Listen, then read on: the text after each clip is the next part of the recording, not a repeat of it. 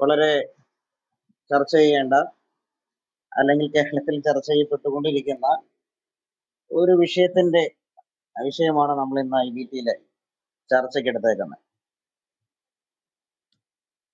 ഷംസീറിന്റെയും അക്ബറിന്റെയും അള്ളാഹു പാവമാണ് എന്നുള്ളതാണ് നമ്മുടെ ടൈറ്റിൽ ഈ ടൈറ്റിലേക്ക് നേരെ വന്നു കഴിഞ്ഞാൽ നമ്മുടെ ഷംസീർ ബഹുമാനപ്പെട്ട സ്പീക്കർ കുറച്ചു നാൾ മുമ്പ് പറഞ്ഞൊരു കാര്യം. സ്ത്രീകൾക്ക് ഏറ്റവും പരിരക്ഷ നൽകുന്ന മതമാണ് ഇസ്ലാം എന്നുള്ളതാണ്. നിങ്ങൾ ഈ റൂം ഒന്ന് ഷെയർ ചെയ്യണേ. എല്ലാവരും റൂം ഒന്ന് ഷെയർ ചെയ്താട്ടെ. എല്ലാവരിലേക്ക് എത്തിച്ചാട്ടെ. മറ്റ് സോഷ്യൽ മീഡിയ പ്ലാറ്റ്ഫോമുകളിലും ഷെയർ ചെയ്താട്ടെ. സ്ത്രീകൾക്ക് ഏറ്റവും കൂടുതൽ സുരക്ഷ നൽകുന്ന മതമാണ് ഇസ്ലാം. എന്നാണ് പറഞ്ഞത്. എന്ന് മാത്രമല്ല ഖുറാൻ മുന്നോട്ട് വെക്കുന്നത് ഒരു പ്രോഗ്രസീവ് വ്യൂ ആണ്. ഖുറാൻ ഖുറാൻ മുന്നോട്ട് വെക്കുന്നത് പ്രോഗ്രസീവ് ആയിട്ടുള്ള വ്യൂ ആണ്.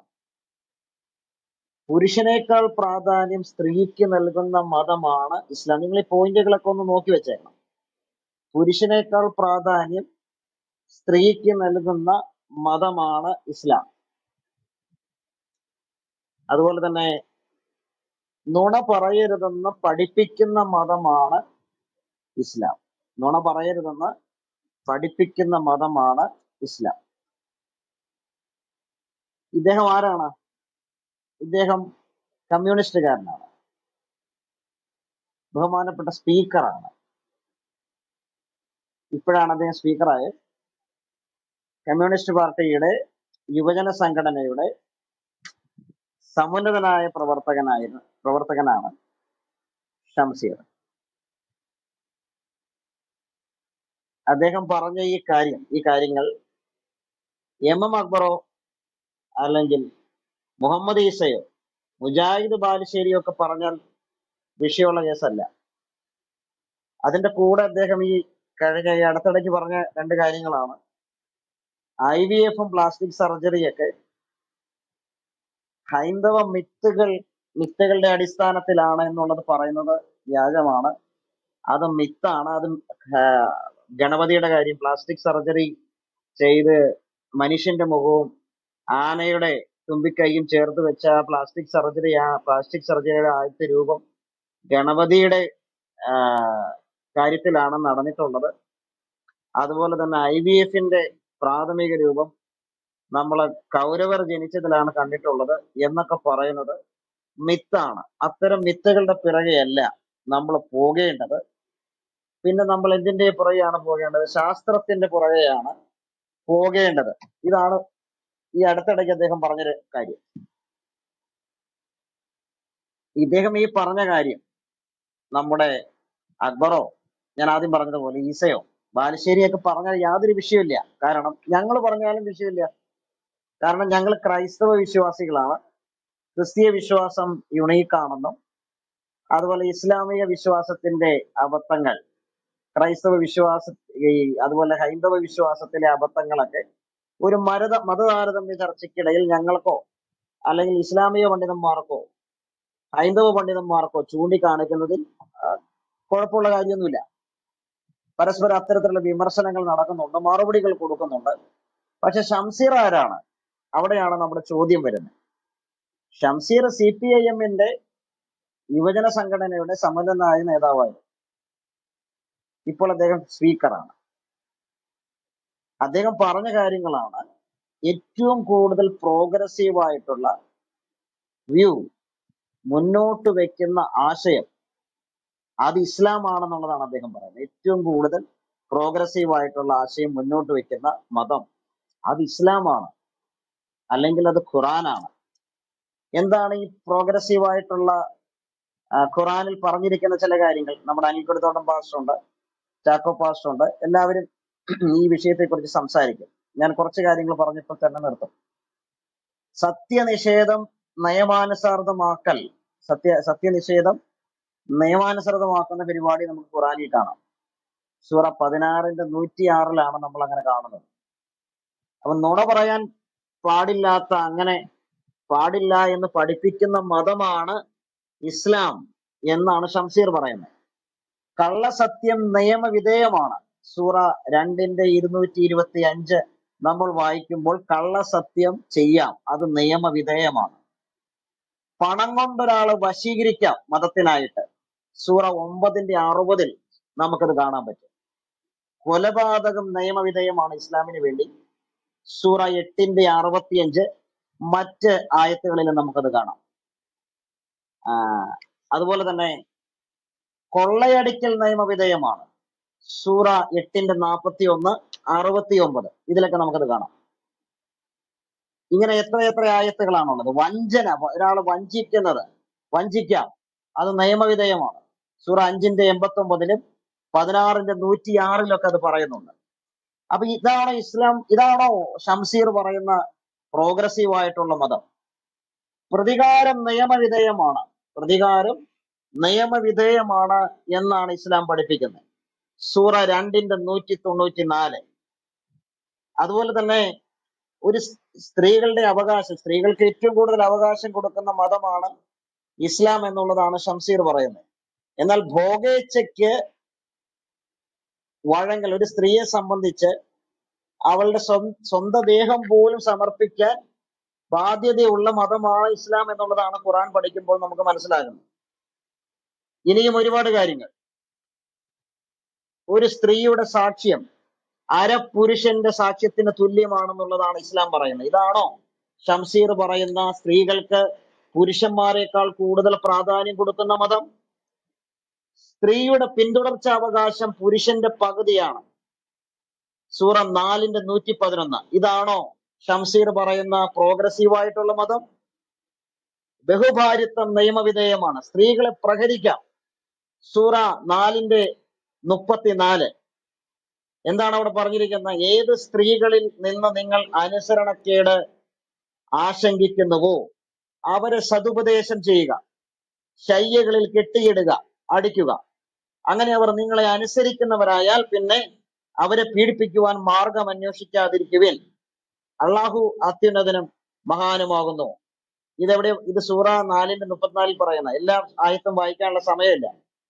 അതുപോലെ തന്നെ സ്ത്രീകൾക്ക് എന്താ പ്രത്യേക വസ്ത്ര സംവിധാനങ്ങൾ പറയുന്നു? ഇതൊക്കെയാണ് ഇസ്ലാം. ഇതൊക്കെയാണ് ഇസ്ലാം. ഇനി ഒരുപാട് കാര്യങ്ങൾ പറയാനുണ്ട്. ഞാൻ കൂടുതൽ പറയുന്നില്ല. തുടർന്ന് പിന്നീടുള്ള ചർച്ചകളിൽ സംസാരിക്കാം. ഷംസീർ പറയുന്നത് സ്ത്രീകൾക്ക് ഏറ്റവും കൂടുതൽ പരിരക്ഷ കൊടുക്കുന്ന മതമാണ് ഇസ്ലാം എന്ന് പറയുന്നത്. ഇത് ഇവിടെ എവിടെയാണ് പരിരക്ഷ കൊടുക്കുന്നത്? സ്ത്രീകൾ കൃഷിയിടമാണ്. സ്ത്രീകൾക്ക് എവിടെയാണ് പരിരക്ഷ? സ്ത്രീകളെ പ്രഹരിക്കാം സ്ത്രീകൾക്ക് എവിടെയാണ് റൈറ്റ് ഉള്ളത്? ഖുറാൻ പ്രോ എന്ത് പ്രോഗ്രസീവ് ആയിട്ടുള്ള വ്യൂ ആണ് ഖുറാനുള്ളത് ഞാൻ ആദ്യം വായിച്ചു കേൾപ്പിച്ചു. വഞ്ചന വരെ നിയമവിധേയമാണ്. നുണ പറയുന്ന നിയമവിധേയമാണ്. കള്ളസത്യം ചെയ്യുന്ന നിയമവിധേയമാണ്. മതത്തിന്റെ പേരിൽ കൊല്ലുന്നത് നിയമവിധേയമാണ്. എന്ത് പ്രോഗ്രസീവ് ആയിട്ടുള്ള വ്യൂ ആണ് ഖുറാൻ മുന്നോട്ട് വയ്ക്കുന്നത്. പുരുഷന്മാരെക്കാൾ പ്രാധാന്യം സ്ത്രീകൾക്ക് എവിടെയാണ് ഖുറാനിലുള്ളത് നുണ പറയരുതെന്ന് പഠിപ്പിക്കുന്ന മതമാണ് അത്ര ഇസ്ലാം. എത്ര നുണ പറയുന്നത് നിയമവിധേയമാക്കിയ മതമാണ് ഇസ്ലാം മതത്തിന് വേണ്ടി.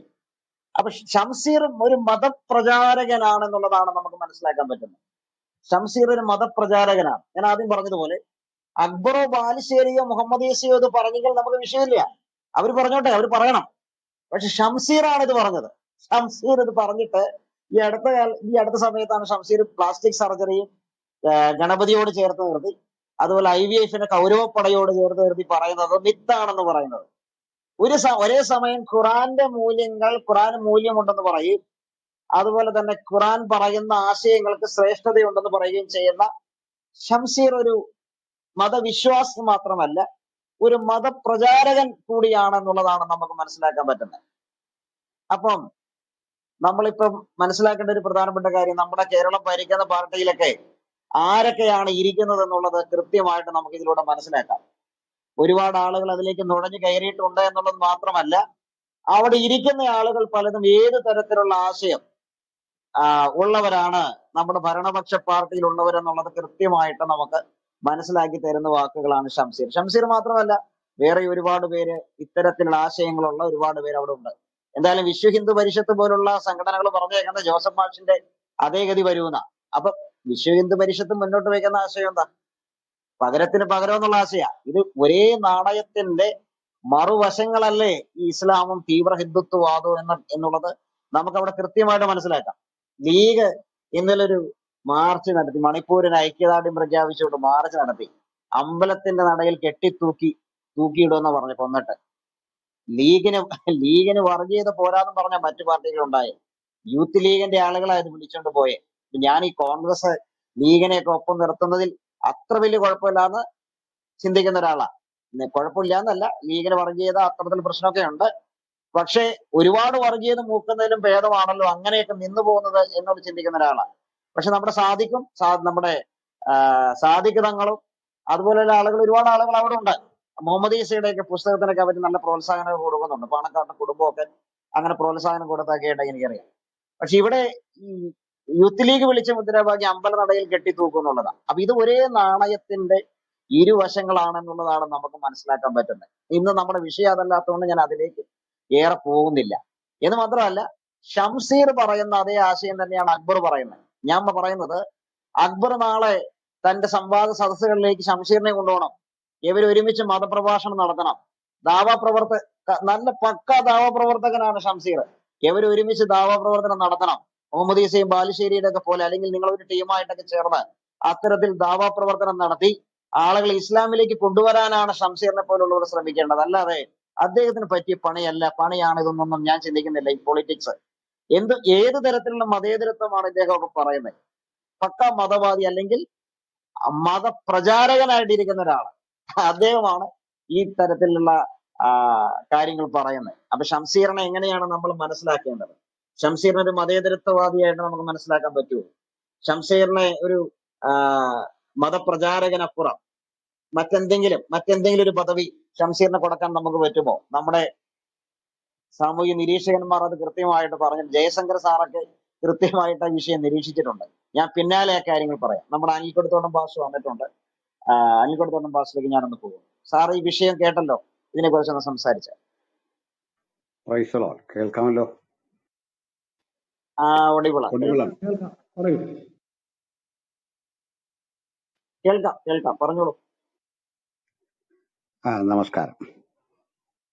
നമ്മളുടെ രാഷ്ട്രീയ മണ്ഡലത്തിൽ ഉയർന്നു കേൾക്കുന്ന ഒരു പ്രധാനപ്പെട്ട പ്രശ്നമാണ് ബഹുമാനായ കേരള നിയമസഭാ സ്പീക്കർ ശ്രീ ഷംസീർ ഉയർത്തിവിട്ടിട്ടുള്ള ചില പുതിയ വാദങ്ങൾ.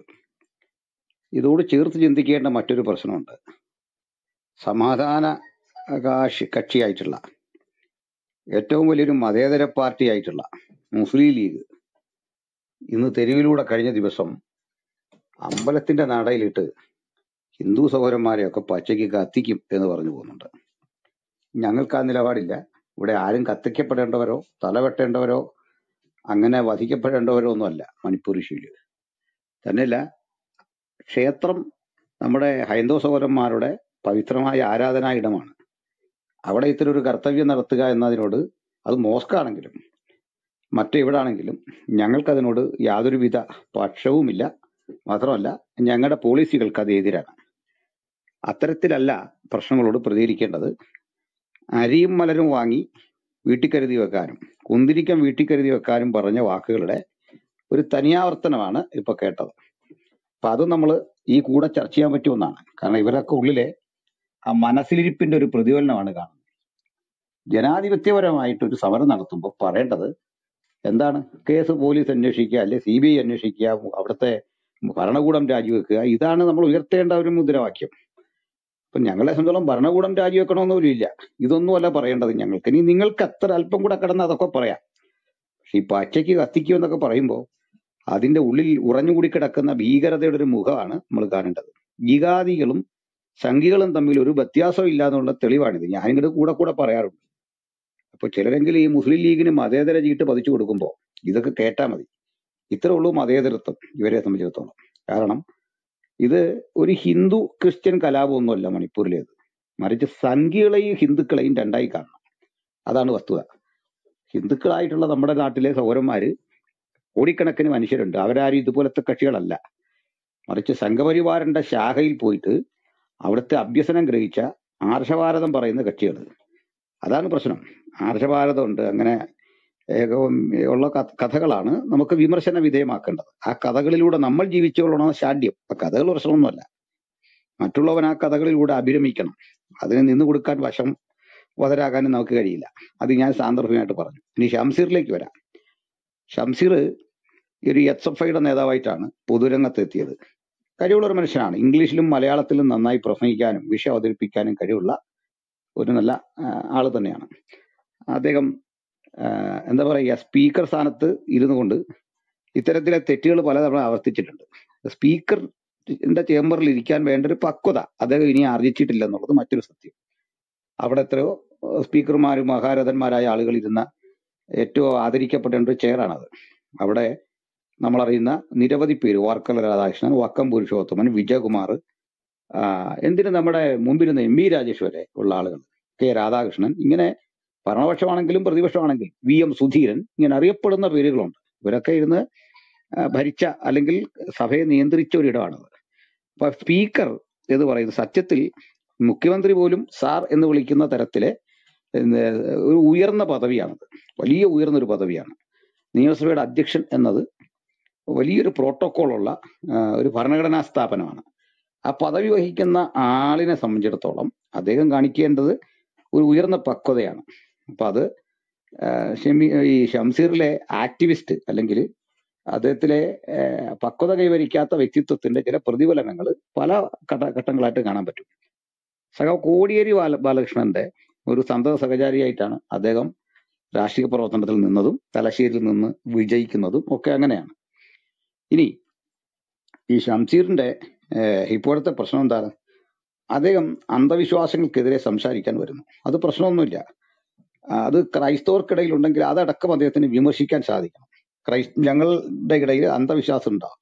ദുരാചാരമുണ്ടോ ഞങ്ങൾ അതിനെയൊന്നും പ്രോത്സാഹിപ്പിക്കാറില്ല.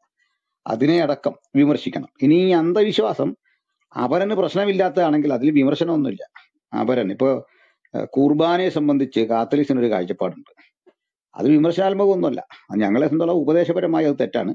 പക്ഷെ അത് ഞങ്ങൾ അതിനെതിരെ വലിയൊരു അന്ധവിശ്വാസമാണെന്ന നിലയില്ല കാരണം അത് വെച്ചൊരു ചൂഷണം നടക്കുകയോ മറ്റൊരാളെ ഉപദ്രവിക്കുകയോ ചെയ്യുന്ന ഒരു കാര്യം അതിലില്ല. എന്നതുപോലെ ഹിന്ദുക്കൾക്കിടയിൽ നിരുപദ്രവകരമായ ഒത്തിരി കാര്യങ്ങളുണ്ട്. അത് സയന്റിഫിക്കലി കറക്റ്റ് അല്ലതാണ്. അതേ കാര്യം ക്രൈസ്തവർക്കിടയിലുണ്ട്. അതേ കാര്യം മുസ്ലിങ്ങൾക്കിടയിലുണ്ട്. സയന്റിഫിക്കലി ഒരിക്കലും പൊരുത്തപ്പെടാത്ത കാര്യങ്ങളുണ്ട്. അതിൽ വിമർശിക്കേണ്ട ഏതിനെയാണ്? അവരന് ഏതെങ്കിലും തരത്തിൽ അയാളുടെ വിശ്വാസത്തെ അല്ലെങ്കിൽ അത് ഉപയോഗിച്ചുകൊണ്ടൊരു മനുഷ്യാവകാശ വിരുദ്ധതയോ ഒക്കെ ഉണ്ടെങ്കിൽ അതാണ് വിമർശന വിധേയമാക്കേണ്ടത്. അല്ലെങ്കിൽ ഇത് കിടക്കുകയാണ്. കാരണം ഷംസീറിന്റെ പ്രിയപ്പെട്ട സഖാക്കൾ പോലും പൂമൂടൽ വിവാദത്തിൽ അകപ്പെട്ടു പോയവരാണ്. പൊങ്കാല ഇടുന്ന സഹോദരങ്ങളാണ്.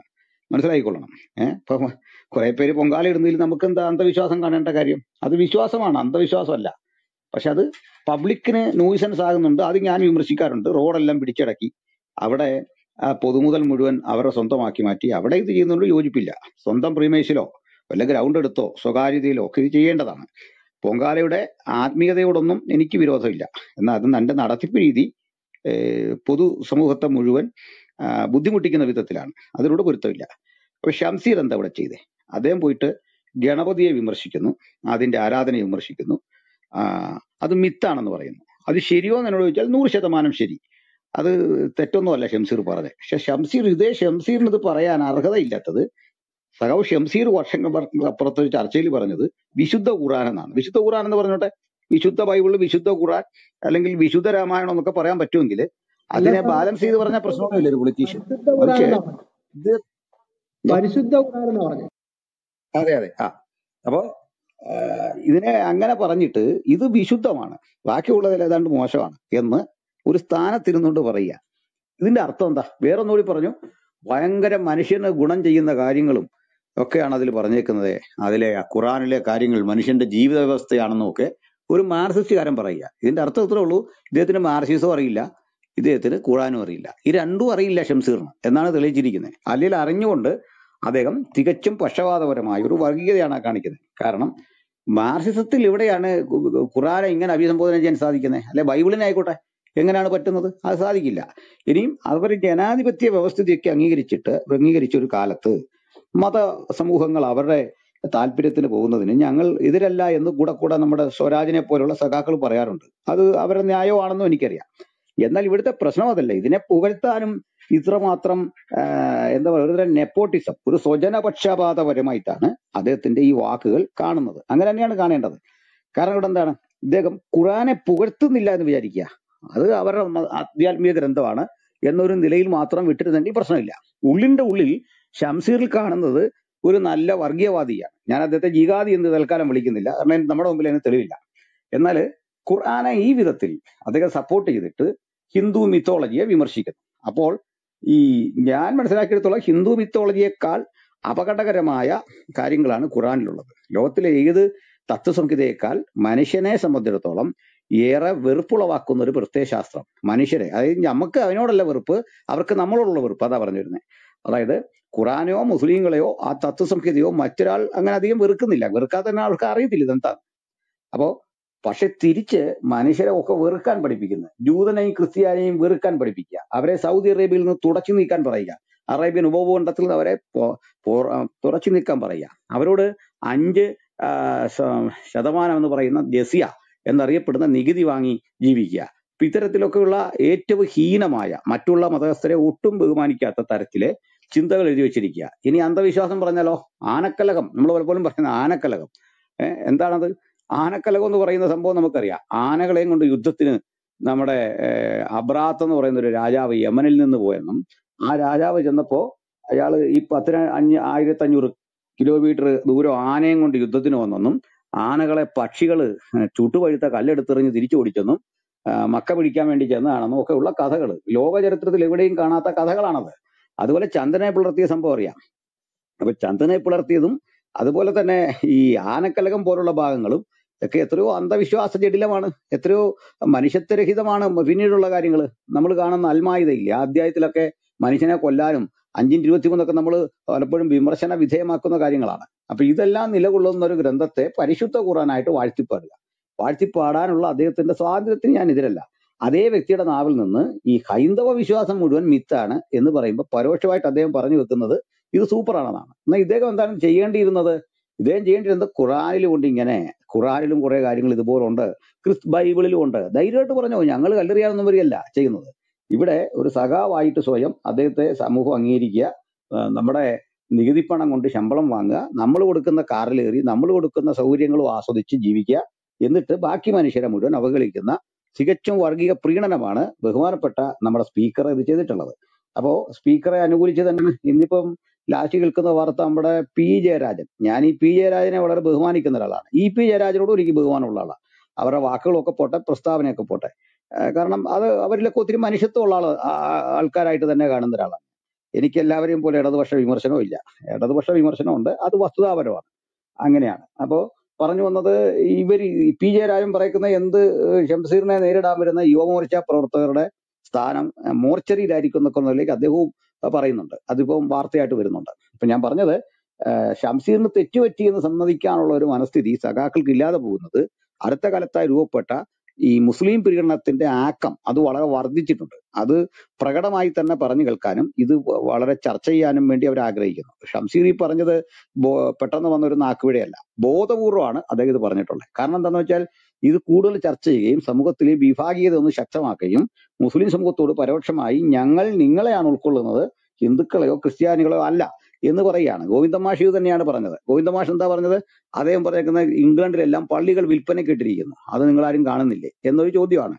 അദ്ദേഹം പറഞ്ഞ കുറെ ശരിയൊക്കെ ഉണ്ട്. ശരിയൊക്കെ ഉണ്ടെന്നുള്ളത് നമുക്ക് സമ്മതിക്കാവുന്ന കാര്യമാണ്. അപ്പൊ പക്ഷേ മറുവശത്ത് ഈ ശരികൾ ഈ അവസരത്തിൽ എന്തിനാണ് പറയുന്നത് ചോദിച്ചാൽ അതിനൊരു രാഷ്ട്രീയ താല്പര്യമുണ്ട്. ജിഹാദികളോട് കൃത്യമായിട്ട് ഇത് പറയുകയാണ്. ഇതേ വ്യക്തി എന്നാ പറയണമായിരുന്നു? സൗദി അറേബ്യയിൽ നിന്ന് ഇതാ ഇസ്ലാം പടി ഇറങ്ങുന്നു അത് പറഞ്ഞോ? പറയുന്നില്ല. അത് മിണ്ടാനുള്ള നാക്കിവർക്കുണ്ടോ? മിണ്ടുകല ഓരാക്ഷരം മിണ്ടുകല അപ്പൊ അത് മിണ്ടാതെ ഇരുന്നു കൊണ്ട് ഇസ്ലാമിനെ പ്രീണിപ്പിക്കുക അതുവഴി വോട്ട് സമാഹരിക്കുക എന്നുള്ള തന്ത്രപരമായ ഒരു ശൈലിയാണ് ഇവർ സ്വീകരിച്ചിട്ടുള്ളത്. അതുകൊണ്ട് ഷംസീർ എന്ന് പറയുന്ന ആദരണീയായ സഖാവ് അല്ലെങ്കിൽ നമ്മുടെ ബഹുമാനപ്പെട്ട സ്പീക്കർ ഇവിടെ കാട്ടിയിട്ടുള്ളത് വളരെ മോശമായ മത നിരപേക്ഷതയ്ക്ക് ചേരാത്തതും സ്വന്തം മതത്തോടും വിശ്വാസത്തോടും അദ്ദേഹം അനാവശ്യമായ കൂറ് കാട്ടുകയും ചെയ്യുന്നു. ആ കൂറ് അദ്ദേഹത്തിന് ഈ സ്ഥാനത്തിരുന്നു കൊണ്ട് അദ്ദേഹം കാണിക്കുന്ന ഇത്തരത്തിലെ ഈ നെപ്പോട്ടിസം അത് തന്നെ ഞാൻ പാപ്പം ഞാൻ ആവർത്തിക്കുന്നു. ഈ നെപ്പോട്ടിസം അഥവാ സ്വജനപക്ഷാപാതം അത് വിമർശനാത്മകമാണ് എന്ന് പറഞ്ഞ് ഞാൻ നിർത്തുന്നു. ചർച്ചയുടെ പുരോഗമന ഘട്ടത്തിൽ വീണ്ടും ഇടപെടാം. സമയോചിതമായിട്ട് അതിൽ ഞാൻ പ്രതികരണം അറിയിച്ചോളാം. താങ്ക് യു ആനിക്കോടത്തോട്ടം പാസ്റ്റർ പറഞ്ഞ വളരെ കൃത്യമായിട്ടൊരു പോയിന്റാണ് നമ്മുടെ എം ഇ ഗോവിന്ദൻ മാസ്റ്റർ അദ്ദേഹം പറഞ്ഞ വളരെ പ്രധാനപ്പെട്ട ഒരു കാര്യമാണ് ഇംഗ്ലണ്ടിലെ പള്ളികളെ കുറിച്ച് പറഞ്ഞത്. ഈ പറഞ്ഞതുപോലെ അതിൽ കാര്യമുണ്ട് കാര്യമില്ലെന്ന് നമ്മൾ ആരും പറയുന്നില്ല. അതിലൊരു മറുവശം കൂടിയുണ്ട്. ആ മറുവശം അദ്ദേഹം കണ്ടിട്ടില്ല. മറ്റൊരു കാര്യം സൗദിയിലാകട്ടെ പല ഇസ്ലാമിക രാജ്യങ്ങളിലാകട്ടെ ഇസ്ലാം പടിയിറങ്ങുകയാണ്. അതിനെക്കുറിച്ച് അദ്ദേഹം ഒരക്ഷരം മിണ്ടിയിട്ടില്ല. ഇപ്പൊ ഞാൻ പി പി ജയരാജന്റെ കാര്യം ഇവിടെ പറഞ്ഞത്. പി ജയരാജൻ ശക്തിനെതിരെ തിരിയുന്ന ശക്തിനെതിരെ തിരിയുന്ന ആളുകളുടെ ആളുകളെ അവർ മോർച്ചറിയിലായിരിക്കും അവരെ പിന്നെ കാണുക എന്നുള്ളതാണ് പി ജയരാജൻ പറഞ്ഞത്. അപ്പൊ തീർച്ചയായിട്ടും സി പി ഐ എമ്മിലൊക്കെ വർദ്ധിച്ചു വരുന്ന എന്താണ്?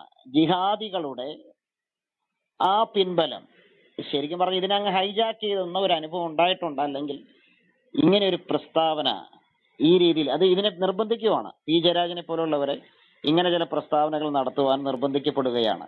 ഷംസീർ ഇത് പറയുന്ന പറഞ്ഞതിന് കൃത്യമായിട്ടുള്ള അറിവോട് തന്നെയാണ് പറയുന്നത്. ഷംസീർ ഒരു ഇസ്ലാം മതവിശ്വാസി തന്നെയായിട്ടാണ് ഞാൻ മനസ്സിലാക്കുന്നത്. ഒരു മതപ്രചാരകൻ കൂടിയാണ് അദ്ദേഹം എന്നുള്ളതാണ് നമ്മൾ മനസ്സിലാക്കാൻ പറ്റുന്നത്. അപ്പൊ ഇവിടെ സി പി എമ്മിലൊക്കെ വന്ന ഈ ആ, ജിഹാദിസത്തിന്റെ ഒരു സ്വാധീനം ആ സ്വാധീന വലയം അവരിൽ ഉള്ളതുകൊണ്ട് ഇത്തരത്തിലുള്ള വാക്കുകൾ അവർക്ക് പറഞ്ഞേ പറ്റൂ. ഷംസീർ ബോധപൂർവം പറഞ്ഞതാണ് ഈ പി ജയരാജനെ പോലുള്ളവരെ പറയിപ്പിക്കുന്നതിന്റെ കാരണം ഈ പ്രീണനമാണ്. എം വി ഗോവിന്ദൻ മാസ്റ്ററെ കൊണ്ട് അത് പറയിപ്പിക്കുന്ന എന്താണ്? പ്രീണനമാണ്. അല്ലാതെ മറ്റൊന്നുമല്ല ആ പ്രീണനം എന്തിനു വേണ്ടി പറയുന്നു എന്നുള്ളതാണ്. എല്ലാ എല്ലാറ്റിനെയും കുറിച്ച് അവർ പറയുന്നില്ല. ഒന്നിനെ കുറിച്ച് അല്ലെങ്കിൽ മറ്റൊന്നിനെ കുറിച്ച് മാത്രം പറയുന്നു. ഇസ്ലാമിനെ കുറിച്ച് ഇവർ പറയുന്നില്ല. ഇവിടെ പാസ്റ്റർ പറഞ്ഞതുപോലെ പ്ലാസ്റ്റിക് സർജറിയും അതുപോലെ ഐ വി എഫ് ഒക്കെ സയന്റിഫിക്കലാണ്. അത് ഗണപതിയുടെയും കൗരവപ്പടയുടെയും അടുത്തേക്ക് കൊണ്ടുപോയി. കൗരവരുടെയും തലയിൽ വെച്ച് കെട്ടിയില്ല അത് സയന്റിഫിക് ആണെന്ന് ചോദിച്ചാലല്ല. പക്ഷെ അവിടെ അതല്ല വിഷയം. ഷംസീർ പറഞ്ഞ കാര്യമാണ് വിഷയം. ഒന്നിനെ എടുത്തുയർത്തി കാണിക്കുകയും ഒന്ന് ശ്രേഷ്ഠമാണെന്ന് പറയുന്നു. ഒന്ന് സ്ത്രീകൾക്ക് വിമോചനം നൽകുന്നു എന്ന് പറയുന്നു. ഒന്ന് സ്ത്രീകൾക്ക് പുരുഷനേക്കാൾ പ്രാധാന്യം നൽകുന്നു എന്ന് പറയുന്നു. ഖുറാൻ ഏറ്റവും എനിക്ക് രസകരമായി തോന്നിയത് ഖുറാൻ ഒരു പ്രോഗ്രസീവ് വ്യൂ ഉള്ള പുസ്തകമാണെന്ന്. ഏറ്റവും പ്രോഗ്രസീവ് ആയിട്ടുള്ള വ്യൂ പറയുന്ന പുസ്തകമാണ് പരിശുദ്ധ ഖുറാൻ എന്നാണ് ഷംസീർ പറഞ്ഞത്. അപ്പൊ ഇത് നമ്മൾ തീർച്ചയായിട്ടും ചർച്ച ചെയ്യപ്പെടേണ്ട വിഷയമാണ്. ഇവരെന്തുകൊണ്ട് സഖാക്കൾ എന്തുകൊണ്ട് ഇതിനെ വിമർശിക്കുന്നില്ല ഇസ്ലാമിനെ വിമർശിക്കുന്നില്ല ഇസ്ലാമിക രാജ്യങ്ങളിലെ ഇസ്ലാമിന്റെ പടിയിറക്കത്തെ കുറിച്ച് എന്തുകൊണ്ട് പറയുന്നില്ല? നമ്മുടെ കേരളത്തിൽ തന്നെ ഇസ്ലാം വിടുന്നവരുടെ എണ്ണം വളരെ കൂടുതലാണ്. എന്തുകൊണ്ട് ഇവർ അതേക്കുറിച്ച് പറയുന്നില്ല? ഇംഗ്ലണ്ടിലെ പള്ളികളെ കുറിച്ച് പറഞ്ഞ ഗോവിന്ദൻ മാസ്റ്റർ അതും കൂടി പറയേണ്ടതല്ലേ? എന്തുകൊണ്ട് അത് പറയുന്നില്ല? അവിടെയൊക്കെയാണ് നമ്മുടെ വിഷയം. അതൊക്കെയാണ് ചർച്ച ചെയ്യപ്പെടേണ്ട വിഷയം. ഞാൻ ചാക്കോ പാസ്റ്ററിലേക്ക് ഒന്ന് പോവുകയാണ്. ചർച്ച നമ്മൾ മുന്നോട്ട് പോകട്ടെ. ചാക്കോ പാസ്റ്റർ പറഞ്ഞാൽ ഓക്കെ. ആ നമ്മുടെ നിയമസഭാ സ്പീക്കർ ഷംസീർ നടത്തിയിട്ടുള്ളതായ പ്രസ്താവന. അതും അതിനെ തുടർന്ന് വന്നിട്ടുള്ളതായ ആ പ്രതിഷേധവും നമ്മുടെ സംസ്ഥാനത്ത് പലയിടങ്ങളിലായിട്ട് അലയടിച്ചുകൊണ്ടിരിക്കുകയാണ്. ഇന്ന് ഉച്ചയ്ക്ക് പി. ജയരാജന്റെ ഒരു പ്രസ്താവന വന്നത് അല്പം മൂർച്ചയേറിയ ഒരു പ്രസ്താവനയാണ്. അത് ഷംസീറിനെ ഒറ്റതിരിഞ്ഞ് ആക്രമിച്ചാൽ ആക്രമിക്കുന്നവരുടെ സ്ഥാനം മോർച്ചറിയിലാണെന്നാണ് അദ്ദേഹം പറഞ്ഞിരിക്കുന്നത്. എന്തായാലും ഈ ഷംസീർ പറഞ്ഞതായ നമ്മുടെ സ്പീക്കർ പറഞ്ഞതായ കാര്യം എന്റെ അഭിപ്രായത്തിൽ ഇദ്ദേഹം അത് മനഃപൂർവമായി പറഞ്ഞതാണോ? അതോ വസ്തുതകൾ അറിയാതെ പറഞ്ഞതാണോ എന്നത് എനിക്ക് സംശയമുണ്ട്. ഈ പണ്ട് നമ്മുടെ കെ ടി ജലീൽ ഒരു പ്രസ്താവന ഇറക്കി ഇറക്കുകയുണ്ടായില്ല അതിനെതിരായിട്ട് വലിയ കേസും വഴക്കും ഒക്കെ ഉണ്ടായി. അവസാനം അദ്ദേഹം അതിന്റെ കൃത്യമായ കാര്യം പറഞ്ഞപ്പോൾ അത് കെട്ടടങ്ങി. എന്ന് പറഞ്ഞതുപോലെ ഇതും വലിയ പിമ്പിരി കൊള്ള കൊള്ളുമ്പോഴത്തേന് ഷംസീർ ഇനി വന്ന് മറ്റൊരു പ്രസ്താവന നടത്തുവോ എന്നുള്ളത് ഒരു സംശയമുണ്ട്. ഇനി ഒരുപക്ഷെ ഇതറിയാതെ എന്ത് എവിടെ നിന്നോ കേട്ടതായ കാര്യങ്ങളാണ് ഇദ്ദേഹം പറഞ്ഞതെങ്കിൽ തീർച്ചയായിട്ടും അതിന് അടുത്ത് നിൽക്കുന്ന സഖാക്കൾ അത് തിരുത്തേണ്ടതാണ്. പക്ഷെ സഖാക്കൾ ആരും തന്നെ അതിനെക്കുറിച്ച് ഒരു പിന്നെ വാക്ക് പോലും പറയുന്നില്ല. അതാണ് ബഹുരസം എന്ന് പറയുന്നത്. ഞാൻ പ്രാരംഭമായിട്ട് ഷംസീർ നടത്തിയ സ്റ്റേറ്റ്മെന്റ് ഇത് എവിടുന്ന് വന്നതാണ് എന്നതിനെ കുറിച്ച് സൂചിപ്പിച്ചതിന് ശേഷം അത് ആധുനിക ശാസ്ത്രത്തിന് ചേർന്നതല്ല എന്ന് പറഞ്ഞതിന് ശേഷം ഈ ഇസ്ലാമിനകത്ത് കിടക്കുന്ന മിത്തുകൾ ഭാരതീയ മിത്തുകളെക്കാൾ ഡബിൾ ശക്തി ഉള്ളതാണെന്നും അതാണ് വാസ്തവത്തിൽ കെട്ടുകഥയുടെ മൂടകഥകളുടെ സമാഹാരമെന്ന് ഞാൻ തെളിയിച്ചു തരാം. പ്രാരംഭമായിട്ട് ഈ ഷംസീർ പറഞ്ഞതായ കാര്യങ്ങൾ എന്താ അദ്ദേഹം പറഞ്ഞത്? ഗണപതിയുടെ പ്ലാസ്റ്റിക് സർജറി പിന്നെ പുഷ്പക വിമാനം അങ്ങനെ ചില പരാമർശങ്ങളാണ്. ഇത് ഷംസീർ ഈ കഴിഞ്ഞ ദിവസം പറയുന്നതിന് മുമ്പേ ഇന്ത്യൻ ശാസ്ത്ര കോൺഗ്രസ് സമ്മേളനത്തിൽ വെച്ച് ഇന്ത്യയിലെ പ്രഗത്ഭന്മാരായ ശാസ്ത്രജ്ഞന്മാരും നമ്മുടെ പ്രധാനമന്ത്രി നരേന്ദ്രമോദിയും ഇത് പറഞ്ഞതാണ്. അത് മാധ്യമ റിപ്പോർട്ട് ഇവിടെയുണ്ട്. ഷംസീർ ഇത് പറഞ്ഞപ്പോൾ മാധ്യമങ്ങൾ ഇന്നപ്പോൾ റിപ്പോർട്ട് ചെയ്തു. അല്ലെങ്കിൽ ഇന്ന രേഖയിൽ പറയുന്നവർ ഉദ്ധരിച്ചതായിട്ട് എന്തും കൂടെ പറഞ്ഞിരുന്നെങ്കിൽ ഈ വിവാദം ഒഴിവാക്കാമായിരുന്നു. പക്ഷെ അദ്ദേഹം അത് പറഞ്ഞില്ല. മനഃപൂർവം അത് പറയാതിരുന്നതാണോ? ഇങ്ങനെ കിടക്കട്ടെ ഒരു വിവാദം ഇതിനകത്ത് കിടക്കട്ടെ എന്ന് പറഞ്ഞുകൊണ്ട് അദ്ദേഹം ഇറക്കി വിട്ടതാണോ? അതോ അദ്ദേഹത്തിന് ഇത് അറിയാത്തതാണോ എന്നൊരു സംശയമുണ്ട്.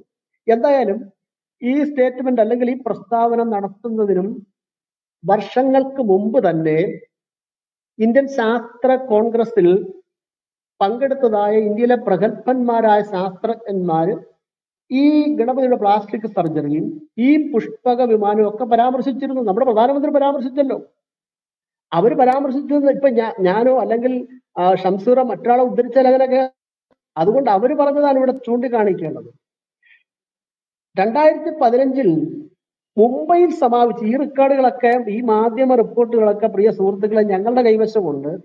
നിങ്ങൾ ചോദിച്ചാൽ ഞങ്ങൾ അയച്ചു തരാം വെറുതെ വിവാദങ്ങൾ നിങ്ങൾ ഒഴിവാക്കുക തമ്മിത്തല്ലും ബഹളങ്ങളും ഒക്കെ ഞങ്ങളുടെ സഖാക്കൾ ബഹുമാനപ്പെട്ട സ്പീക്കർ ഇവരൊക്കെ അത് ഒഴിവാക്കുക എന്നാണ് ഞങ്ങൾക്ക് പറയാനുള്ളത്. ഇപ്പം ആര് എന്തെല്ലാം ഏതൊക്കെ രീതിയിൽ പ്രശ്നങ്ങൾ ഉണ്ടാക്കിയാലും കേരളത്തിലെ സമാധാന ജീവിതത്തെയാണ് ബാധിക്കുന്നത്. പൊതുസമൂഹത്തെ അത് ബാധിക്കും. അതുകൊണ്ട് ഈ റിപ്പോർട്ടുകളൊക്കെ മാധ്യമ റിപ്പോർട്ടുകളൊക്കെ ഞങ്ങൾക്ക് ഞങ്ങൾ അങ്ങോട്ട് അയച്ചു തരാം നിങ്ങൾ ഈ വിവാദ വിഷയങ്ങൾ പര്യവസാനിപ്പിക്കുക എന്നാണ് ഞങ്ങൾക്ക് പറയാനുള്ളത്. അപ്പം രണ്ടായിരത്തി പതിനഞ്ചിൽ മുംബൈയിൽ സമാപിച്ച നൂറ്റി രണ്ടാമത് ഇന്ത്യൻ ശാസ്ത്ര കോൺഗ്രസ് സമ്മേളനത്തിൽ പൈലറ്റ് പരിശീലന കേന്ദ്രത്തിൽ പ്രിൻസിപ്പളായി വിരമിച്ച ക്യാപ്റ്റൻ ആനന്ദ് ജെ ബോദാസിന്റെ പ്രഭാഷണത്തിൽ അദ്ദേഹമാണ് ഇത് ആദ്യം പറയുന്നത്. അദ്ദേഹം പറഞ്ഞ കേൾക്കണം അദ്ദേഹം പറഞ്ഞ സ്റ്റേറ്റ്മെന്റ് അതുപോലെ തന്നെ ഞാൻ വായിക്കാം. വേദങ്ങളിൽ നിന്ന് ഊർജം ഉൾക്കൊണ്ട് പ്രാചീന ഇന്ത്യയിൽ വ്യോമയാന സാങ്കേതിക വിദ്യ നിലനിന്നിരുന്നു. നമ്മുടെ ഷംസീർ രാജ പുഷ്പ പുഷ്പവിമാനത്തിന്റെ കാര്യം അവിടെ വന്നത്. അപ്പൊ അദ്ദേഹം പറയുകയാണ് വേദങ്ങളിൽ നിന്ന് ഊർജം ഉൾക്കൊണ്ട് പ്രാചീന ഇന്ത്യയിൽ വ്യോമയാന സാങ്കേതിക വിദ്യ നിലനിന്നിരുന്നു. റൈറ്റ് സഹോദരന്മാർക്ക് മുമ്പേ ഇന്ത്യയിൽ വിമാനം പറത്തിയിരുന്നു. മുടിതാരനെ പോലും പുലർത്താൻ കഴിയുന്ന ശസ്ത്രക്രിയാ ഉപകരണങ്ങൾ ഡറാർ ആ, സാങ്കേതിക വിദ്യയുടെ രഹസ്യം ഒക്കെ വേദങ്ങളിൽ ഉണ്ടായിരുന്നു എന്നാണ് ആ വലിയ മനുഷ്യൻ ആ സമ്മേളനത്തിൽ പറഞ്ഞത്. കേട്ടോ? ഇനി അടുത്തത് കേട്ടോണം. രണ്ടായിരത്തി പതിനാല് മുംബൈയിലെ ഒരു ആശുപത്രി ഉദ്ഘാടന ചടങ്ങിൽ നമ്മുടെ പ്രധാനമന്ത്രി നരേന്ദ്രമോദി പറഞ്ഞത് ഇങ്ങനെയാണ്. അതാ പറഞ്ഞത്. അതുപോലെ തന്നെ പറയാം പ്ലാസ്റ്റിക് സർജറി ആദ്യം നടന്നത് ആനയുടെ മുഖമുള്ള ഗണപതിയിലാണെന്ന്. എന്താ അദ്ദേഹം പറഞ്ഞത്? അന്നത്തെ ആളുകൾ ജനിതക ശാസ്ത്രത്തെക്കുറിച്ച് അറിവുള്ളവരായിരുന്നുവെന്ന് ഇതിഹാസമായ മഹാഭാരതം ചൂണ്ടിക്കാട്ടി പ്രധാനമന്ത്രി അവകാശപ്പെടുകയും ചെയ്തു.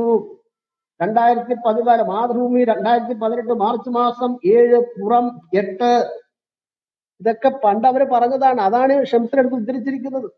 മാത്രമല്ല ജെറ്റ് വിമാനം മുതൽ ആണവായുധങ്ങൾ വരെയുള്ള ശാസ്ത്ര കണ്ടുപിടുത്തങ്ങളും വേദകാലത്ത് ഇന്ത്യയിൽ നിർമ്മിച്ചിരുന്നുവെന്ന് ഔദ്യോഗിക തലത്തിലുള്ള മറ്റു പല വ്യക്തികളും ഈ സമ്മേളനത്തിൽ പറയുകയുണ്ടായി.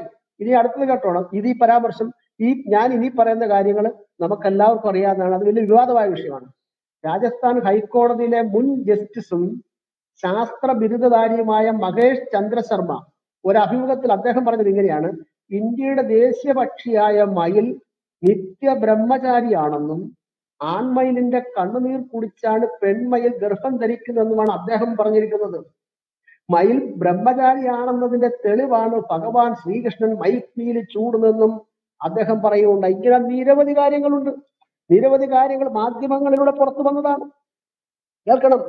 ലോകത്തെ ഏറ്റവും വലിയ ശാസ്ത്ര സംഘം എന്ന വിശേഷണമുള്ള ഇന്ത്യൻ സയൻസ് കോൺഗ്രസിൽ ആന്ധ്ര സർവകലാശാല vice chancellor G Nageswara Rao അവതരിപ്പിച്ച പ്രബന്ധത്തിൽ അദ്ദേഹം പറഞ്ഞത് കേൾക്കണോ? അതുകൂടെ ഞാൻ പറയാം. രാവണന് ഇരുപത്തിനാല് തരം വിമാനങ്ങളും അത് കൈകാര്യം ചെയ്യാൻ ശ്രീലങ്കയിൽ വിമാനത്താവളങ്ങളും ഉണ്ടായിരുന്നു. ഗൈഡഡ് മിസൈൽ സാങ്കേതിക വിദ്യയുടെ മുൻഗാമികളായിരുന്നു സുദർശന ചക്രവും ദിവ്യാസ്ത്രങ്ങളും ഒരുപാട് കാര്യങ്ങളുണ്ട് ഞാനിവിടെ ചുരുക്കുക.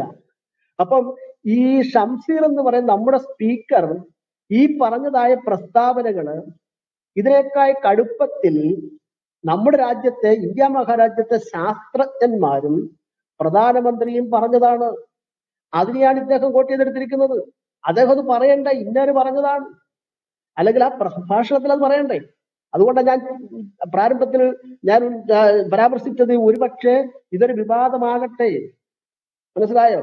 കുറെ ആളുകൾ ഇപ്പൊ ഇലക്ഷൻ വരികയാണ്. കുറെ ആളുകൾ ഇതിനകത്ത് ഇതേ കടിപിടി കൂടട്ടെ എന്നുള്ളതായ ഉദ്ദേശത്തോടു കൂടി നമ്മുടെ സ്പീക്കർ ചെയ്തതാണോ? അതോ ഇതറിയാതെ ആരോ പറഞ്ഞു കേട്ട് പറഞ്ഞതാണോ എന്നാണ് സംശയം. എന്തായാലും ഈ പറയപ്പെട്ടതായ കാര്യങ്ങളൊക്കെ തന്നെ നമ്മുടെ രാജ്യത്തെ നമ്മുടെ രാജ്യത്തുള്ള പ്രഗത്ഭന്മാരായ വ്യക്തികൾ പറഞ്ഞിരുന്നതാണ്. നമുക്കറിയാം ഈ പുഷ്പക വിമാനങ്ങളും ഈ പറയപ്പെട്ട കാര്യങ്ങളൊക്കെ തന്നെ മിത്തല്ലാതെ പിന്നെ എന്താണ്? ഇത് പുരാണ കഥകളല്ല പിന്നെ എന്താണ്? അമേരിക്കയിലെ യുണൈറ്റഡ് ബ്രദറൻ ചർച്ച് ശുശ്രൂഷകനായ മിൽട്ടൺ റൈറ്റിന്റെയും സൂസന്റെയും മക്കളായ വിൽബർ റൈറ്റും ഓർവിൽ റൈറ്റും ചേർന്ന് ആയിരത്തി തൊള്ളായിരത്തി മൂന്നിലാണ് വിമാനം നിർമ്മിച്ച് പറത്തിയത്. ഇതെല്ലാവർക്കും അറിയാവുന്ന കാര്യമില്ലേ? ഇതിനപ്പുറത്ത് പുഷ്പവിമാനം നിർമ്മിച്ചു എന്നും ഓ ശ്രീലങ്കയിൽ അതിന്റെ വിമാനത്താവളം ഉണ്ടെന്നൊക്കെ ഇന്ത്യയിലെ അറിയപ്പെടുന്ന ശാസ്ത്രജ്ഞന്മാർ പറഞ്ഞാൽ അതൊക്കെ നമ്മുടെ കുഞ്ഞുങ്ങളിലേക്ക് പകർത്തിയാൽ അതൊക്കെ നമ്മുടെ കുഞ്ഞുങ്ങൾ പഠിച്ചാൽ എങ്ങനെയായിരിക്കും നമ്മുടെ കുഞ്ഞുങ്ങളിലെ ശാസ്ത്രബോധം ചെന്നെത്തുന്നത്? അതിനെ വിമർശിക്കപ്പെടേണ്ടതാണ്. അതിനെ ആ നിലയിൽ തന്നെ അത് കൈകാര്യം ചെയ്യണം. അത് പരമ അബദ്ധമാണ് അത് മിത്താണ് അത് കെട്ടുകഥയാണ്. അതിനെ വെള്ളം ചേർത്ത് ശാസ്ത്രത്തിലേക്ക് കൊണ്ടുവരരുത് എന്ന് പറയുവാൻ ഓരോരുത്തർക്കും കഴിയും. ഞാൻ അതല്ല അതിനപ്പുറമായ മറ്റൊരു ഒന്ന് രണ്ട് കാര്യം കൂടെ എനിക്ക് ആ വിഷയത്തോടനുബന്ധിച്ച് സംസാരിക്കാനുണ്ട്. ഇത്രയും മഹത്തായ ശാസ്ത്ര വിജ്ഞാനം ഉണ്ടായിട്ട് അതായത് ഈ പ്ലാസ്റ്റിക് സർജറിയും ഈ പുഷ്പക വിമാനം കണ്ടെത്തലും ഇതിന്റെ വിമാനത്താവളങ്ങളും ഒക്കെ തന്നെ ഈ രാജ്യത്ത് ഉണ്ടായിട്ട് അല്ലെങ്കിൽ ഇന്ത്യ ഉൾപ്പെട്ടതായ ശ്രീലങ്കയിൽ അന്ന് ഉണ്ടായിട്ടും ഇന്ത്യ ഇന്ത്യ ഇന്ന് അവികസിത അവികസിതമായിട്ട് വികസനം ഇല്ലാതെ തുടരുന്നത് എന്തുകൊണ്ട്? അന്ധവിശ്വാസങ്ങളും അനാചാരങ്ങളും ജാതി ജാതി വിവേചനം ഇപ്പോഴും നിലനിൽക്കുന്നത് എന്തുകൊണ്ടാണ്? പാവപ്പെട്ട അധർകൃത വിഭാഗത്തിൽപ്പെട്ടതായ ആളുകൾ എന്തുകൊണ്ട് ഇവിടെ പീഡ അനുഭവിക്കുന്നു? കണ്ടില്ലേ? കഴിഞ്ഞ ദിവസം കണ്ടത്. ഒരു സവർണ ജാതിക്കാരൻ പാവപ്പെട്ട കീഴ്ജാതിക്കാരന്റെ മോന്തയ്ക്കോട്ട് മുഖത്തോട്ട് മൂത്രമൊഴിച്ചു കൊടുക്കുക. എന്തുകൊണ്ട് ഇത്തരത്തിലുള്ള ഹീനത ഇവിടെ നടക്കുന്നു? എന്തുകൊണ്ട് നാം മൂന്ന് നൂറ്റാണ്ട് സാമ്രാജ്യ അധിവേ അധിനിവേശത്തിന് അടിമപ്പെട്ടുപോയി വിദേശികൾ വന്ന് മൂന്ന് നൂറ്റാണ്ടുകൾ നമ്മുടെ രാജ്യത്തെ അടിമപ്പെടുത്തിയത് എന്തുകൊണ്ടാണ്? പ്രാചീനകാല അതിനുള്ള ഉത്തരം ഇതാണ്. പ്രാചീനകാല അന്ധവിശ്വാസങ്ങളിൽ മുഴുകി കാലമാറ്റം അല്ലെങ്കിൽ കാലത്തിന്റെ ഗതി തിരിച്ചറിയാതെ പോയതാണ് അധിനിവേശം ഇവിടെ ഉണ്ടാകാൻ കാരണം. അന്ധവിശ്വാസം അബദ്ധ ജടിലങ്ങളായ ഇത്തരത്തിലുള്ള അന്ധവിശ്വാസങ്ങൾ ആണ്ട് കിടന്നത് കൊണ്ടാണ് പുറത്തുനിന്ന് ആളുകൾ വന്ന് നമ്മളെ അടിമത്തത്തിലേക്ക് കൊണ്ടുപോയത്. ഇനി ഞാൻ ഒന്നും കൂടെ പറയുന്നു. ഈ ഏറെ കൊട്ടിഘോഷിക്കുന്ന ഒരു സംഭവമുള്ള യോഗ. ഈ യോഗയും അനുബന്ധ ശസ്ത്രക്രിയകളും ഒക്കെ ഇത്രയും ഇവിടെ ഉണ്ടായിട്ടും ഒന്നര മണിക്കൂർ നേരം. അല്ലെ? ഒന്നര മണിക്കൂർ നേരം ഈ നമ്മുടെ രാജ്യത്തെ ഏതെങ്കിലും ഒരു മൈതാനത്ത് അണയ്ക്കാതെ പന്ത് തട്ടിക്കളിക്കാൻ കെൽപ്പുള്ള പതിനൊന്ന് പേരെ വളർത്തിയെടുക്കാൻ ഇന്ന് വരെ ഇന്ത്യയ്ക്ക് കഴിഞ്ഞിട്ടുണ്ടോ? ഉണ്ടോ? എന്തുകൊണ്ട് കഴിയുന്നില്ല ഉദാഹരണം അതായത് വസ്തുത പറഞ്ഞാൽ സേറ്റപ്പിന് മുതൽ സൂപ്പർ കമ്പ്യൂട്ടർ വരെയുള്ള എല്ലാ കണ്ടുപിടുത്തത്തിനും നമ്മുടെ രാജ്യം പാശ്ചാത്യ രാജ്യങ്ങളോട് കടപ്പെട്ടിരിക്കും ഇതാണ് എന്റെ വസ്തുത. ഇതിനെ വളച്ചൊടിച്ച് വേദങ്ങളിൽ ഉണ്ടായിരുന്നു അത് അപ്പുറത്ത് അത് ഉണ്ടായിരുന്നൊക്കെ പറയുന്നത് ശാസ്ത്രത്തെ തെറ്റിദ്ധരിപ്പിക്കുവാനും നമ്മുടെ തലമുറയുടെ മേൽ അതേ അന്ധവിശ്വാസങ്ങൾ പടച്ചുവിടാനുമുള്ളതായ വസ്തുതയാണ്. അതുകൊണ്ട് ഞാൻ അത്രയും പറഞ്ഞുകൊണ്ട് ഞാൻ ആ ഭാഗം വിടുകയാണ്. ഇനി ഈ വിഷയത്തെ സംബന്ധിച്ച് നമ്മുടെ ബഹുമാനപ്പെട്ട ആ ഷംസീർ പറഞ്ഞതായ കാര്യങ്ങൾ. എന്താണ് അദ്ദേഹം പറഞ്ഞത്? മിത്താണ്. ഇത് മിത്താണ്. ഏത് ഈ പറഞ്ഞതായ കാര്യങ്ങളൊക്കെ തന്നെ മിത്താണ്. പരിശുദ്ധ ഖുറാനിൽ അതൊന്നുമില്ല. പരിശുദ്ധ ഖുറാൻ ഉന്നതമാണെന്നാണ് അദ്ദേഹം പറഞ്ഞത്. എന്റെ ഷംസീറെ സുഹൃത്തെ ഇതിനേക്കാൾ മിത്താണ് ഈ പരിശുദ്ധ ഖുറാനിൽ കിടക്കുന്ന സൂറ പതിനെട്ടിന്റെ പതിനേഴിന്റെ ഒന്നാമത്തെ ആയത്ത്. എന്താ അവിടെ പറയുന്നത്? തന്റെ ദാസനെ നമ്മുടെ ദാസനെ മസ്ജിദുൽ ഹറമിൽ നിന്ന് മസ്ജിദുൽ അക്സയിലേക്ക് അതിന്റെ പരിസരം നാം അനുഗ്രഹിതമാക്കിയിരിക്കുന്നു. ഒരു രാവിൽ കൊണ്ടുപോയവൻ ഏറെ പരിശുദ്ധൻ തന്നെ. എന്താണ് ഇതിന്റെ അർത്ഥമേ എന്താ മുഹമ്മദ് മക്കയിലെ ഭവനത്തിലിരിക്കുമ്പോൾ ആ ഭവനത്തിന്റെ മുകൾ തട്ട് തുറന്നുകൊണ്ട് ഒരു ഒരു മലക്കിറങ്ങി വരുന്നു. ആ മലക്ക് മുഹമ്മദിനെയും കൊണ്ട് പറന്ന് മസ്ജിദുൽ അക്സ എന്നറിയപ്പെടുന്ന ജെറുസലേം ദേവാലയത്തിലേക്ക് പോകുന്നു. അവിടേക്ക് പോകുന്ന ബുറാഖ് എന്ന് പറയുന്നത് ആ ഒരു മൃഗത്തിന്റെ പുറത്ത് കയറിയാണ്. മൃഗത്തെ ആ മസ്ജിദുൽ അക്സ എന്ന് പറയുന്നത് ജെറുസലേം ദേവാലയമാണ്. ആ ദേവാലയത്തിന്റെ പുറത്തെ കരിങ്കല്ല് തുളച്ച് ഈ മൃഗത്തെ അവിടെ കെട്ടിയിട്ട് മുഹമ്മദ് അതിനകത്ത് കയറി നിസ്കരിക്കുന്നു. പിന്നെ മുഹമ്മദ് ഈ മൃഗത്തിന്റെ പുറത്ത് കയറി പോകുന്നു. ഒന്നാം ആകാശത്ത് എല്ലുന്നു ആദനബിയെ കാണുന്നു. രണ്ടാം ആകാശത്ത് എല്ലുന്നു മൂന്നാം ആകാശത്ത് എല്ലുന്നു നാലാം ആകാശത്ത് എല്ലുന്നു ഇങ്ങനെ ആകാശത്ത് എന്ന് എന്ന് എന്ന് എന്ന് എന്ന് അങ്ങ് അള്ളാഹുവിന്റെ അടുത്ത് എന്നു എന്ന് പറയുന്നത് ഇവിടുത്തെ മിത്തിനേക്കായി വിഡ്ഢിക്കഥയല്ലേ സുഹൃത്തെ? ഇത് ആർക്കും വിശ്വസിക്കാനായിട്ട് കഴിയും സുഹൃത്തെ? ഏ?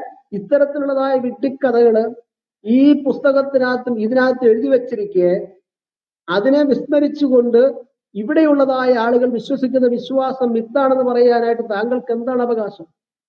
ഗണപതി ഹോമം നടക്കട്ടെ ഗണപതിയെ പൂജിക്കട്ടെ. ലോ- ഈ ഇന്ത്യയിലെ എൺപത് ശതമാനം വരുന്ന ഹൈന്ദവ സുഹൃത്തുക്കൾ സഹോദരങ്ങൾ അവരുടെ ആ വിശ്വാസം ആചരിക്കട്ടെ.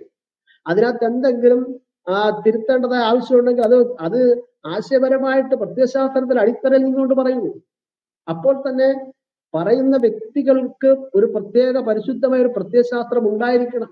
ഇവിടെ ബഹുമാനപ്പെട്ട സ്പീക്കർ ഇസ്ലാം എന്ന് പറയുന്നത് പരിശുദ്ധമാണെന്നും അവിടെ സ്ത്രീ വിവേചനമില്ല എന്നും അവിടെ മിത്തില്ല എന്നോ പറയുന്നത് ഞങ്ങൾ അതാ ചൂണ്ടിക്കാണിക്കുന്നത്. താങ്കൾക്ക് താങ്കളുടെ മതവിശ്വാസം അനുകരിക്കാം. താങ്കളുടെ മതവിശ്വാസത്തെ താങ്കൾക്ക് പരിപോഷിപ്പിക്കാം. പക്ഷെ ആ മതവിശ്വാസം പൂർണത നിറഞ്ഞതായിരിക്കണം. ആ മതവിശ്വാസത്തിന്റെ വൈകല്യങ്ങൾ എണ്ണിയാ തീരാത്ത ഇവിടെ കിടക്കുമ്പോൾ മറ്റൊരു മതത്തെ വിമർശിക്കുവാൻ ആർക്കും അവകാശമില്ല. വിശ്വസിക്കുന്നവർ വിശ്വസിക്കട്ടെ. ഗണപതിയെ ഹോമം നടത്തുന്നവർ അത് അങ്ങനെ ചെയ്യട്ടെ. ഞങ്ങളുടെ വിശ്വാസം ക്രൈസ്തവ വിശ്വാസം ഞങ്ങൾ ഇവിടെ പറയുമ്പോൾ യുക്തിഹീനമെന്ന് ചിലർക്ക് ചിലത് തോന്നാം. അത് അവരുടെ സ്വാതന്ത്ര്യപ്പെട്ട കാര്യമാണ്. ഞങ്ങൾ അടിച്ചേൽപ്പിക്കുന്നില്ലല്ലോ. ഞങ്ങളുടെ കർത്താവായ യേശു ക്രിസ്തു പച്ചവെള്ളത്തെ മുന്തിരിച്ചാറാക്കി എന്നുള്ള കാര്യം ഞങ്ങൾ പരസ്യമായി പ്രസംഗിക്കുന്നു. ഓ വെള്ളം വീഞ്ഞാകും. അത് നമുക്ക് വിശ്വസിക്കാൻ കഴിയത്തില്ല എന്ന് ആരെങ്കിലും പറഞ്ഞാൽ അത് അദ്ദേഹത്തിന്റെ സാന്ദ്രത്തിൽപ്പെട്ട കാര്യമാണ്. അദ്ദേഹത്തിന് ആ നിലപാട് സ്വീകരിക്കാം. ഞങ്ങളുടെ കർത്താവ് അഞ്ചപ്പം കൊണ്ട് അയ്യായിരം പേരെ പോഷിപ്പിച്ചു. ഇത് ഞങ്ങൾക്ക് പറയാനുള്ളതായ പിന്നെ ആർജവമുണ്ട്. വിശുദ്ധ ഗ്രന്ഥത്തിലുള്ളതാണ് ഞങ്ങൾ പറയുന്നു ചിലർ വിശ്വസിക്കുന്നു ശരിയാണ് ദൈവത്തിനെല്ലാം കഴിയും. യുവ ദൈവം മഹാദൈവമാണ്. ചിലർ വിമർശിക്കുന്നു അതിനുള്ള സ്വാതന്ത്ര്യമുണ്ട്. അപ്പൊ ഇങ്ങനെ നമുക്ക് നമ്മുടേതായ വിശ്വാസ പ്രചരണം നമുക്ക് നടത്താനുള്ള സ്വാതന്ത്ര്യമുണ്ട്. കടന്നു കയറി സ്വന്തം മതവിശ്വാസത്തിൽ ഞാനിപ്പോൾ ഇത് പറയുന്നത് തന്നെ ഷംസീറിന്റെ മതവിശ്വാസം ഇസ്ലാമാണെന്ന് പറഞ്ഞുകൊണ്ട് തന്നെയാണ്. അദ്ദേഹത്തിന്റെ ഉള്ളിൽ രൂഢമൂലമായിരിക്കുന്ന ഇസ്ലാം മതവിശ്വാസത്തിന്റെ അടിത്തറ എന്ന് ഞാൻ പറയുന്നു. ഒരിക്കലും ഒരു മതവിശ്വാസ മതവിശ്വാസമുള്ള ആളല്ലാത്ത വ്യക്തിയല്ല ഷംസീർ എന്ന് പറയുന്ന സ്പീക്കർ അദ്ദേഹത്തിന് ആ മതവിശ്വാസം രൂഢമൂലമായിട്ടുണ്ട്. അത് തീവ്രമായ മതവിശ്വാസം ഉള്ളയാളാണ് അതിന്റെ ചലനങ്ങളാണ് അദ്ദേഹത്തിന്റെ ഇവിടെ പുറത്തു വന്നത്. അതുകൊണ്ട് തന്നെയാണ് അദ്ദേഹം ഈ ഇസ്ലാം പരിശുദ്ധ ഇസ്ലാം എന്നും ഇസ്ലാമിലെല്ലാം പൂർണതയാണെന്നും വിളിച്ചു പറഞ്ഞത്. നോക്കൂ ഞാൻ അത് തന്നെ ഇവിടെ വായിക്കാം.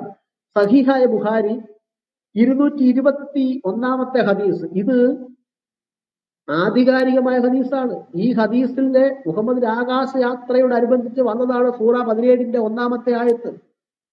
ഈ കഴിഞ്ഞിടയിൽ നടന്ന ഒരു ചാനൽ ചർച്ചയിൽ ഒരാൾ എതിർഭാഗത്ത് നിന്ന് ബാലൻസ്റ്റ് ഇത് വിളിച്ചു പറഞ്ഞു. അപ്പം മറുവശത്തിരുന്ന ഒരു ഇസ്ലാം മത പണ്ഡിതൻ ചോദിച്ചു കാണിക്കൂ. എവിടെ എഴുതിയിരിക്കുന്നു? കാണിക്കും. പക്ഷെ അദ്ദേഹത്തിന് കാണിക്കാൻ കഴിഞ്ഞില്ല. ഞങ്ങൾക്കത് കാണിക്കാനുള്ള എല്ലാ സജ്ജീകരണങ്ങളും ഞങ്ങളുടെ കയ്യിലുണ്ട്. നോക്കൂ ഇരുന്നൂറ്റി ഇരുപത്തി ഒന്നാമത്തെ ഹദീസിനെ ഉദ്ധരിച്ചുകൊണ്ട് ചരിത്രകാരന്മാർ രേഖപ്പെടുത്തിയിരിക്കുന്ന ചില ഭാഗങ്ങൾ വായിക്കും. ഇത് മിത്തല്ലാതെ പിന്നെ എന്താണ് ഷംസീർ സാറേ? പറയൂ. ഇത് ഭാരതീയ മിത്തിനേക്കാൾ കടുപ്പമേറിയ മിത്തല്ലേ ഇത്? ഇതെങ്ങനെ വിശ്വസിക്കാനായിട്ട് കഴിയും? ഇതെങ്ങനെ ഉൾക്കൊള്ളാനായിട്ട് കഴിയും? ഞാൻ വായിക്കുന്നു. തിരുമേനി ഉറങ്ങുമ്പോൾ ജിബ്രീൽ മീഖായേൽ എന്നീ മലക്കുകൾ വേറൊരു മലക്കിനോടൊപ്പം അവിടെ എത്തി. അതായത് അദ്ദേഹം കിടന്നുറങ്ങുന്ന മക്കയിലെ വീട്ടിലെത്തി. ഹംസ ഹംസയും ജാഫറും തിരുമേനിയുടെ വലത്തും ഇടത്തുമായി കിടക്കുന്നുണ്ടായിരുന്നു. അവരുടെ മധ്യത്തിൽ നിന്ന് ആ മലക്കുകൾ തിരുമേനി എടുത്തു സംസം കിണറ്റിനടുത്തിലേക്ക് കൊണ്ടുപോയി. രാത്രി കിടന്നുറങ്ങുന്ന ആളിനെ കൊണ്ടുപോയെന്നാ പറയുന്നു കേട്ടോ തിരുമേനിയുടെ നെഞ്ചിലെ അസ്ഥിപഞ്ചരത്തിന് താഴെ നിന്ന് പുക്കിൾ വരെ ജിബ്രിയിൽ കീറുകയും ഹൃദയത്തെ പുറത്തെടുക്കുകയും ഹൃദയം കീറി മൂന്ന് തവണ ശുദ്ധീകരിക്കുകയും ചെയ്തു. പിന്നീട് അത് യഥാസ്ഥാനത്ത് വെച്ച് മുറികൂട്ടി മുദ്ര വെച്ചു. ഈ കാര്യം അമാനുഷികം അള്ളാഹുവിന്റെ വരുതിയിൽപ്പെട്ടത് മാത്രമേ അത് നിങ്ങൾക്ക് വിശ്വസിക്കാം. പക്ഷെ അതിനകത്ത് എന്ത് ലോചിക്കാനുള്ളത്? ബാക്കിയുടെ കേൾപ്പ് നിങ്ങൾ. പിന്നീട് തിരുമേനിയെ പള്ളിയുടെ വാതുക്കൽ നിന്ന് അവർ കൂട്ടിക്കൊണ്ടുപോയി അവിടെ ഒരു മൃഗം നിൽപ്പുണ്ടായിരുന്നു. ഇനി മൃഗത്തിന്റെ പുറത്താണ് ആകാശയാത്ര നടക്കുന്നത്. സങ്കല്പിക്കാൻ കഴിയുമോ? ഇതെന്ത് കഥയായത്? ഒരു മൃഗത്തിന്റെ പുറത്ത് ആ മൃഗത്തിന്റെ രൂപവും ആകൃതിയും അതിന്റെ പ്രകൃതിയും കൂടെ കേൾക്കൂ. അതിന്റെ പുറത്താണ് യാത്ര. തറയെ കൂടെ അല്ല ഭൂമിയിൽ കൂടെ അല്ല വായുവിലൂടെ പോവുകയാണ്. വായു മണ്ഡലത്തെ ഭേദിച്ച് അപ്പുറത്ത് പോയി സാധനം. കേട്ടോ ആ അസാധാരണമായ ഒരു മൃഗം മനുഷ്യന്റേത് പോലുള്ള മുഖവും കുതിരയുടേത് പോലുള്ള ശരീരവും കാളയുടേത് പോലുള്ള കാലുകളും മാനിന്റേത് പോലുള്ള വാലും ഒട്ടകത്തിന്റെത് പോലുള്ള പിടലിയും ആനയുടേത് പോലുള്ള നെഞ്ചും വിവിധ വർണത്തോ വർണത്തൂവലോടുകൂടി പരത്തിന്റെത് പോലുള്ള രണ്ട് ചിറകളും നീണ്ട നീണ്ട ചെവികളും രണ്ട് നീണ്ട ചെവികളുമുള്ള ആ മൃഗത്തിന്റെ ശരീരം വെളുപ്പ് കലർന്ന കറുത്ത രോമങ്ങളാൽ ആവൃതമായിരുന്നു. ആ മൃഗം ഒരു കഴുതയേക്കാൾ അല്പം വലുതും സവാരിക്ക് സവാരി കുതിരയേക്കാൾ അല്പം ചെറുതുമായിരുന്നു. അതിന്റെ നടത്തത്തിന്റെ വേഗത മിന്നലിനെ അതിശയിപ്പിച്ചിരുന്നു. തന്നിമിത്തം ബുറാക്ക് എന്ന് അതിന് പേർ നൽകപ്പെട്ടിരുന്നു. സ്വർഗത്തിൽ നിന്നും അയക്കപ്പെട്ട ആ മൃഗം ജീനും കടിഞ്ഞാണും അടി അണിഞ്ഞ് സമ്പന്നനാ സമ്പന്നമായി നിൽക്കുകയായിരുന്നു. തിരുമേനി ആ ബുറാക്കിന്റെ പുറത്ത് കയറി. തിരുമേനി പറയുന്നു ഞാൻ ബൈത്തുൽ മുഖദസിനടുത്തെത്തി അതായത് ജെറുസലേം ദേവാലയത്തിലെത്തിയെന്ന്. ഈ മക്കയിലെ ഈ ഹറം പള്ളിയുണ്ടല്ലോ. അതായത് ഇപ്പോൾ ഈ ഈ കാണുന്നതായ ഈ കിബില ഇന്ന് അതേ ഉള്ളൂ. പള്ളിയൊക്കെ പിന്നീടാണല്ലോ വന്നത്. ഈ കാബ ക്ഷേത്രത്തിൽ നിന്നും ജെറുസലേം ദേവാലയത്തിലേക്ക് എത്തിയെന്ന് അവർ ഒരു രാത്രിയില്ല. പുള്ളി അവിടെ കിടന്ന് ഉറങ്ങുക. നിങ്ങൾ ചിന്തിക്കും ഇത് എന്ത് വിഡ്ഢിക്കഥയത് ഇത് സ്വന്തം കിതാബിനകത്ത് എഴുതി വെച്ചിരിക്കുകയാണ് ഇസ്ലാം പരിശുദ്ധമാണ്. ഇതിനകത്ത് ലോജിക്കൊന്നും ലോജിക്കല്ലാത്ത ഒന്നുമില്ല എന്ന് വിളിച്ചു പറയുന്നു.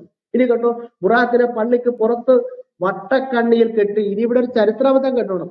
ആ സമയത്ത് ജെറുസലേം ദേവാലയം അവിടെ ഇല്ല. ഒന്നാം നൂറ്റാണ്ടിൽ തന്നെ റോമൻ ചക്രവർത്തിയെ തകർത്ത് കളഞ്ഞു ഇന്നും ജെറുസലേം ദേവാലയം പണിതിട്ടില്ല. പക്ഷെ ഇവിടെ പറയുകയാണ് മുഹമ്മദ് പറയുകയാണ് ആ പള്ളിയുടെ വാതുക്കലെ കല്ല് തുളച്ചിട്ട് കയറുകൊണ്ട് ഈ മുറാക്ക് എന്ന് പറഞ്ഞ ഈ ജീവിയെ പിടിച്ച് കെട്ടി. കേട്ടോടാ കെട്ടിയതിന് ശേഷം ഈ കല്ല് മസ്ജിദ് മസ്ജിദ് എന്ന കല്ലല്ല സക്രദുൽ മസ്ജിദ് എന്ന കല്ല് പള്ളിയുടെ മധ്യഭാഗത്താണ് സ്ഥിതി ചെയ്യുന്നത്. കേട്ടോ അതിന്റെ പല ഭാഗത്ത് കുത്തുബുൽ മിറാജ് എന്ന കുബ്ബ സ്ഥിതി ചെയ്യും. ഇതൊക്കെ അവരുടെ ഭാഷയിൽ അവർ എഴുതിക്കാച്ചി വെച്ചിരിക്കുന്നതാണ് നോക്കട്ടെ. അതിനുശേഷം തിരുമേനി രണ്ടിറക്കത്തെ പള്ളിയിൽ നിസ്കരിച്ചു. ആ നിസ്കാരത്തിൽ മുൻകടന്ന് എല്ലാ നബിമാരുടെ ആത്മാക്കളും പങ്കെടുത്തു എന്ന് പറയപ്പെട്ടിട്ടുണ്ട്. പിന്നീട് പുള്ളിയുടെ യാത്രയാണ്. ഒന്നാമത്തെ ആകാശത്തെത്തി ആദൻ നബിയെ തിരുമേനി കണ്ടു. രണ്ടാമത്തെ ആകാശത്തെത്തിയപ്പോൾ തിരുമേനി ഈസാ നബിയെയും യാഖ്യ നബിയെയും കണ്ടു. അവർ തിരുമേനിക്ക് സ്വാഗതം സ്വാഗതമരുളി. മൂന്നാമത്തെ ആകാശത്തിൽ വെച്ച് അതിസുന്ദരനായ യൂസഫ് നബിയെ തിരുമേനി തിരുമേനിയെ കണ്ടു. യൂസഫ് നബി തിരുമേനിയെ സ്വാഗതം ചെയ്തു. നാലാമത്തെ ആകാശത്തിൽ വെച്ച് ഇദ്രിസ് നബി തിരുമേനിക്ക് സ്വാഗതം സ്വാഗതമരുളി. അഞ്ചാമത്തെ ആകാശത്തിൽ വെച്ച് ആറു നബി തിരുമേനിയെ സ്വീകരിച്ചു. ആറാമത്തെ ആകാശത്തിൽ വെച്ച് മൂസാ നബി തിരുമേനിയെ സ്വീകരിക്കും. തിരുമേനിക്കും തിരുമേനിയുടെ ജനതയ്ക്കും വേണ്ടി പ്രാർത്ഥിക്കുകയും ചെയ്തു. ഏഴാമത്തെ ആകാശത്തിൽ വെച്ച് ഇബ്രാഹിം നബിയെ തിരുമേനി കാണുകയുണ്ടായി. പിന്നീട് അങ്ങോട്ട് എന്റെ പൊന്നെ വായിച്ച ചിരി ചിരി ചൂപ്പാടുകൾ ഇവിടെ ഭാരതീയ മിത്ത് കഥകളിൽ ഇത്രയും ചിരിക്കാനുള്ള ചരക്കൊന്നുമില്ല. വെട്ടം മണിയുടെ നമ്മുടെ പുരാണിക് എൻസൈക്ലോപീഡിയ എവിടെ ഇരിപ്പുണ്ട്? എന്റെ കൈവശമുണ്ട് ഞാൻ പരിശോധിച്ച് നോക്കിയിട്ടുണ്ട്. ഇങ്ങനെ ചിരിക്കാൻ പറ്റുന്ന ചരക്കൊന്നുമില്ല. ഒരു മൃഗത്തിന്റെ പുറത്ത് കയറി നേരെ ശൂന്യാകാശത്തേക്ക് പോവുക വായുമണ്ഡലത്തെ കീറി മുറിച്ചുകൊണ്ട് മുകളിലേക്ക് ഈ മൃഗം കൊണ്ടുപോവുക. ഇതല്ലേ മിത്ത് എന്ന് പറയുന്ന സുഹൃത്തെ. അപ്പൊ ഇത്തരത്തിലുള്ളതായ മിത്ത് ഇത്തരത്തിലുള്ളതായ കെട്ടുകഥകളെ തോൽപ്പിക്കുന്ന കെട്ടുകഥകൾ സ്വന്തം മതപ്രമാണങ്ങളിൽ നിൽക്കുമ്പോൾ മറ്റൊരു മതം മിത്താണെന്ന് പറയാനുള്ള ധാർമ്മികമായ അവകാശം എന്ത്? അതാണ് ഞങ്ങളുടെ ചോദ്യം. അത് എന്തടിസ്ഥാനത്തിലാണ് പറയുന്നത്? അത് തീവ്രമായ മതബോധനം ഉള്ളിൽ കിടക്കുന്നതുകൊണ്ടല്ലേ. തീവ്രമായ മതചിന്തയും മതവിശ്വാസവും ഉള്ളിൽ കിടക്കുന്നത് കൊണ്ടാണ് അത്തരത്തിലുള്ളതായ കാര്യങ്ങൾ പറഞ്ഞത്. അപ്പം ഈ ഈ വസ്തുതകളൊക്കെ തന്നെ മറച്ചു വെച്ചുകൊണ്ട് ഇസ്ലാമിലെ വെള്ളം വീശാൻ ശ്രമിക്കുന്നത് തികച്ച തികച്ചും അനുചിതമാണ്. അത് ആ സ്ഥാനത്തിരിക്കുന്ന വ്യക്തിക്ക് ചേർന്നതല്ല എന്നാണ് ഞങ്ങൾക്ക് പറയാനുള്ളത്. അപ്പൊ ഒന്നാമത്തെ മിത്ത് കണ്ടല്ലോ. ഇനി രണ്ടാമത്തെ ഒരു മിത്ത് കൂടെ വായിച്ചു കേൾപ്പിക്കാം. നോക്ക്. പാമ്പ് ഗർഭം അലസിപ്പിക്കും. മുഹമ്മദ് പറഞ്ഞിരിക്കും ഇത് എന്ത് കഥയാണ് പാമ്പ് മൂർഖം പാമ്പ് ഗർഭവതിയായിട്ടുള്ള സ്ത്രീകളുടെ ഗർഭം അലസിപ്പിക്കുമെന്ന് രേഖപ്പെടുത്തിയിരിക്കുന്നു. ഒരു ഹദീസ് ഞാൻ വായിക്കുന്നു. സഹിഹ ബുഹാരി ആയിരത്തി മുന്നൂറ്റി അൻപത്തി മൂന്നിൽ ഇങ്ങനെ പറയുന്നു. ഈപ്പൊരു ഉമ്മർ പറയുന്നു തിരുമേനി മിമ്പറിൽ കയറി നിന്നുകൊണ്ട് ഇങ്ങനെ പ്രസംഗിക്കുന്നത് ഞാൻ കേട്ടിട്ടുണ്ട്. പാമ്പുകളെ നിങ്ങൾ കൊന്നുകളയുക. പാമ്പുകളെയും ശരീരത്തിൽ രണ്ട് വരകളുള്ള പാമ്പ് പാമ്പിനെയും വാൽ മുറിഞ്ഞ പാമ്പിനെയും അവ രണ്ടും കണ്ണ് കണ്ണിന്റെ കാഴ്ച നശിപ്പിക്കുകയും ഗർഭം അലസിപ്പിക്കുകയും ചെയ്യും. ലോക ചരിത്രത്തിൽ ഇന്ന് വരെ നമ്മുടെ അപ്പൂപ്പന്മാർ ആരെങ്കിലും പറഞ്ഞു കേട്ടിട്ടുണ്ടോ? മൂർഖം പാമ്പ് വീട്ടിൽ നിൽക്കുന്ന ഗർഭവതിയായ സ്ത്രീയുടെ ഗർഭം അലസിപ്പിച്ചതായിട്ട്. ഇത് കെട്ടുകഥയെ തോൽപ്പിക്കത്തില്ല ഇത്. അത് കിടക്കുന്ന നിരവധി ചരക്കുകളുണ്ട്. അതുപോലെ പാമ്പുകൾ കണ്ണുകളുടെ കാഴ്ച നശിപ്പിക്കുന്നത് മുസ്ലിം ആയിരത്തി നാനൂറ്റി തൊണ്ണൂറ്റി ഏഴിൽ പറയുന്നു. ഇങ്ങനെ നിരവധി കെട്ടുകഥകൾ നിരവധി കെട്ടുകഥകളുടെ സമാഹാരമാണ് ഈ ഗ്രന്ഥം എന്ന് പറയുന്നത്. അപ്പൊ ഇതൊക്കെ മനസ്സിൽ വെച്ചുകൊണ്ട് ഇത് പരിശുദ്ധ ഇസ്ലാമാണ് ഇസ്ലാമിനകത്ത് അങ്ങനെയൊന്നും ഇല്ല എന്ന് പറയുന്നത് ഈ മുസ്ലിം മുസ്ലിം കമ്മ്യൂണിറ്റിയുടെ അല്ലെങ്കിൽ ആ സമൂഹത്തിന്റെ വോട്ട് നേടാനാണെങ്കിൽ അതിന്റെ ആവശ്യം ഉണ്ടോ എന്നാണ് ഞങ്ങൾക്ക് ചോദിക്കാറുള്ളത് നോക്കൂ ഇനിയും പരിശുദ്ധമായ ഇസ്ലാം എന്ന് അദ്ദേഹം കൂടെ കൂടെ പറയാം. പരിശുദ്ധ ഇസ്ലാം പരിശുദ്ധ ഇസ്ലാം. ഇത് നോക്കൂ പരിശുദ്ധ ഇസ്ലാമിനകത്താണ് അമ്മയും മകളെയും കല്യാണം കഴിക്കാന്നുള്ളതായ ഹദീസ് നടക്കുന്നത്. ഇത് വെറുതെ പറയുന്നതല്ല. സുലഭ തിർമതി ആയിരത്തി ഒരുന്നൂറ്റി പതിനേഴിൽ പറഞ്ഞത് ഇങ്ങനെയാണ്. അബ്ദുല്ലാഹിബ്നു അമ്രിൽ നിന്ന് നബി പറഞ്ഞു ഒരാൾ ഒരു സ്ത്രീയെ വിവാഹം കഴിക്കുകയും അവളുമായി ശാരീരിക ബന്ധം പുലർത്തുകയും ചെയ്താൽ പിന്നെ അയാൾക്ക് അവളുടെ മകളെ വിവാഹം കഴിക്കാൻ പാടില്ല. ഇനി അവളുമായി ശാരീരിക ബന്ധം ഉണ്ടായിട്ടില്ലെങ്കിൽ അവളുടെ മകളെ വിവാഹം കഴിക്കാം. എങ്ങനെയുണ്ട്? അമ്മയും മോളെ കൂടെ കൊണ്ടുവന്നു. അമ്മയെ കല്യാണം കഴിച്ചുകൊണ്ട് മോൾ കൊണ്ടുകൂടെ അമ്മ അമ്മയായിട്ട് ശാരീരിക ബന്ധം ഏർപ്പെടാതിരിക്കുക നാല് ദിവസത്തേക്ക്. അഞ്ചാം ദിവസം മോളെ സംബന്ധം കഴിക്കും അപ്പൊ അമ്മയും മോളെയും കൂടെ സംബന്ധം കഴിക്കുക എന്ന് പറയുന്നത് ഇസ്ലാം എങ്ങനെയാണ് എന്റെ സുഹൃത്തെ പരിശുദ്ധ ഇസ്ലാം ആകുന്നത്? ഈ കാട്ട്യാദികൾ പോലെ ചെയ്യുമോ മൃഗങ്ങൾക്ക് പിന്നെ ആ ഒരു രേഖ അതിർ വരമ്പില്ലല്ലോ ഇതെന്താണിത്? ഇതിനെയാണ് പരിശുദ്ധ ഇസ്ലാം എന്ന് പറയുന്നത്. മാത്രമല്ല നോക്കും മൃഗവുമായി വേഴ്ച ചെയ്യാമെന്ന് തിരുമതി ആയിരത്തി നാനൂറ്റി അൻപത്തി അഞ്ചിൽ പറയുന്നു. ഇബ്രു അബ്ബാസിൽ നിന്ന് മൃഗത്തെ ഭോഗിച്ചവന് പ്രത്യേക ശിക്ഷയില്ല. മനസ്സിലായോ? ഇങ്ങനെ നിരവധി കാര്യങ്ങൾ നിരവധി ഹീനമായ കാര്യങ്ങൾ ഈ പുസ്തകത്തിനകത്ത് എഴുതി വച്ചിരിക്കുമ്പോൾ ഈ പുസ്തകം എങ്ങനെയാണ് പരിശുദ്ധമാകുന്നത്? താങ്കൾ പരിശുദ്ധ ഖുർആൻ എന്ന് പറയുമ്പോൾ തന്നെ പരിശുദ്ധ വേ പിന്നെ വേദങ്ങൾ എന്ന് പറയണം. പരിശുദ്ധ ഭഗവത്ഗീത എന്ന് പറയൂ പരിശുദ്ധ ഉപനിഷത്തുകൾ എന്ന് പറയൂ എല്ലാം പരിശുദ്ധമെന്ന് പറയൂ. അപ്പുറത്ത് കിടക്കുന്നില്ല അശുദ്ധവും ഞങ്ങളുടെ പരിശുദ്ധം ആകണമെങ്കിൽ പരിശുദ്ധം അതിനകത്ത് ഉണ്ടായിരിക്കണം. പിന്നെ താങ്കൾ സ്ത്രീ വിരുദ്ധത ഇല്ല എന്ന്. എന്താണ് സ്ത്രീ വിരുദ്ധതയല്ല മറ്റെന്തെങ്കിലും ഉണ്ടോ ഈ നമ്മുടെ റൂമിലെ ചർച്ചയുടെ പ്രാരംഭത്തിൽ തന്നെ നമ്മുടെ സുഹൃത്ത് സിജു കുറിച്ച് പറയുകയുണ്ടായി. സ്ത്രീ വിരുദ്ധതയുടെ ആറാട്ടല്ല ഈ പുസ്തകത്തിനകത്ത് കിടക്കുന്നത് സ്ത്രീ കഴുതയ്ക്കും നായ്ക്കും തുല്യമെന്ന് പറഞ്ഞിരിക്കുന്ന ഹദീസ് തിരുമതി മുന്നൂറ്റി മുപ്പത്തി എട്ട് അബ്ദുല്ലാഹിബിന് അബു അബുവിൽ നിന്ന് റസൂൽ പറഞ്ഞു മറയില്ലാതെ ഒരാൾ നമസ്കരിച്ചാൽ അവന്റെ മുമ്പിലൂടെ കറുത്ത നായോ സ്ത്രീയോ കഴുതയോ പോയാൽ നമസ്കാരം മുറിയും കറുത്ത നായ പിശാലാണ് കേട്ടോ അപ്പൊ സ്ത്രീ എവിടെയാണ് കൂട്ടിവെച്ചിരിക്കുന്നത്? സ്ത്രീ എവിടെയാണ് കൂട്ടിവെച്ചിരിക്കുന്നത് കഴുതയോടും നായോടും ഒപ്പുവാണ് മാത്രമല്ല സ്ത്രീ സുഗന്ധം പൂശി പുറത്തിറങ്ങിയാൽ അവൾ വ്യഭിചാരിണിയാണെന്ന് പറയുന്ന ഹദീസാണ് രണ്ടായിരത്തി ഇരുന്നൂറ്റി എൺപത്തി ഏഴ് തിർമതി അബുമൂസയിൽ നിന്ന് പ്രവാചകൻ പറഞ്ഞു എല്ലാ കണ്ണുകളും വ്യഭിചരിക്കുന്നതാണ്. ഒരു സ്ത്രീ സുഗന്ധം പൂശി സദസ്സിന്റെ മുന്നിലൂടെ നടന്നു പോയാൽ അവളും അങ്ങനെ ആയിരിക്കും. അഥവാ വിചാരി എങ്ങനെയുണ്ട് സുഹൃത്തെ? ബഹുമാനപ്പെട്ട സ്പീക്കർ അങ്ങയുടെ ഭവനത്തിൽ സഹ സ്ത്രീകളുണ്ടല്ലോ നമ്മുടെയൊക്കെ ഭവനങ്ങളിൽ സ്ത്രീകളില്ലേ? ഈ സുഗന്ധം പൂശാത്ത സ്ത്രീകൾ ആരാണ്? ഹൈന്ദവനും ഇസ്ലാം മത വിശ്വാസിയും ക്രിസ്ത്യാനിയും ഒക്കെ തന്നെ സുഗന്ധം പൂശത്തില്ലേ? ഏ ഗൾഫ് ജോലിയുള്ളവരൊക്കെ സുഗന്ധമായിട്ടല്ലേ വരുന്നത് പരിമള തൈലത്തിന്റെ ആറാട്ടല്ലേ ചില ചില ആളുകളോ ആളുകളുടെ അടുത്തേക്ക് ചെല്ലുമ്പോഴത്തേനും. അങ്ങനെ സുഗന്ധം പൂശി പുറത്തേക്ക് വരുന്ന സ്ത്രീ വ്യഭിചാരിയാണെന്ന് പറയുന്നത് സ്ത്രീ വിരുദ്ധത അല്ലാതെ പിന്നെ പരിശുദ്ധിയാണോ സുഹൃത്തെ? ഇങ്ങനെ സ്ത്രീ വിരുദ്ധതരെ ആറാട്ട് രേഖപ്പെടുത്തുന്ന ഈ പുസ്തകത്തിനകത്ത് എല്ലാ സ്ത്രീകൾക്കും ഉന്നമനമാണ്. ആ സ്ത്രീ വിരുദ്ധതയില്ല സ്ത്രീകളെല്ലാം പരിപോഷിപ്പിക്കുന്നൊക്കെ തള്ളണമെങ്കിൽ ഇന്റർനാഷണൽ തൽ തള്ളെന്നല്ലാതെ ഞങ്ങൾ എന്താണ് പറയേണ്ടത്? അതോ അടുത്ത ഇലക്ഷൻ വരുന്നതുകൊണ്ട് ഈ സമൂഹത്തെ പ്രീണിപ്പിച്ചുകൊണ്ട് പത്ത് വോട്ട് തട്ടാനാണെങ്കിൽ അത് ഒരു കമ്മ്യൂണിസ്റ്റുകാരന് പറ്റിയ അവതപ്പതനമല്ലേ? എന്തിനാണ് അതിന്റെ ആ അത്തരത്തിലുള്ള ആ നിലകളിലേക്ക് പോകുന്നത്? ഒരു കമ്മ്യൂണിസ്റ്റുകാരനെ കുറിച്ച് പറഞ്ഞാൽ അദ്ദേഹത്തെ സംബന്ധിച്ചിടത്തോളം അദ്ദേഹത്തിന് ഈ ഭൂമിയിലെ ജീവിതം മാത്രമേ ഉള്ളൂ. മരണശേഷം മറുലോകത്തൊരു ന്യായവിധി ഉണ്ടെന്ന് അദ്ദേഹം വിശ്വസിക്കുന്നില്ല. ഇവിടെ ജീവിക്കുന്നു ഇവിടെ മരിക്കുന്നു ഇവിടെ മണ്ണാകുന്നു. അദ്ദേഹം ജീവിക്കുന്നെല്ലാം അതേ സമ സമശിഷ്ടങ്ങൾക്ക് വേണ്ടിയാണ്. അല്ല മറ്റുള്ള മനുഷ്യർക്ക് വേണ്ടിയാണ്. അദ്ദേഹത്തിന്റെ ജീവിതമെല്ലാം അതേ മറ്റുള്ളവർക്ക് വേണ്ടിയാണ്. അങ്ങനെയാണെങ്കിൽ പിന്നെ എന്തിനാണ് മതപ്രീണനം നടത്തുന്നത്? മതപീഡനം നടത്തി എന്തിനാണ് അധികാരം കൈയടക്കാനായിട്ട് നിങ്ങൾ ശ്രമിക്കുന്നത്? അതുകൊണ്ട് നിങ്ങളുടെ പരാമർശങ്ങളൊക്കെ തന്നെ തെറ്റാണെന്നും ഇത് തിരുത്തണമെന്നും ഉന്നത പദവിയിൽ ഇരിക്കുന്നവർ സംസാരിക്കുന്നതൊക്കെ തന്നെ രണ്ടു പ്രാവശ്യം ആലോചിച്ചൊക്കെ സംസാരിക്കണമെന്നും അബദ്ധത്തിൽ ചെന്ന് ചാടരുതെന്നും നിങ്ങൾ ഇപ്പോൾ പിടിച്ചിരിക്കുന്ന മതം വിശ്വാസം വെറും പൊള്ളയാണെന്നും വിത്തുകളുടെ കൂടാരമാണെന്നും അന്ധവിശ്വാസത്തിന്റെ അതേ ആണിക്കല്ലിലാണ് ഈ സാധനം നിൽക്കുന്നതെന്നും സ്ത്രീവിരുദ്ധതയുടെ കൂമ്പാറ ഇതിനകത്തുണ്ടെന്നും മാത്രം പറഞ്ഞുകൊണ്ട് ഞാൻ ഇവിടെ അവസാനിപ്പിക്കുന്നു താങ്ക് യു താങ്ക് യു ഇതിൽ നമ്മുടെ ഒരു സുഹൃത്ത് ഇവിടെ കമന്റ് ചെയ്തിട്ടുണ്ട്. മുഹമ്മദ് ഈസ എല്ലാവരെയും ഓടിക്കുന്ന ഒരാളാണ് എന്നും പറഞ്ഞൊരു കമന്റ് ചെയ്തിട്ടുണ്ട്. മുഹമ്മദ് ഈസ എല്ലാത്തിനും മറുപടി കൊടുക്കുന്ന ആളാണ്. ഖുറാനെ കുറിച്ചൊക്കെ പറയുന്നത് കള്ളമാണെന്നാണ് പറയുന്നത്. മുഹമ്മദ് ഈസയുടെ വീഡിയോ അങ്ങനെയുള്ളവർ പോയി കാണുക എന്ന് പറയുന്നത് ഒരു സുഹൃത്ത്. മുഹമ്മദ് ഈസയിൽ നിന്ന് സ്ഥിരം അടി വാങ്ങ വാങ്ങുന്ന ആളുകളാണ് ഇവിടെ ഇരിക്കുന്നത്. വാങ്ങാറുണ്ട് ഇയാൾ എന്നാണ് പറയുന്നത്. ഇവിടെ സംസാരിക്കുന്ന ആരോ ഒരാളെ കുറിച്ചാണ് പറയുന്നത്. മുഹമ്മദ് ഈസ എന്റെ സുഹൃത്ത് മുഹമ്മദ് ഈസയ്ക്ക് ഇപ്പൊ എവിടെയാണ് അഡ്രസ്സ് മുഹമ്മദ് ഈസ ഇപ്പൊ സംവാദ രംഗത്തുണ്ട്. ഐ ബി ടി മീഡിയയുമായി നടത്തിയ സംവാദത്തിന് ശേഷം മുഹമ്മദ് ഈസയുടെ അഡ്രസ് ഇല്ല. ആരിസ് ഇവിടെ വരുന്നില്ല. മുഹമ്മദ് ഈസ വീഡിയോ ചെയ്യുന്നത് വളരെ കുറവാണ്. ഇസ്ലാമിക സമൂഹത്തിൽ അവർ തന്നെ ഒറ്റപ്പെട്ടു. ഇവർ പരസ്പര ശത്രുതയിലായി. അപ്പൊ ഈ സംവാദ രംഗത്ത് ഇന്ന് ദാവാ പ്രവർത്തകർ ആരുമില്ല. അക്ബറൊക്കെ പരിശീലനാണ്. പഴയ വീഡിയോകളൊക്കെ പൊടി തട്ടിയെടുത്ത് സംസാരിക്കുന്നതെന്നല്ലാതെ അക്ബർ ഒന്നും പറയുന്നില്ല. ബാലുശ്ശേരി എവിടെയാണെന്ന് ആർക്കും അറിയത്തില്ല.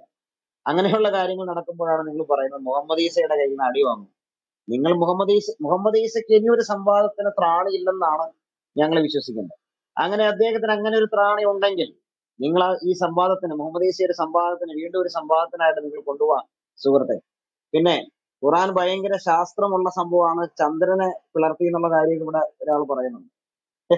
സൂര്യൻ അസ്തമിക്കുന്നത് ചെളിവെള്ളത്തിലാണെന്ന് പറയുന്ന പുസ്തകമാണ് ഖുറാൻ അത് നിങ്ങൾ മറന്നു പോകരുത്. സൂര്യൻ അസ്തമിക്കുന്നത് ചെളിവെള്ളത്തിലാണെന്ന് പറയുന്ന ഗ്രന്ഥമാണ് ഖുറാൻ ഭൂമി നിശ്ചലമാണെന്ന് പറയുന്ന ഗ്രന്ഥമാണ് ഖുറാൻ സൂറ സൂറ പതിനെട്ടിന്റെ എൺപത്തിമൂന്ന് മുതൽ എൺപത്തി ആറ് വരെ വായിക്കുമ്പോഴാണ് സൂര്യൻ അസ്തമിക്കുന്നത് ചെളിവെള്ളത്തിലാണെന്ന് പറയുന്നത്. ഭൂമി നിശ്ചലമാണെന്നാണ് പറയുന്നത്. സൂറ മുപ്പത്തി ഒന്നിന്റെ പത്തിലാണ് പറയുന്നത്. ഒരുപാട് ആയത്തുകളുണ്ട് അത്. സൂറ മുപ്പത്തി ഒന്നിന്റെ പത്ത്. നക്ഷത്രങ്ങൾ പിശാചുക്കളെ എറിയാനുള്ളതാണെന്നാണ് പറയുന്നത്. അതിൽ എന്ത് ശാസ്ത്രീയതയാണുള്ളത്? നമ്മുടെ ബഹുമാനപ്പെട്ട സ്പീക്കർ ഷംസീർ പറഞ്ഞതിനും കൂടിയാണ് ഞങ്ങൾ പറയുന്നത്. ഷംസീർ മനസ്സിലാക്കേണ്ട വളരെ പ്രധാനപ്പെട്ട ചില കാര്യങ്ങളുണ്ട്.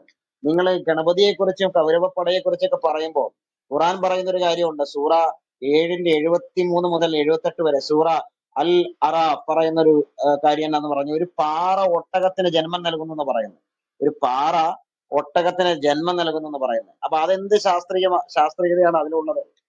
ഏഹ് മറ്റുള്ള മറ്റുള്ള ഗ്രന്ഥങ്ങളിലെ മറ്റുള്ള വിശ്വാസങ്ങളിലെ ശാസ്ത്രവിരുദ്ധത കണ്ടെത്തുന്ന ഷംസീർ എന്തുകൊണ്ട് ഇത് കണ്ടെത്തുന്നില്ല? തേൻ സർവരോഗ സംഹാരിയാണ് എന്നാണ് പറയുന്നത്. സൂറ പതിനാറിന്റെ അറുപത്തെട്ട് അറുപത്തി ഒമ്പത് അതിലെന്ത് ശാസ്ത്രീയതയാണുള്ളത്? പക്ഷി ദാർശനികനാണെന്ന് പറയുന്നത് സൂറ ഇരുപത്തിയേഴിന്റെ ഇരുപത് മുതൽ ഇരുപത്തെട്ട് വരെ വായിക്കുന്നു. ഇതൊക്കെ ഇതൊക്കെ ഖുറാനിലില്ലേ? ഏഹ് ചന്ദ്രനെ പിളർത്തിയ കാര്യമാണ് നിങ്ങൾ ഇന്ന് പറയുന്നത്. പറക്കുന്ന പർവതങ്ങളുണ്ട്. സൂറ നാലിന്റെ നൂറ്റി അമ്പത്തിനാല്. ഇങ്ങനെ എത്ര എത്രയോ കാര്യങ്ങൾ ഖുറാനിലുണ്ട്. ഖുറാൻ എങ്ങനെ പ്രോഗ്രസീവ് വ്യൂ ഉള്ള ഒരു ഗ്രന്ഥമായിട്ട് മാറുന്നു? ഇനി നിങ്ങൾ മുഹമ്മദീസയല്ല അക്ബറിനെ അല്ല സാക്ഷാൽ മുഹമ്മദിനെ തന്നെ കൊണ്ടുവന്നാലും സാക്ഷാൽ മുഹമ്മദിനെ തന്നെ കൊണ്ടുവന്നാലും സംവാദ രംഗത്ത് നിങ്ങൾക്ക് പിടിച്ചു നിൽക്കാൻ പറ്റത്തില്ല. നിങ്ങളുടെ കുഴപ്പമല്ല. അക്ബറിനും മുഹമ്മദ് മുഹമ്മദീസയ്ക്കൊക്കെ നല്ല അറിവുള്ള ആളുകൾ തന്നെയാണ്. നിങ്ങളുടെ കയ്യിലുള്ള ആശയത്തിന്റെ പ്രശ്നമാണ്. മനസ്സിലായോ? ഞാൻ നമ്മുടെ വർഗീസൻ സാമ്പോൾ സാർ വന്നിട്ടുണ്ട്. സാറിന് ഇതിനെ കുറിച്ച് എന്താ പറയാനുള്ളത്? ആ നമസ്കാരം. ആ കേട്ടോണ്ടിരിക്കുവായിരുന്നു. താങ്ക് യു ഈ ഈ വിഷയത്തിൽ നല്ല തലക്കെട്ടാണ്. ഷംസീറിന്റെ അക്ബറിന്റെ അള്ളാഹു ഭാവമാണ് ഈ ഇതിനകത്ത് എന്റെ ഒരു പ്രതികരണം. ഷംഷീർ അതാണ് പിന്നെ ഹിന്ദു ദൈവങ്ങളുടെ ഒക്കെ കാര്യങ്ങൾ പറഞ്ഞു അതൊരു മിത്താണ് എന്ന് പറഞ്ഞു. ഇത് പറയാൻ യാതൊരു യോഗ്യതയും ഷംഷീറിനില്ല എന്നുള്ളത് ഇപ്പൊ ചാക്കോ പാസ്റ്റും മറ്റ് സഹോദരങ്ങളും ഖുറാനെ അധികരിച്ചുകൊണ്ട് തന്നെ സംസാരിച്ചത്. പക്ഷെ എനിക്ക് പറയാനുള്ളൊരു കാര്യം ഈ മിത്തുകൾ കഥകൾ സങ്കല്പ കഥകൾ. ഇത് ഇതൊക്കെ ഒത്തിരി ഉണ്ട് ലോകത്ത് ഒത്തിരി കഥകളുണ്ട്. അത് കാര്യമായ അപകടകാരികളായ കഥകളല്ല.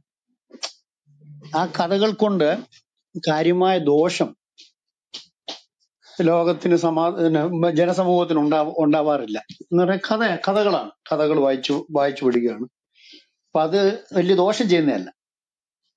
അതുപോലെ തന്നെ ആയിരിക്കും ഗണപതിയുടെ കഥയോ അതിന്റെ ആധികാരികതയോ അതിന്റെ ഒറിജിനാലിറ്റിയെ കുറിച്ചൊന്നും ഞാൻ അഭിപ്രായം പറയത്തില്ല. എന്നാൽ അത് എല്ലാവർക്കും അറിയാം എന്താണ് ഹിന്ദു പുരാണ കഥകൾ അല്ലെങ്കിൽ മറ്റു കാര്യങ്ങൾ എന്താണെന്ന് അവർക്ക് തന്നെ അറിയാം. അതിനെക്കുറിച്ച് ഞാൻ അഭിപ്രായം പറയുന്നു പക്ഷെ എന്റെ ചോദ്യം ഇതാണ് ഈ മിത്ത് എന്ന് പറയുന്ന കാര്യങ്ങൾ കെട്ടുകഥകളാകാം പഴയ കഴിവിക്കഥകളാകാം എന്തെങ്കിലും ആയിക്കോട്ടെ. അതിനേക്കാൾ എത്രയോ ഭീകരമാണ് ഈ കഥ ഈ കഥകൾ ഇദ്ദേഹം പറയുന്ന പറയുന്ന കഥകൾ വായിച്ചിട്ട് അതുകൊണ്ട് അത് മറ്റുള്ളവർക്ക് ഒരു ദോഷവും ഈ വായിക്കുന്നവരോ കേൾക്കുന്നവരോ അത് വിശ്വസിക്കുന്നവരോ ചെയ്യുന്നില്ല.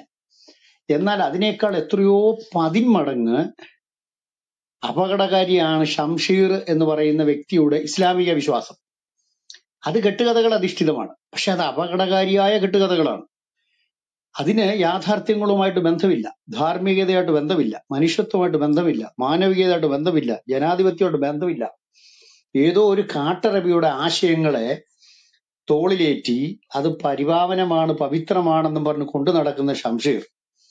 ഇസ്ലാമിന്റെ ഖുറാൻ സ്ത്രീകളെ ബഹുമാനിക്കുന്നു എന്ന് പണ്ടൊരു അഭിപ്രായം പറഞ്ഞിട്ട് ഈ പുള്ളി തന്നെ തോന്നുന്നു എനിക്ക്. ഇതുപോലെ ഇവരൊക്കെ ഏത് പ്രത്യയശാസ്ത്രത്തിന്റെ വിശ്വാസികളാണെങ്കിലും പ്രത്യയശാസ്ത്രത്തെ അനുഗമിക്കുന്നവരാണെങ്കിലും ഉള്ളിന്റെ ഉള്ളിൽ ഉറഞ്ഞുകൂടി കിടക്കുന്ന നമ്മുടെ ജലീലിനെ പോലെ ഒരു ഭീകരവാദി എപ്പോഴും ഇവരുടെ ഉള്ളിൽ കിടപ്പുണ്ട്. ഇസ്ലാമിക ഭീകരവാദി. അത് രൂപഭാവങ്ങൾ മാറ്റി നമ്മുടെ സമൂഹത്തിൽ മതേതരമെന്നോ അല്ലെങ്കിൽ ജനാധിപത്യമെന്നോ അതോടൊപ്പം തന്നെ ഈ ഈ വേടതുപക്ഷത്തിന്റെ വിശ്വാസത്തിന്റെ ഭൗതിക ശാസ്ത്ര വിശ്വ ഭൗതികവാദമെന്നോ അതൊക്കെ പറയുന്ന വിശ്വാസത്തിന്റെ രൂപഭാവങ്ങളിൽ ഇവരിങ്ങനെ നിൽക്കുന്നുണ്ടെങ്കിലും ഇവരുടെ ഉള്ളിലിന്റെ ഉള്ളിൽ ഉറഞ്ഞുകൂടി കിടക്കുന്ന ആ ഇസ്ലാമിക ഭീകരത ഇസ്ലാമിക ആ എന്തായാലും പറയാ വേറൊരു വാക്ക് ഭീകരത തന്നെ ആയിരിക്കും കുറെ കൂടെ നല്ലതെന്ന് തോന്നുന്നു. ഇസ്ലാമിക ഭീകരത സമയാസന്ദർഭങ്ങളിൽ പുറത്തു വരുന്ന ഒരു കാഴ്ചയാണ് നമ്മൾ പല സന്ദർഭത്തിലും കണ്ടുകൊണ്ടിരിക്കുന്നത്. അപ്പൊ എന്റെ ചോദ്യം ഇതാണ് ലോകത്തിൽ ധാരാളം കെട്ടുകഥകളുണ്ട്. അതൊക്കെ അവരോട് വിശ്വസിക്കട്ടെ. അതിനൊന്നും ഒരു പ്രശ്നമില്ല പക്ഷെ ഇസ്ലാം വിശ്വസിക്കുന്ന കെട്ടുകഥ അള്ളാഹു എന്ന് പറയുന്ന വ്യക്തിയെക്കുറിച്ച് ആർക്കും അറിയത്തില്ല. മുഹമ്മദിനെ കുറിച്ചുള്ള ചരിത്രങ്ങളില്ല. മുഹമ്മദ് തന്നെ ഒരു ചരിത്രം ആണോ എന്ന് സംശയിക്കേണ്ടിയിരിക്കുന്നു. കാര്യം മുഹമ്മദിനെ കുറിച്ച് സെക്കുലർ ചരിത്രങ്ങളില്ലെന്നാ പറയുന്നത്. ഇസ്ലാമിസ്റ്റുകൾ മാത്രമേ മുഹമ്മദിനെ കുറിച്ച് വെടിക്കഥകളും വൃത്തികേടുകളും കഴിവിക്കഥകളും എഴുതി വെച്ചിട്ടുള്ളൂ. മുഹമ്മദിന്റെ ചരിത്രങ്ങളോ ചര്യകളോ വിവരിക്കുന്ന ഹദീസുകൾ വായിച്ചാൽ മുഹമ്മദിനെ പോലൊരു വൃത്തികെട്ട ജീവിതം നയിച്ചൊരു മനുഷ്യൻ ഇല്ലെന്ന് തന്നെ പറയാം.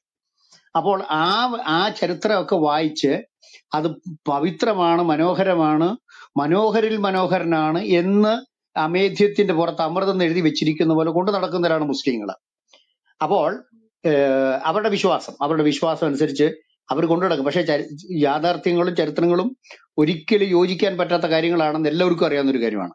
മനുഷ്യത്വം ഇസ്ലാമിനകത്തില്ല മാനവികതയില്ല സാഹോദര്യമില്ല സ്നേഹമില്ല.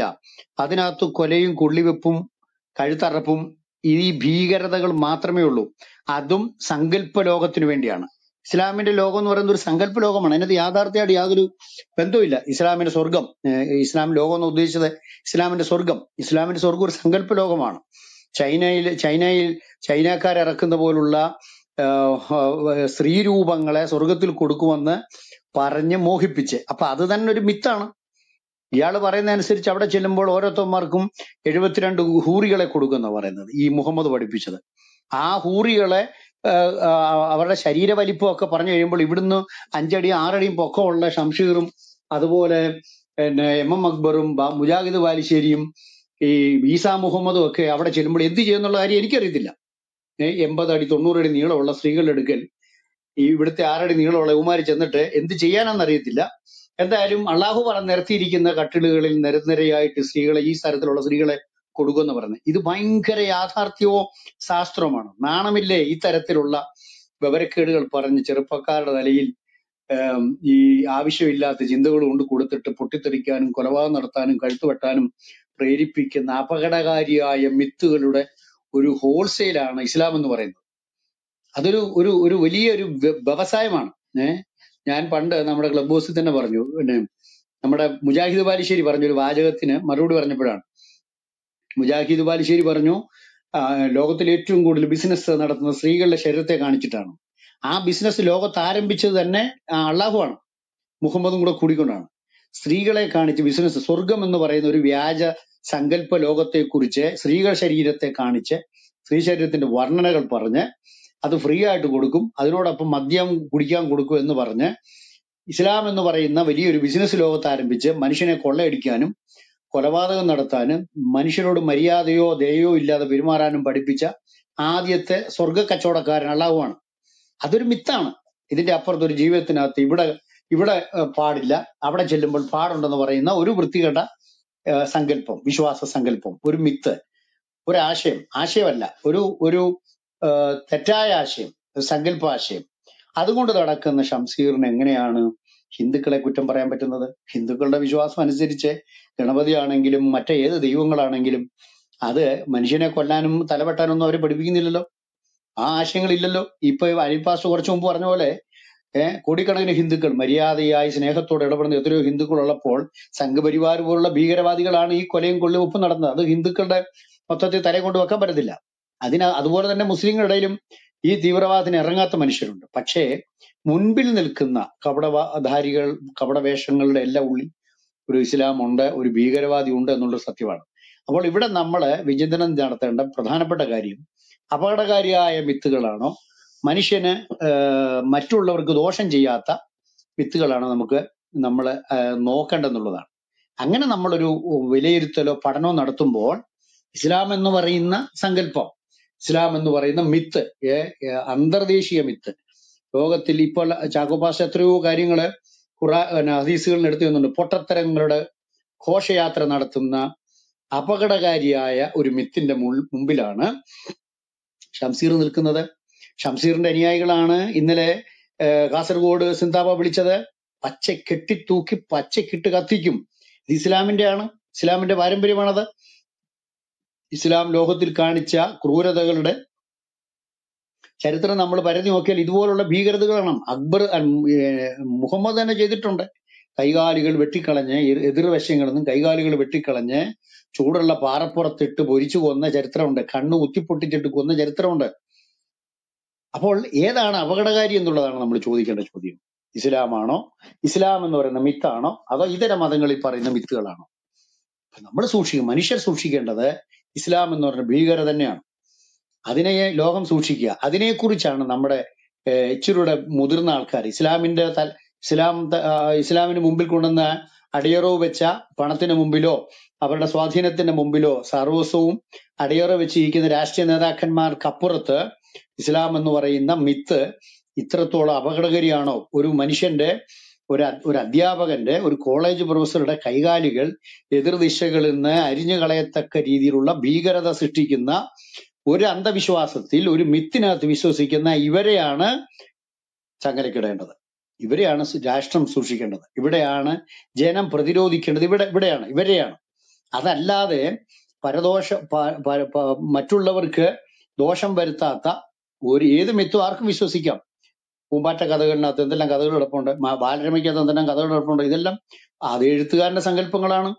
അത് ആർക്കും ദോഷം ചെയ്യുന്നില്ല. കുഞ്ഞുങ്ങൾ അത് വായിക്കുകയോ മുതിർന്നവർ വായിക്കുകയോ കുറെ ചിരിക്കുകയോ ആ കോമാളിത്തരങ്ങളോ കോമഡികളോ ഒക്കെ കേട്ട് കുറെ നേരം ചിരിച്ചെന്നിരിക്കാം. ചിലത് ചിന്തിക്കുന്നുണ്ടാവാം. അത് ദോഷം ദോഷമൊന്നും ചെയ്യുന്നില്ല. എന്നാൽ അന്യമതസ്ഥന് കഴുത്ത് വെട്ടണം കൈകാലുകൾ വെട്ടിക്കളയണം കഴുത്ത് പെടലി വെട്ടണം പെടലിക്ക് തന്നെ വെട്ടണം വിരലുകൾ അരിഞ്ഞു കളയണം എന്ന് പറയുന്ന ഒരു മിത്തിന്റെ പിന്നാലെ ജീവിക്കുന്ന ഷംസീർ കേരളത്തിലെ ജനത്തോട് ക്ഷമ തന്നെ പറയണം. അയാളൊരു സ്പീക്കർ പദവിയിൽ ഇരുന്നു കൊണ്ട് ഇതര മതത്തെ മതത്തെക്കുറിച്ചുള്ള അഭിപ്രായം പറയുമ്പോൾ താൻ വിശ്വസിക്കുന്ന ഏറ്റവും ലോകത്തിലെ ഏറ്റവും വലിയ ഭീകരത നിറയുന്ന അന്ധത നിറയുന്ന അന്ധകാരത്തിൽ ജീവിക്കുന്ന മനുഷ്യനെ അടിമകളാക്കി വെച്ചുകൊണ്ട് സ്ത്രീകൾക്ക് സ്വാതന്ത്ര്യം കൊടുക്കാതെ പഴച്ചാക്കിനകത്ത് കയറ്റി വെച്ചിരിക്കുന്നത് പോലെ കയറ്റി വെച്ച് ജീവിക്കാൻ വേണ്ടി പഠിപ്പിക്കുന്ന സ്ത്രീകൾക്ക് യാതൊരു മാന്യതയോ മര്യാദയോ കൊടുക്കാത്ത ആ ഒരു ഭീകര മതത്തിൽ നിൽക്കുന്ന ഷംസീർ. തീർച്ചയായിട്ടും കേരള ജനതയോട് ക്ഷമ പറയേണ്ട ആളാണ്. ആ ആ സ്ഥാനത്തിരിക്കാൻ അർഹതയുള്ളവനല്ല. ഇത്രയും വലിയ അപകടകാരിയായ ഒരു പ്രത്യയശാസ്ത്രത്തിൽ വിശ്വസിക്കുന്ന ഒരാൾക്ക് അപകടകാരി അല്ലാത്തൊരു മിത്തിൽ വിശ്വസിക്കുന്നവരെ വിമർശിക്കാൻ എന്താണ് അവകാശം? ഇയാൾ ഇറങ്ങി പോണം അതിന് നട്ടിൽ നമ്മുടെ മുഖ്യമന്ത്രിക്കില്ല. പാവപ്പെട്ടവന്റെ തോളെ കയറാൻ മാത്രമേ അങ്ങേർക്ക് നട്ടുള്ളൂ. അതല്ലാതെ സത്യങ്ങൾ യാഥാർത്ഥ്യങ്ങൾ തിരിച്ചറിയാനോ കുടുംബത്തിൽ പോലും രക്ഷപ്പെടാൻ കഴിയാത്ത മുഖ്യമന്ത്രിക്ക് എങ്ങനെയാണ് മറ്റുള്ളവരെ നിലകീർത്താൻ പറ്റുക? അപ്പൊ അതുകൊണ്ട് നമ്മളെ ഈ കേരളത്തിലെ മന്ത്രിമാരിൽ നിന്നും ഈ ഭൗതിക ഭൗതികത മാത്രം വാദം വിശ്വസിക്കുന്ന ഇടതുപക്ഷത്തിന്റെ മന്ത്രിമാരിൽ നിന്ന് പോലും നമുക്ക് കേൾക്കാൻ പറ്റുന്നത് മതനിന്ദകളും മത വിശ്വാസങ്ങളെ കുറിച്ചുള്ള അത് അവരവരുടെ മതങ്ങളെ കുറിച്ചുള്ള വിശദീകരണങ്ങളും ആണെങ്കിൽ ഇതിനെ ജനാധിപത്യം എന്നാണോ പറയണത് എനിക്കറിയത്തില്ല. ഇസ്ലാമാധിപത്യമായി കേരളം. അങ്ങനെ നമുക്ക് പറയാൻ പറ്റത്തുള്ളൂ. അതാ ഇപ്പൊ നടന്നുകൊണ്ടിരിക്കുന്നത്. താങ്ക് യു ഒരു കാര്യം ഒന്ന് സൂചിപ്പിക്കട്ടെ. ഒരു കമന്റിനുള്ള ഒരു മറുപടിയാണ്. ഇവിടെ സൈൻ സൈൻ എന്നുള്ള ഒരാൾ ഒരു കമന്റ് ഇട്ടു. അതിൽ കണ്ടത് ചാക്കോ പാസ്റ്ററെ ഈ മുഹമ്മദ് ഈസ പണ്ട് ഓടിച്ചതാണെന്നാണ് ഖുറാൻ തെറ്റായിട്ട് അവതരിപ്പിച്ചതിന് മുഹമ്മദ് ഈസയുടെ മുമ്പിൽ നിന്ന് ഓടിയതാണെന്നൊക്കെ പറഞ്ഞാണ് കമന്റ് വളരെ കൃത്യമായിട്ട് പറയാം ഞങ്ങൾക്കൊരിക്കലും മുഹമ്മദ് ഈസയുടെ മുമ്പിൽ നിന്നോ എം എം അക്ബറുടെ മുമ്പിൽ നിന്നോ ഓടേണ്ട ഗതികേട് വന്നിട്ടില്ല. വര വരാൻ ഞങ്ങൾക്ക് അവസരം ഉണ്ടാവത്തില്ല കാരണം ഈ സംവാദത്തിന് ആദ്യം അവസരം ഒരുക്കുന്നത് തുടക്കം ഇടുന്നത് ഇൻവൈറ്റ് ചെയ്യുന്നത് ഇസ്ലാമിക പക്ഷത്തു നിന്നാണ്. സംവാദം നടക്കും എന്നുറപ്പാകുമ്പോൾ ഉപാധികൾ പറഞ്ഞ് മാറുന്നതും അവരാണ്. അതാണ് ഇതുവരെ കണ്ടിരുന്നത്. അല്ലെങ്കിൽ അവർ വരും സംവാദം ബൈബിളിനെ പറ്റി മാത്രമാകണം. ഞാൻ അത് സമ്മതിച്ചിരിക്കുക. ബൈബിളിനെ പറ്റി ആണെങ്കിലും വരട്ടെ വേണ്ടത് കൊടുക്കാൻ നമുക്ക് പറ്റും. ഞങ്ങളിപ്പോ അങ്ങനെ ഒരു നെ- നിലപാടെടുത്തിട്ടുണ്ട്. ബൈബിളിനെ പറ്റിയും സംവാദമാകാം. ഒരു കുഴപ്പമില്ല. ഒരു പ്രശ്നവും അക്കാര്യത്തിൽ ഉണ്ടാവില്ല അപ്പോ ഇനി അടുത്തത്. അങ്ങനെ ഞങ്ങൾക്ക് ബാലൻസ്ഡ് ആയ ഒരു ടോപ്പിക്ക് വേണമെന്ന് ഇല്ല വരട്ടെ അതിന് കുഴപ്പമില്ല. അവർക്ക് കൊടുക്കാനുള്ളത് ഞങ്ങളുടെ വക്കലുണ്ട് ഡോസ് കറക്റ്റ് റെഡിയാക്കി വെച്ചിട്ടുണ്ട്. ഇപ്പുറത്ത് ഈ ഓടി എന്ന് പറയുന്ന പ- ചാക്കോ ഓടിച്ചു എന്ന് പറഞ്ഞ മുഹമ്മദ് ഈസയുടെ ഒരു നിലവാരം നിങ്ങൾ ഇതിനകം മനസ്സിലാക്കി കാണും. അതിൽ ഏറ്റവും വലുത് മുഹമ്മദ് ഈസ എന്ന് പറയുമ്പോൾ മനുഷ്യന്റെ മനസ്സിലേക്ക് ഓർമ്മ വരുന്നത് എന്താ? അറിയോ? ഓരോരുത്തരെ കുറിച്ച് പറയുമ്പം ചില പ്രത്യേക വിഷയങ്ങൾ അവരുമായി ബന്ധപ്പെട്ട് ആളുകൾ പെട്ടെന്ന് ഓർക്കുമല്ലോ. ഇപ്പം നമ്മുടെ തൊപ്പി എന്ന് പറഞ്ഞൊരു പയ്യനുണ്ട്. തൊപ്പി എന്ന് പറയുന്ന ആ പയ്യനെ കുറിച്ച് പറയുമ്പോൾ ഓർമ്മ വരുന്നത് നമുക്ക് അറപ്പ് തോന്നുന്ന ചില അവന്റെ രീതികളാണ്. നൂഡിൽസ് ഒക്കെ വാരി അവൻ പാന്റ് ഊരിയിട്ട് അവിടേക്ക് ഇടുന്ന ഒരു കാഴ്ച അറപ്പ് തോന്നുന്ന കാഴ്ചയാണ്. ഇത്തരത്തിലൊരുത്തനെ പെട്ടെന്ന് ഓർമ്മ വരുന്നത്. അപ്പം ഇതേ രൂപത്തിൽ മുഹമ്മദ് എന്ന് പറയുമ്പോൾ ഇപ്പോൾ മലയാളികൾക്ക് ഓർമ്മ വരുന്നത് മറ്റേ സ്പൂണാണ്. അപ്പം ഈ സ്പൂണ് സംബന്ധിച്ച് ഞാനും മുഹമ്മദ് ഈസയും തമ്മിൽ ഒത്തിരി ചർച്ച നടന്നു. അതിനുശേഷം എന്റെ വായ അടപ്പിച്ചു എന്ന് പറഞ്ഞ് കേട്ടിരുന്നു. അപ്പൊ ഞാനൊരു ചെറിയ ചോദ്യം ചോദിച്ചു. ചോദ്യം ഇത്രേ ഉള്ളൂ. ഇതൊക്കെ പോട്ടെ. ഇപ്പോൾ എന്തേലും ആയിക്കോട്ടെ പൈപ്പോ സ്പൂണോ ഇനി അതിപ്പം ടാങ്കിൽ നിറച്ചിട്ട് ഇങ്ങനെ പമ്പ് ചെയ്ത് ഓരോ വീട്ടിലും കൊണ്ടെത്തിച്ച് സാഹോദര്യം പോഷിപ്പിക്കുകയാണെങ്കിൽ ഞങ്ങൾക്കത് പ്രശ്നമല്ല. പക്ഷെ ഞാൻ ചോദിച്ചിരുന്നു ഇന്ന് ഈ ആനുകാലികമായിട്ട് ഇസ്ലാം എങ്ങനെയാണാവോ ഈ സാഹോദര്യം പങ്കിടുന്നത്. അതെങ്ങനെയാ? സ്പൂണാണോ? അല്ലെങ്കിൽ എന്താണെന്നൊന്ന് പറ. അപ്പൊ പറയാം അശ്ലീലമാണ്. അപ്പൊ അശ്ലീലം ആരാ ഉണ്ടാക്കിയത്? അപ്പൊ ഇത് നിങ്ങൾക്ക് തന്നെ അറിയാം ഈ മുഹമ്മദും ഒക്കെ പറഞ്ഞ എല്ലാം മഹാമേട്ട കാര്യങ്ങളും. അവിടെ തന്നെ ഉണ്ട് ഈ സഹള പറയുമ്പ സഹള വന്നിട്ട് പറയുന്ന വേളയിൽ പുള്ളി ഒരു കള്ളച്ചിരി ചിരിച്ചോണ്ടാ പറയുന്നത് മെസ്സഞ്ചർ ഓഫ് അല്ല ലാഫ്റ്റ് ഒന്ന് ചിരിച്ചോണ്ടാണ് പറയുന്നത്. അർത്ഥം വെച്ചൊരു ചിരിയും ചിരിച്ചു വെച്ച് പറയാണ് നീ ഇങ്ങനെ ചെയ്യുക. അപ്പൊ ഇത്തരത്തിലൊക്കെ അല്ലേ കാണുന്നത്? അപ്പൊ ഇതിനെ കേൾക്കാമോ? കേൾക്കാം. കേൾക്കാം കേൾക്കാം. ആ കേൾക്കാം. അല്ല അപ്പോൾ ഈ ഓടി വന്നു എന്നൊക്കെ പറയുമ്പോ സൂക്ഷിച്ച് പറയണം കാര്യങ്ങൾ പിന്നെ ഞാനും സിജോയും ഹാരിസ് മദനിയും മുഹമ്മദ് ഹുസൈൻ ചേർന്ന് ഒരു സംവാദം നടത്തിയതോടുകൂടി ഇവരെല്ലാം കയറിപ്പോയില്ലേ ഏക ദൈവത്തെക്കുറിച്ച് പറയാൻ വന്നാണ്. ഒരു ദൈവത്തെക്കുറിച്ചും പറയാൻ പറ്റാതായി. ഒരു വചനം എടുത്തു പോലും ബൈബിളിലെ ഒരു വാക്യം പോലും ഉദ്ധരിക്കാതെ ഒരു സംവാദം നടത്തേണ്ടി വന്നു. എന്ന് പറഞ്ഞപ്പോ ഒന്ന് ആലോചിച്ച് നോക്കി ഞങ്ങളുടെ മുമ്പിൽ ബൈബിൾ വാക്യം തുറക്കാൻ പുള്ളിക്ക് പറ്റിയില്ല. മറ്റേ കാണുമ്പോൾ ബൈബിൾ സംബന്ധിച്ച് വാചാലനാകുന്ന കക്ഷിയാണ് അദ്ദേഹം. ഇവിടെ നിന്നെങ്കിലും ഒരു വാക്യം എടുത്തുകൊണ്ട് വന്നിട്ട് നിന്ന് തട്ടുന്ന ആളാണ്. എന്ന് പറയുന്നത് എന്താ? എനിക്ക് ഖുറാൻ അറിയില്ല ബൈബിളെ അറിയുമെന്ന് പറഞ്ഞു വന്ന കക്ഷിക്ക് ഒരു വാക്യം ഒരു വാക്യം വെച്ച് ഖണ്ഡനം നടത്താൻ പറ്റാതെ പോയ ചർച്ചയാണ് കണ്ടത്. അപ്പോ അതിനുശേഷം ഞങ്ങളൊരു ചോദ്യമേ വന്നുള്ളൂ. ആ ചോദ്യത്തിന്റെ മുമ്പിൽ വെച്ച് രണ്ടുപേരും പിന്തിരിഞ്ഞു പോവുകയും എം സി അബ്ദുൾ നാസർ പോയി വേറൊരു റൂം ഇടുകയും അവിടെ ഇരുന്ന് ഇവരെ രണ്ടുപേരെയും വിമർശിച്ച് ചർച്ചയും ചെയ്തു.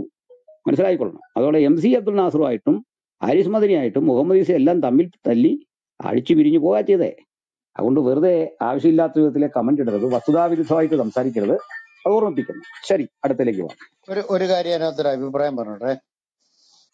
ഇവിടെ ഈ ചാക്കോ പാസ്റ്റ് സംവാദത്തിൽ നിന്ന് ഒളിച്ചോടി അല്ലെങ്കിൽ പിന്നെ ഇസാ മുഹമ്മദിന്റെ മുമ്പിൽ പേടിച്ചോടി ഇതൊക്കെ മുസ്ലിം സഹോദരന്മാരെ നിങ്ങളുടെ ദിവാസ്വപ്നങ്ങളാണ് നിങ്ങളുടെ ദിവാസ്വപ്നങ്ങളാണ് ഈ ക്ലബ് ഹൗസിലാകട്ടെ നേരിട്ടാകട്ടെ ഏതെങ്കിലും ഒരു മുസ്ലിം പണ്ഡിതൻ ഇസ്ലാമിക വിശ്വാസം പറഞ്ഞ് ക്രിസ്ത്യാനികളെ തോപ്പിച്ചെന്ന് ചുണയുള്ള ഏതെങ്കിലും ഒരുത്തിനൊന്ന് കൊണ്ടുവരിക.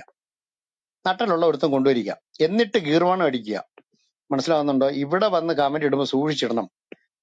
രണ്ടായിരത്തി രണ്ടാ രണ്ടായിരത്തി ഇരുപത്തി മൂന്ന് വർഷങ്ങൾക്ക് മുമ്പ് എം എം അക്ബർ ഞങ്ങളെ സംവാദം നടത്തിയിട്ടുണ്ട്. നീ നീയൊക്കെ ഒരുപക്ഷെ ഈ കമന്റ് ഇടുന്നതിനൊക്കെ അന്ന് ഭൂമി കാണത്തില്ല. അല്ല ചിലപ്പോൾ മൂക്കളെ ഒളിപ്പിച്ചുകൊണ്ട് നടക്കുന്ന കാലമായിരിക്കും. അപ്പൊ അന്ന് നിന്റെ വലിയ പണ്ഡിത കുണ്ഡിത ശിരോമണി എന്ന് പറയുന്ന ഈ എം എം അക്ബറുമായിട്ട് നേരിട്ട് ഒരു സ്റ്റേജ് സംവാദം നടത്തിയിട്ടുണ്ട് ഞാൻ. എന്നിട്ട് അടുത്ത വിഷയം ഖുറാന്റെ ദൈവികത. ഞങ്ങൾ സംവാദം ബൈബിളിന്റെ ബൈബിളിന്റെയാണ്.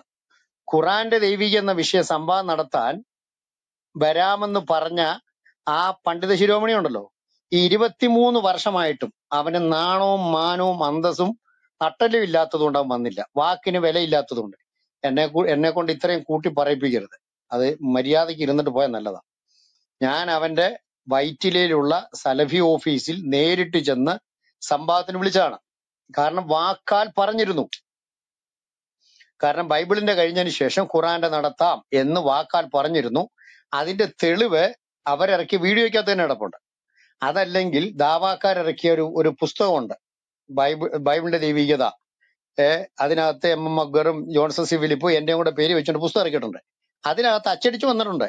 ഖുറാനെ കുറിച്ച് നമ്മൾ ഇനി സംസാരിക്കും. അതുകൊണ്ട് ഇപ്പൊ ഖുറാനെ കുറിച്ച് ഒരു ചോദ്യം ചോദിച്ചപ്പോൾ അക്ബർ പറഞ്ഞതാണ്. ഞാൻ നമ്മളെ ഖുറാനെ കുറിച്ചാണ് ഇനി അടുത്ത സംവാദം. അപ്പൊ അന്നേരം അതിന് മറുപടി പറയാന്ന്. എടോ ഇരുപത്തിമൂന്ന് വർഷം കഴിഞ്ഞു. മനസ്സിലാവുന്നുണ്ടോ? നേരിട്ട് പോയി ചോദിച്ചതാണ് സംഭവത്തിന് വരാൻ. ഇന്ന് വരെ അവൻ വന്നിട്ടില്ല. അവന്റെ കിതാബിനെ കുറിച്ചുള്ള അവന്റെ അവന്റെ അവന്റെ ധൈര്യം അതാണ്. അവനെ കോൺഫിഡൻസിൽ അവനറിയാം. കിതാബുമായിട്ട് അവന്റെ കിതാബുമായിട്ട് ഞങ്ങളുടെ അടുത്ത് വന്നാൽ തേഞ്ഞൊട്ടി അവൻ ഇസ്ലാം വിടേണ്ടി വരും. അത് കാണുന്ന ആയിരക്കണക്കിന് മുസ്ലിങ്ങൾ ഇസ്ലാമിനോട് യാത്ര പറയേണ്ടി വരും. ഇന്ന് ക്ലബ് ഹൗസുകളും ഞങ്ങളുടെ പരിപാടിയും കൊണ്ട് ആയിരക്കണക്കിന് ആൾക്കാരാ ക്ലബ് ഇസ്ലാം വിട്ടിരിക്കുന്നത് ഞങ്ങളെ വിളിച്ച് പറയുന്ന ആൾക്കാരുണ്ട്.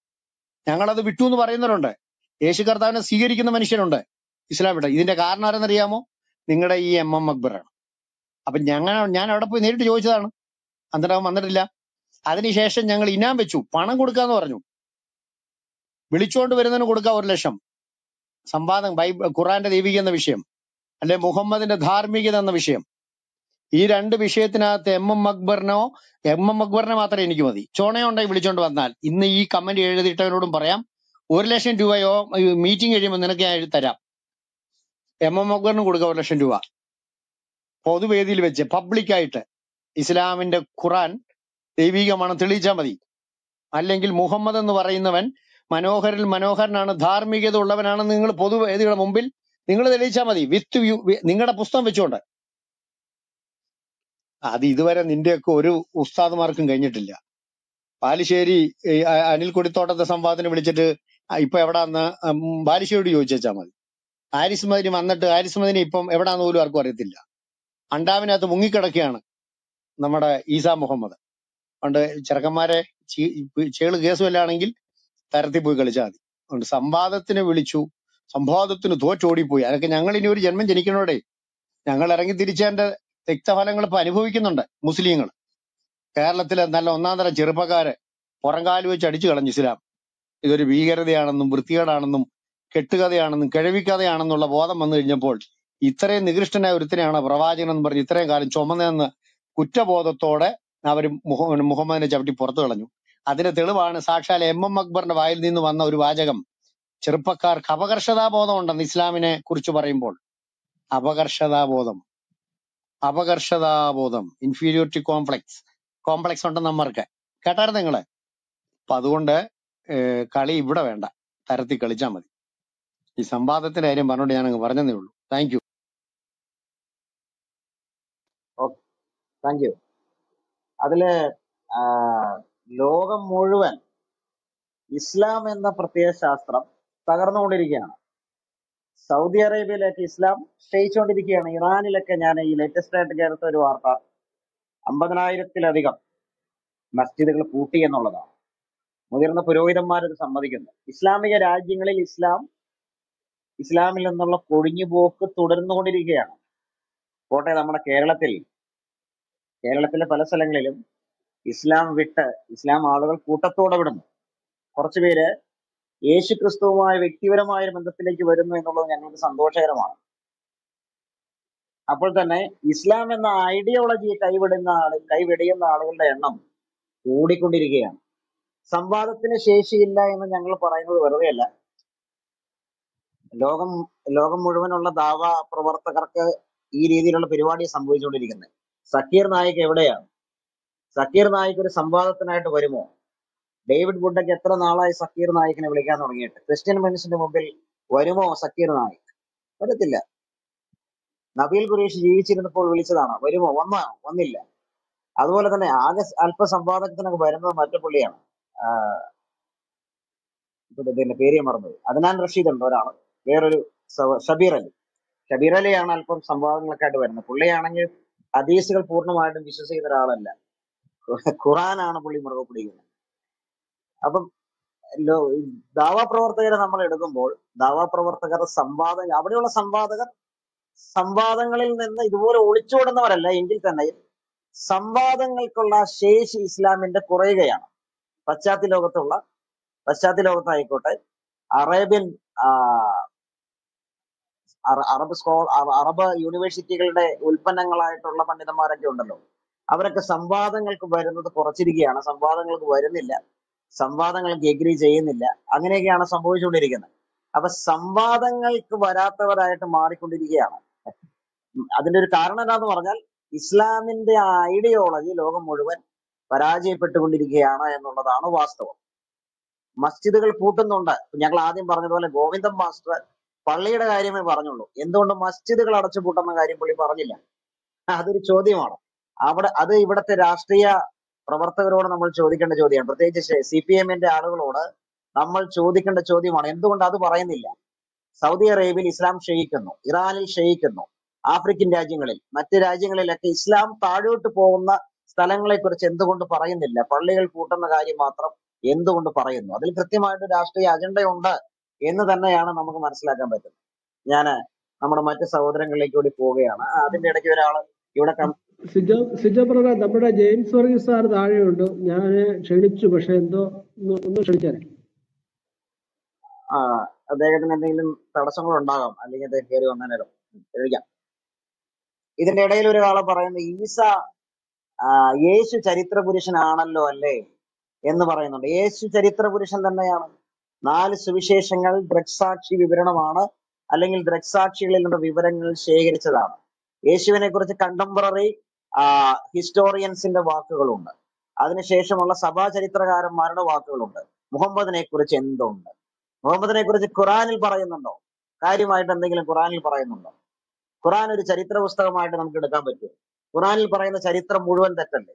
ഹദീസുകൾ ചരിത്രരേഖയാണോ? കെട്ടുകഥകൾ മുഴുവൻ കെട്ടുകഥകളും മുഹമ്മദിന്റെ വാഴ്ത്തുപാട്ടുകളും അടങ്ങിയ ഹദീസ്. വാഴ്ത്തുപാട്ടുകൾ എന്ന് ഞാൻ പറയുന്നത് ആറു വയസ്സുള്ള ഐഷയെ കല്യാണം കഴിച്ചത് അന്നൊരു വാഴ്ത്തുപാട്ടായിരുന്നു. ഹീറോയിസം ആയിരുന്നു. ഇന്ന് അത് ഹീറോയിസമായിട്ട് ആരും കാണാത്തത് കാണാത്തതാണ് വലിയ പ്രശ്നമായിട്ട് മാറിയേക്കുന്നത്. ഇനി മുഹമ്മദിന്റെ ബയോഗ്രാഫി എന്നാണ് ഇറങ്ങിയത്? പത്തിരുന്നൂറ് വർഷങ്ങൾക്ക് ശേഷം ആണ് മുഹമ്മദിന്റെ ബയോഗ്രാഫി. മരണശേഷം മരണത്തിന് ശേഷം ഇരുന്നൂറിലധികം വർഷങ്ങൾക്ക് ശേഷമാണ് ബയോഗ്രാഫി ഇറക്കുന്നത്. ഇത് അതിനെന്താണ് ഹിസ്റ്റോറിക്കലി ആധികാരികതയുള്ളത്? മുഹമ്മദ് തന്നെ ഒരു ചരിത്ര പുരുഷനാണോ എന്ന സംശയമുണ്ട്. പിന്നെയാണ് ഈസ. ഈസയെ ഈസയും യേശുവുമായിട്ട് യാതൊരു ബന്ധമില്ലെന്ന് ഞങ്ങൾ പറയാറ്. ഈസയുടെ കഥകളൊക്കെ അപ്പോക്രീഫ ഗ്രന്ഥങ്ങളിൽ നിന്നൊക്കെ അതുപോലെ നോസ്റ്റിക് ജ്ഞാനമതത്തിന്റെ ഇൻഫ്ലുവൻസ് ഉള്ള ഗ്രന്ഥങ്ങളിൽ നിന്ന് രണ്ടാം നൂറ്റാണ്ടിലും മൂന്നാം നൂറ്റാണ്ടിലൊക്കെ എഴുതപ്പെട്ട ഗ്രന്ഥങ്ങളിൽ നിന്നൊക്കെ കോപ്പി അടിച്ചതാണ്.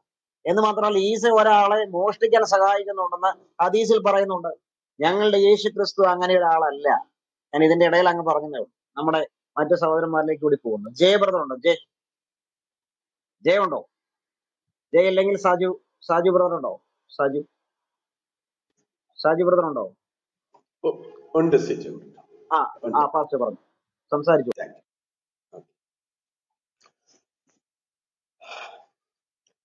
നമ്മൾ സൂറ രണ്ടിന്റെ നൂറ്റി മുപ്പത്തി എട്ടിൽ അള്ളാഹു ചായ മുക്കിയിരിക്കുന്നത്. ചായ മുക്കുന്നതിൽ അള്ളാഹുവിനേക്കാൾ വിശിഷ്ടൻ ആരാണുള്ളത്? ഉള്ളൊരു പെയിന്റ് അടിക്കാരനായ അള്ളാഹുവിനെയാണ് നമ്മൾ അവിടെ കാണുന്നത്. പാവം അള്ളാഹു എന്ന് പറയുമ്പോൾ ഒരു പെയിന്റ് അടിക്കാരനായ അള്ളാഹു വളരെ പാവം തന്നെയാണ്. സൂറ രണ്ടിന്റെ നൂറ്റി മുപ്പത്തി എട്ടിലാണ് പെയിന്റ് അടിക്കാരനായ ചായ മുക്കലുകാരനായ അള്ളാഹുവിനെ നമ്മൾ കാണുന്നത്. അപ്പോൾ ഷംസീറിന്റെയും അക്ബറിന്റെയും അള്ളാഹു പാപമാണ് എന്ന് പറയുന്നതിൽ തെറ്റായിട്ടുള്ള ഒരു കാര്യമല്ല. പിന്നെ സൊഹി ബുഖാരി എൺപത്തിനാല് രണ്ടായിരത്തി ഇരുപത്തി ആറാം ഹദീസിൽ പറയുന്നത് ഭൂമി അന്ത്യനാളിൽ ഒരു റൊട്ടി പോലെയാകുന്ന ഭൂമി അന്ത്യനാളിൽ ഒരു റൊട്ടി പോലെയാകും. അപ്പോൾ അള്ളാഹു തന്റെ കൈകൾ കൊണ്ട് അത് തിരിച്ചു മറിച്ചു വിടും എന്നിട്ട് സ്വർഗീയ ആൾക്കാർക്കൊക്കെ ഏകദേശം എഴുപതിനായിരം ആൾക്കാർക്ക് റൊട്ടിയെ ഭൂമിയെ ഒരു റൊട്ടിയെ പോലെ വിഭജിച്ചു കൊടുക്കുമെന്നാണ് എഴുതിയിരിക്കുന്നത്.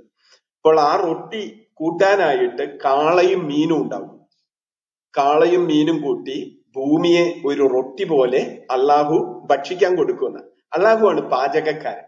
അപ്പോൾ പാചകക്കാരനായുള്ള ഒരു അള്ളാഹുവിനെ നമ്മൾ ബുഖാരി ഹദീസിൽ കാണുകയാണ്. അതുപോലെ സൂറ രണ്ടായിരം രണ്ടിന്റെ നൂറ്റി മുപ്പത്തി എട്ടിൽ ഒരു പെയിന്റ് അടിക്കാരനായ അള്ളാഹുവിനെ കാണും ഇതെല്ലാം വായിക്കുമ്പോൾ നമുക്ക് അള്ളാഹു ഒരു പാവമാണ് എന്ന് തോന്നുന്നതിൽ ഒരു അത്ഭുതമായ കാര്യമല്ല. എന്നാൽ നമ്മൾ സൂറ അഞ്ചിന്റെ പതിനാലെത്തുമ്പോൾ ക്രിസ്ത്യാനികളെ അന്ത്യകാലം വരെ ശത്രുതയും വിദ്വേഷവും അവരുടെ ഉള്ളിൽ ഉണ്ടാക്കുന്ന ഒരു അള്ളാഹുവിനെ കാണുന്നു. അപ്പോൾ പാവമായ അള്ളാഹു ഭയങ്കരനായി മാറുക ക്രൂരനായ ഒരു വ്യക്തിയായി മാറുക അഞ്ചിന്റെ അറുപത്തിനാലിലെത്തുമ്പോൾ യഹൂദന്മാരുടെ ഇടയിൽ അന്ത്യകാലം വരെ ശത്രുതയും വിദ്വേഷവും ഉണ്ടാക്കുന്ന ഒരു അള്ളാഹുവിനെ നമ്മൾ കാണും അവിടെയും പാവമല്ല ഭയങ്കരനായ ഒരു അള്ളാഹു ക്രൂരനായ ഒരു അള്ളാഹു.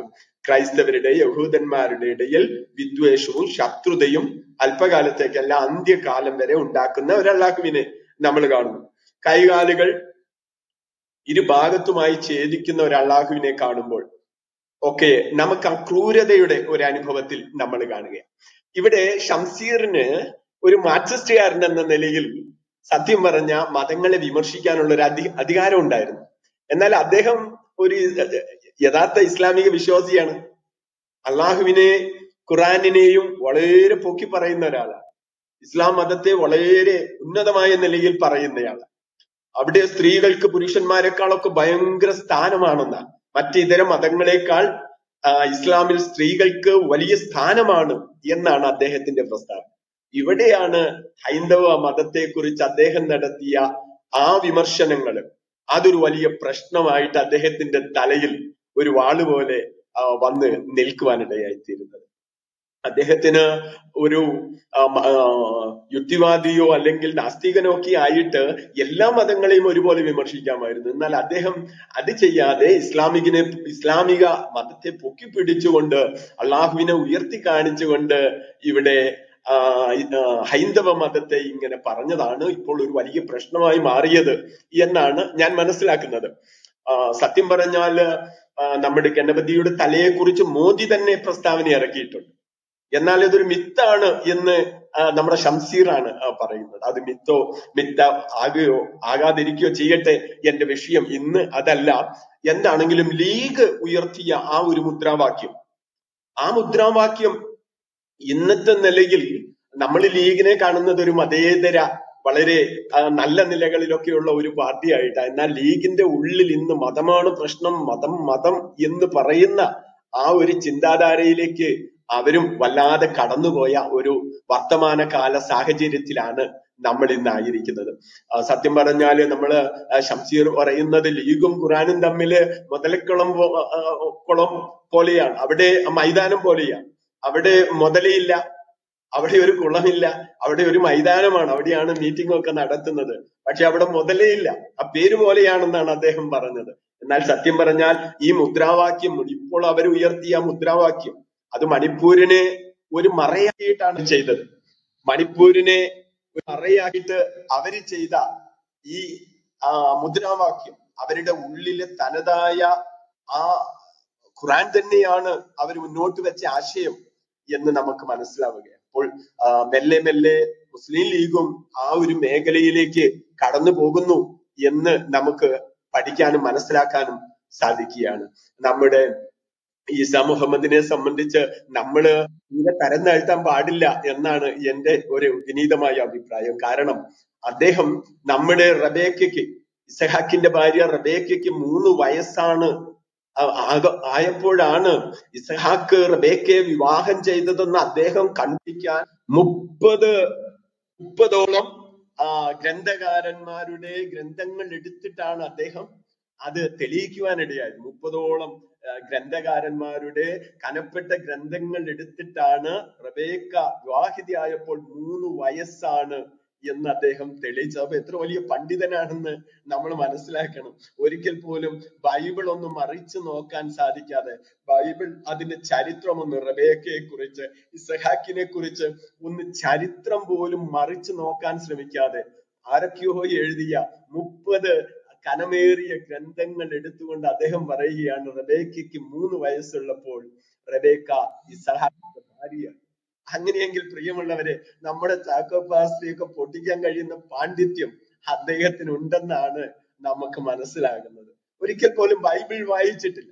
അവിടെയാണ് അദ്ദേഹത്തിന്റെ പാണ്ഡിത്യം അദ്ദേഹം ഇന്ന് ഇസ്ലാമിക ലോകത്തെ ആ വഞ്ചനയിൽ കുടുക്കിയിരിക്കുന്നത്.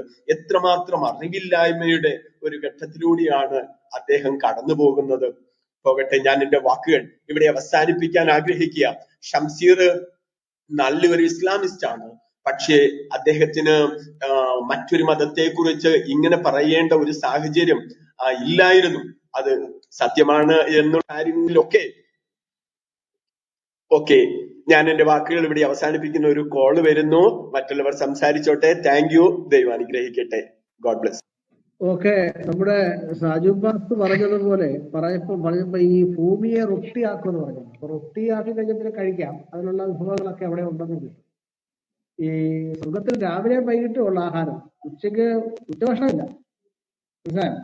ആ കാര്യം നമ്മുടെ മുസ്ലിം സമൂഹത്തിൽ ഇസ്മയിലൊക്കെ ബാക്ക് ചാനലുണ്ട് ബാക്ക് ചാനൽ വന്നിരുന്ന് എഴുതുന്നവരോട് പറയുകയാണ് നിങ്ങൾ ഉച്ചപ്പട്ടിണി അവിടെ അനുഭവിക്കേണ്ടത് വരും. ഞാൻ പറയുന്നതല്ല സൂറ പത്തൊമ്പതിന്റെ അറുപത്തിരണ്ടിലാണ് പറയുന്നത്. സലാം അല്ലാതെ നിരർത്ഥകമായ യാതൊന്നും അവിടെ കേൾക്കയില്ല. തങ്ങളുടെ ആഹാരം രാവിലെയും വൈകുന്നേരം അവർക്ക് അവിടെ ലഭിക്കുന്നതാണ്. മനസ്സിലായോ? അത് പിള്ളേരെ കൊണ്ട് അവിടെ ഒപ്പിച്ചു കൊടുക്കും. പക്ഷെ ഉച്ചയ്ക്ക് ആഹാരമില്ല. ഇടം വല്ലം പത്തിയാക്ക് റേഷനിയെങ്കിലും ഇവിടുന്ന് അങ്ങോട്ട് അയച്ചു കൊടുക്കുക കഞ്ഞി വെച്ചു കൊടുക്കണ്ട ഉച്ചയ്ക്ക്? അപ്പൊ ഉച്ചക്കഞ്ഞി ഇല്ലാത്ത ഉച്ചഭക്ഷണമില്ലാത്ത ഒരു സ്വർഗമാണ് ഇസ്ലാമിന്റെ എന്ന് ഞാനത് അങ്കേന്തരാണ് ആ ഒരു റൊട്ടിയുടെ കാര്യം ഓർത്തപ്പോ എന്റെ മനസ്സിലേക്ക് വന്ന. ഓക്കെ. നമ്മുടെ ഒരു സഹോദരൻ ഒരു ചോദ്യം ചോദിച്ചിട്ടുണ്ട്. ജോസീബസിന്റെ ഗ്രന്ഥത്തിൽ യേശുവിനെ കുറിച്ച് എന്ത് പേരാ പറഞ്ഞിരിക്കുന്നത്? കേട്ടോ.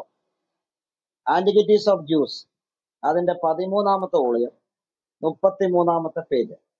അതിലിങ്ങനെയാണ് പറയുന്നത്? ഏതാണ്ട് ഈ കാലഘട്ടത്തിൽ യേശു എന്ന പേരുള്ള ജ്ഞാനിയായ ഒരു മനുഷ്യൻ ഉണ്ടായിരുന്നു. കേട്ടല്ലോ? യേശു എന്ന പേരുള്ള ജ്ഞാനിയായ മനുഷ്യൻ ഉണ്ടായിരുന്നു. താഴേക്ക് യേശുവിനെ കുറിച്ചുള്ള കുറെ കാര്യങ്ങൾ പറഞ്ഞിട്ടുണ്ട്. അപ്പൊ എന്ത് പറഞ്ഞിരിക്കുന്നു എന്നാണ് ചോദിച്ചത്. ഞാൻ അതിന് ഉത്തരമാണ് പറഞ്ഞത്. എന്നാൽ മുഹമ്മദിനെ കുറിച്ച് ഒരു ചരിത്ര കണ്ടംപററി ആയിട്ടുള്ള ഒരു ചരിത്ര രേഖ മുഹമ്മദിനെ കുറിച്ചുണ്ടോ? ഞങ്ങൾക്ക് ഖുറാനിലും ഹദീസിലും പറയുന്ന മുഹമ്മദിനെ കുറിച്ച് പറയാൻ തന്നെയാണ് ഇഷ്ടം. അത് പറയുകയും ചെയ്യും. പക്ഷെ ചോദ്യം ഇതാണ്. മുഹമ്മദ് ഹിസ്റ്റോറിക്കൽ പേഴ്സൺ ആണെന്ന് തെളിയിക്കാൻ പറ്റുന്ന ഒരു രേഖ നിങ്ങളുടെ കയ്യിൽ ഉണ്ടോ? ദാവ പ്രവർത്തകരെ ചോദ്യം ചോദിക്കുന്ന ആളുകളെ ഉണ്ടോ? മുഹമ്മദ് മാത്രമല്ല ഖുറാൻ പറയുന്ന ഏതെങ്കിലും കഥാപാത്രം. ചരിത്ര ചരിത്രത്തിൽ ജീവിച്ചിരുന്നു എന്ന് നിങ്ങൾക്ക് തെളിയിക്കാൻ പറ്റുമോ? ഇല്ല. ഖുറാൻ ഒരു ചരിത്ര ചരിത്രം പറയുന്ന പുസ്തകമാണോ? ഏതെങ്കിലും ചരിത്രം ഖുറാൻ പറയുന്നുണ്ടോ? ഖുറാൻ പലയിടത്തുനിന്നും കോപ്പി അടിച്ച് എഴുതിയ ഗ്രന്ഥമല്ലേ? ഖുറാനിൽ എങ്ങനെയാണ് ചരിത്രം പറയുക? അതിനു മുമ്പുണ്ടായിരുന്ന കവികളുടെയൊക്കെ ചരിത്രം കവികളുടെയൊക്കെ കവിതകളിൽ നിന്ന് കോപ്പി അടിച്ച് എഴുതിയ ഗ്രന്ഥമാണ് ഖുറാൻ അതുപോലെ തന്നെ പഴയ നിയമത്തിൽ നിന്നും പുതിയ നിയമത്തിൽ നിന്ന് സ്വരാഷ്ട്രീയ സോഴ്സുകളിൽ നിന്നൊക്കെ എടുത്ത് അത് വേറെ പല രീതിയിലാക്കി കോപ്പി അടിച്ച് എഴുതി വെച്ചിരിക്കുന്ന ഗ്രന്ഥമാണ് ഖുറാൻ അതിനപ്പുറത്തേക്ക് മറ്റൊന്നും ഖുറാനിലില്ല ഖുറാനിൽ എവിടെയാണ് ചരിത്രം? ഹദീസ് ചരിത്രം അല്ലല്ലോ.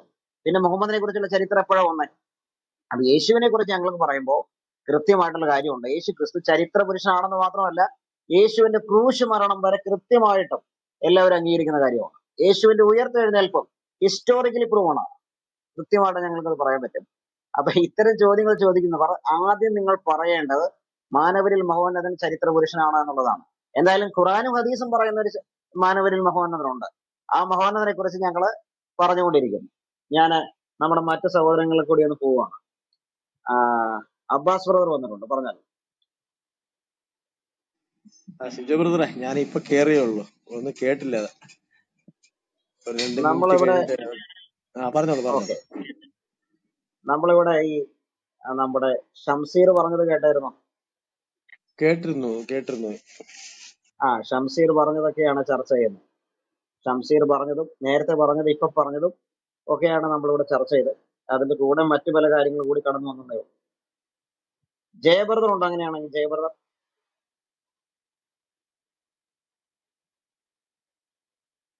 ഇല്ലെന്നോ? അതിനാണ് അനിൽക്കുടി തോന്നും പാസ്റ്റേ പാസ്റ്റ് കേൾക്കുന്നുണ്ടോ?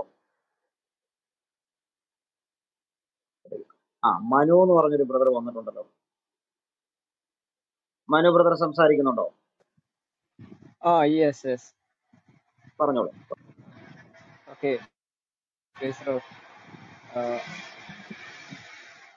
നമ്മൾ ഈ ചർച്ച ഞാൻ കുറച്ച് നേരമായിട്ട് കേൾക്കുകയായിരുന്നു. ഇതിൽ ഏകദേശം കുറെ കാര്യങ്ങളൊക്കെ എല്ലാവരും പറഞ്ഞു കഴിഞ്ഞു. എങ്കിലും നിന്റെ മനസ്സിനകത്ത് എനിക്ക് തോന്നിയ കുറച്ച് കാര്യങ്ങൾ. സിജോ ബ്രദർ തന്നെയാന്ന് തോന്നുന്നു. ഈ ഇതിന് മേളിൽ ഒരു ഷംസീർ അദ്ദേഹം പറഞ്ഞ ഒരു നേരത്തെ പറഞ്ഞ അതായത് ലീഗും ഖുറാനും തമ്മിൽ മുതലക്കുളം പോലെയാണ് എന്ന് മുൻപ് പറഞ്ഞൊരു എനിക്കത് രണ്ടു വർഷം മുമ്പുള്ളതാണ് പറഞ്ഞൊരു കാര്യം ഇട്ടിട്ടുണ്ടായിരുന്നു ആഹ് കമ്മ്യൂണിസ്റ്റുകാർ അല്ലെങ്കിൽ കമ്മ്യൂണിസ്റ്റ് പാർട്ടി ഇപ്പം കേരളത്തിൽ അവരാണ് കുറച്ച് വർഷങ്ങളായിട്ട് ഭരിക്കുന്നത്. എന്താണ്? ഇവർക്ക് ഈ എങ്ങനെ ഇതിന് കഴിയുന്നു എന്നുള്ളതാണ് എങ്ങനെ ഇതിന് കഴിയുന്നു എന്നുള്ളത് നമ്മൾ വളരെയധികം ആശങ്കയോടെ കാണുകയാണ്. കാരണം ഇവരുടെ പ്രത്യാശ അല്ല മീൻസ് ഇവരുടെ ഒരു പ്രത്യാശാസ്ത്രം എന്ന് പറയുന്നത് വേറൊരു ഒരു വേറൊരു വഴിയിൽ കൂടി സഞ്ചരിക്കുന്നു. എന്നാൽ അവസൂരി അവസരോചിതമായിട്ട് ഇവർ നിലവിൽ വോട്ട് ബാങ്കിന് വേണ്ടി ഈ ഷംസീറിനെ പോലുള്ള അദ്ദേഹം ആഹ് അദ്ദേഹം എന്നൊക്കെ പറയുമ്പോൾ അദ്ദേഹം സ്ഥാനത്ത് ഇരിക്കുന്നത് കൊണ്ടാണ് ഇങ്ങനെ പറയുന്നത്. എത്ര അദ്ദേഹത്തിന്റെ ആ ഒരു എന്താണ്? ആ സ്ഥാനത്തിന് എത്രമാത്രം അത് യോഗ്യമായൊരു കാര്യമാണ് എന്നുള്ളതിനെ കുറിച്ച് അദ്ദേഹം ചിന്തിക്കേണ്ടതുണ്ട്. കാരണം ആഹ്, സത്യം പറഞ്ഞു കഴിഞ്ഞു കഴിഞ്ഞാൽ ഇവരൊക്കെ എന്താണ് ഈ ഏഹ്, പൊട്ടക്കുളത്തിലെ തവളകളെ തവളകളെ പോലെയൊക്കെയാണെന്ന് ചിലപ്പോൾ പറയേണ്ടി വരും. കാരണം ആക്ച്വലി ഇവർ ഈ നേരത്തെ ഇവിടെ ജാക്കോ പാസ്റ്റർ ഒക്കെ പറഞ്ഞതുപോലെ ആഹ്, പറഞ്ഞതുപോലെ ഏഹ്, ഇവരൊന്നും അവരുടെ അല്ലെങ്കിൽ ഷംസീറൊക്കെ ഒരു മുസ്ലിം അല്ലെങ്കിൽ ഒരു വിശ്വാസി ആയിരിക്കുമ്പോൾ തന്നെ അതിനെക്കുറിച്ചൊന്നും വളരെ ആഴത്തിൽ പഠിച്ചു കാണാനുള്ള സാധ്യതയില്ല. പഠിച്ചിട്ടുണ്ടായിരുന്നെങ്കിൽ തീർച്ചയായിട്ടും അദ്ദേഹം ഒരു റിയൽ കമ്മ്യൂണിസ്റ്റുകാരനായിട്ട് തന്നെ അതിൽ നിന്നേനെ. ഒരു റിയൽ കമ്മ്യൂണിസ്റ്റുകാരനായിട്ട് തന്നെ അദ്ദേഹം അതിൽ നിന്നേനെ. അവസരത്തിനൊത്ത് അഭിപ്രായം പറയുന്ന എന്നാൽ താൻ വിശ്വസിക്കുന്ന പ്രത്യയശാസ്ത്രം അല്ലെങ്കിൽ അതേ ആ ഒരു മതം അതിനെക്കുറിച്ച് കൃത്യമായിട്ട് ഒരു അവബോധം ഇല്ലാതെ പൊതുസമൂഹത്തിൽ സംസാരിക്കുന്ന ഇവരെ പോലെയുള്ളവർ ഇവരൊക്കെ ശരിക്കും പറഞ്ഞു കഴിഞ്ഞു കഴിഞ്ഞാൽ വളരെയധികം സമൂഹത്തിന് ആപത്താണ്. വളരെയധികം ആപത്താണ്. എന്താന്ന് വെച്ച് കഴിഞ്ഞു കഴിഞ്ഞാൽ ഇവർ ഇപ്പൊ ഉദാഹരണമായിട്ട് ഇദ്ദേഹത്തെ തൊട്ട് കഴിഞ്ഞാൽ ഇദ്ദേഹത്തെ തൊട്ട് കഴിഞ്ഞു കഴിഞ്ഞാൽ അതിന് മോർച്ചറിയിൽ കയറേണ്ടി വരുമെന്ന് ഇവരുടെ തന്നെ പാർട്ടിയിലുള്ള കമ്മ്യൂണിസ്റ്റ് തത്വങ്ങളെ വളരെയധികം എന്താണ് പറയുന്ന ചില വാക്കുകളൊന്നും പെട്ടെന്ന് മനസ്സിലേക്ക് വരുന്നില്ല. ഒരു ഭയങ്കര സംഭവമാണെന്നൊക്കെ കൊട്ടിഘോഷിച്ചുകൊണ്ട് നടക്കുന്നവർ ഇങ്ങനെ പറയുമ്പോൾ ഈ ഈ ആൾക്കാർക്ക് കേൾക്കുന്നവർക്ക് അത് എത്രത്തോളം ഉൾക്കൊള്ളുവാൻ കഴിയുന്നില്ല എന്നുള്ളതിനെ കുറിച്ച് യാതൊരു പൊതുബോധവും ഇവർക്കില്ല. പൊതുബോധവും ഇവർക്കില്ല. ഇവർക്കറിയാം കമ്മ്യൂണിസം അഞ്ചു വർഷമായിട്ട് അല്ലെങ്കിൽ ആറ് ഏഴോ വർഷമായിട്ട് കേരളത്തിൽ ഭരണം നടത്തി ഏകദേശം ചളവളമായിരിക്കുകയാണ് അടുത്ത ഒരു ഇലക്ഷന് അവരുടെ തന്നെ പാർട്ടിയിലുള്ളവരുടെ വോട്ട് കിട്ടാനുള്ള സാധ്യത കുറവാണ്. അങ്ങനെ ഇരിക്കുമ്പോൾ മുസ്ലിം ലീഗോ അല്ലെങ്കിൽ അതേപോലെയുള്ള കക്ഷികളെ കൂട്ടുപിടിച്ചെങ്കിൽ മാത്രമേ അവരെ പ്രീണിപ്പിച്ച് നിർത്തിയെങ്കിൽ മാത്രമേ ഭരണം കിട്ടുകയുള്ളൂ എന്ന് കൃത്യമായിട്ട് ഇവർക്കറിയാം. ഇടതുപക്ഷത്തിന് അറിയാം. എന്നുള്ളത് കൊണ്ട് ഷംസീറിനെ പോലുള്ളവർ മിത്തുകളുടെ അല്ലെങ്കിൽ മിത്ത് എന്നൊക്കെ പറഞ്ഞ് മറ്റുള്ള വിശ്വാസങ്ങളെ വ്രണപ്പെടുത്തി സ്വന്തം വിശ്വാസം എന്തെന്ന് മനസ്സിലാക്കാൻ ശ്രമിക്കുകയോ മനസ്സിലാക്കാതെയോ അല്ലെങ്കിൽ മനസ്സിലായിട്ട് മനസ്സിലായില്ല എന്ന് നടിക്കുകയോ എന്നൊക്കെ പറഞ്ഞ് അല്ലെങ്കിൽ ആ ഒരു തരത്തിൽ പൊതുജനത്തെ ഇന്നിപ്പം എന്താണ് ഷംസീർ അദ്ദേഹം അങ്ങനെ പറഞ്ഞത് കൊണ്ടാണ് എ ബി വി പി പ്രവർത്തകര് മീൻസ് നിരത്തിൽ സമരവുമായി ഇറങ്ങേണ്ടി വന്നു.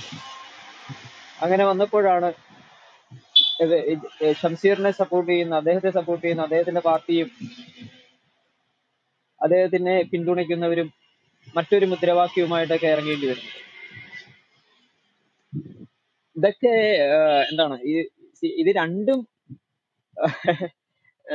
ഭയങ്കര കോമഡിയാണ് ഇവർ രണ്ടുപേരും ഞങ്ങളാണ് ശരി ഞങ്ങളാണ് ശരി എന്ന് പറയുമ്പോൾ ഇതിനകത്ത്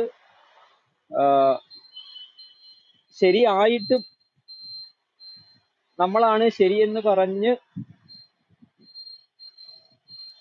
സമൂഹത്തിൽ വലിയൊരു പ്രശ്നം. നമ്മളാണ് ശരി എങ്കിലും സമൂഹത്തിൽ വലിയൊരു പ്രശ്നമൊന്നും ഉണ്ടാക്കാതെ ഒരു കർണത്തടിച്ചാൽ മറുകർണം കാണിച്ചു കൊടുക്കാൻ പഠിപ്പിച്ച ആ ഒരു ലെവലിൽ ജീവിക്കുന്ന കുറെ ആൾക്കാരുമുണ്ട് എന്നുള്ളത് ഇവർ കാണുന്നില്ല. ഞാനൊക്കെ ഒരു ഹൈന്ദവ വിശ്വാസത്തിൽ നിന്ന് ക്രിസ്തു വിശ്വാസത്തിലേക്ക് വന്ന വ്യക്തിയാണ്. പണ്ട് ഞാനും ഇതേ കണക്കൊക്കെ ഒരു കർണത്തിന് മറുകർണം കാണിച്ചു കൊടുക്കുന്ന ആളായിരുന്നില്ല. എന്നാൽ ഇന്ന് നേരെ തിരിഞ്ഞിരിക്കുന്നു. അപ്പം ചില വാക്കുകൾ കിട്ടുന്നില്ല. മീൻസ് ഇത് കേട്ടപ്പോൾ ഒരുപാട് കാര്യങ്ങൾ ഞാൻ നോട്ട് ചെയ്ത് വെച്ചു. പക്ഷെ അതൊക്കെ അങ്ങോട്ട് പറയാൻ കൊണ്ടുള്ള ഒരു സാഹചര്യം അങ്ങോട്ട് ഒരുങ്ങി വരുന്നില്ല. സത്യത്തിൽ ക്ലബ് ഹൗസിൽ ഇങ്ങനെ അധികം ഏഹ് കേറാത്തത് കൊണ്ടായിരിക്കാം ഞാനിപ്പോൾ ഈ ഒരു ഒരാഴ്ചയായിട്ടാണ് ഇത്തരം ചർച്ചകളൊക്കെ കേൾക്കുകയും കാണുകയൊക്കെ ചെയ്യുന്നത്. എന്നിരുന്നാലും ഒരു രാഷ്ട്രീയ പ്രസ്ഥാനത്തിൽ നിന്ന് ജനാധിപത്യ മര്യാദകളുടെ അടിസ്ഥാനത്തിൽ ജയിച്ച് ഭരണത്തലപ്പത്തേക്ക് വന്ന് ജനങ്ങളെ ഭരിക്കുകയല്ല അവരെ സേവിക്കാനായിട്ട് കടന്നു വന്നിരിക്കുന്ന ജനപ്രതിനിധികൾ അവരുടെ ഉത്തരവാദിത്വ ബോധത്തിൽ നിന്നും പുറത്തു പോയി മനുഷ്യന്റെ ഉള്ളിലേക്ക് തീയും തീക്കട്ടയും ഇട്ട് കൊടുക്കുന്ന തരത്തിലേക്ക് ഉള്ള അഭിപ്രായങ്ങൾ അവർ ഉപേക്ഷിക്കേണ്ടതുണ്ട്. അതിനെ കോട്ട് ചെയ്തുകൊണ്ട് എതിർ ടീം മറ്റൊരു കൊലവിളിയുമായി നിരത്തുകളിൽ ഇറങ്ങാൻ പാടില്ല. ഇതൊക്കെ ഒരു മറ്റൊരു മണിപ്പൂരിന് കളമൊരുക്കുകയേ ഉള്ളൂ എന്നാണ് ഞാൻ മനസ്സിലാക്കുന്നത്. അല്ലെങ്കിൽ തന്നെ കുറെ പേര് ഇപ്പം തന്നെ പറയുന്നുണ്ട് താമസിക്കാതെ മണിപ്പൂർ കേരളത്തിലേക്ക് ആവർത്തിക്കുമെന്ന്. എന്റെ അടുത്തും പലവരും നേരിട്ട് പറഞ്ഞിട്ടുണ്ട്. അപ്പോൾ ഇവിടെ ഇങ്ങനെ ഒരു ഒരു ഒരു ഒരു കലാപത്തിനുള്ള സാധ്യതകളൊന്നും രാഷ്ട്രീയ നേതൃത്വവും മത നേതൃത്വവും ഒന്നും ഒരുക്കി കൊടുക്കരുത് എന്നാണ് എന്റെ അഭിപ്രായം. ഇത്തരത്തിലുള്ള ഉത്തരവാദപ്പെട്ട സ്ഥാനങ്ങളിൽ ഇരിക്കുന്നവർ ഇത്തരത്തിലുള്ള പരാമർശനങ്ങൾ അത് മാപ്പ് പറഞ്ഞ് എനിക്ക് തെറ്റുപറ്റിപ്പോയി എന്ന് പറയുവാൻ. ഇപ്പോൾ ഈ പറഞ്ഞതുപോലെ നേരത്തെ ചാക്കോ ഫാസ്റ്റ് ഒക്കെ എന്താണ് ഖുറാനിലുള്ള എത്രത്തോളം ഇതിനൊക്കെ മിത്തുകളുണ്ട് മീൻസ് അല്ലെങ്കിൽ എത്രത്തോളം യാഥാർത്ഥ്യബോധത്തോടെയാണ് അല്ലെങ്കിൽ എത്രത്തോളം അതിനകത്തൊക്കെ യാഥാർത്ഥ്യമുണ്ട് എന്നതിനെ കുറിച്ചൊക്കെ കൃത്യമായിട്ട് പറഞ്ഞ് മനസ്സിലാക്കി തന്നു. എന്നെ പോലുള്ളവർക്കൊക്കെ ഇത് ഭയങ്കര ഒരു പുതിയ അറിവുകളാണ്. കാരണം ഞാനൊക്കെ ഒരു കുറച്ച് വർഷങ്ങൾക്ക് മുമ്പ് വരെയും വിചാരിച്ചിരുന്നത് ഖുറാനും ബൈബിളും ഒന്നാണ്.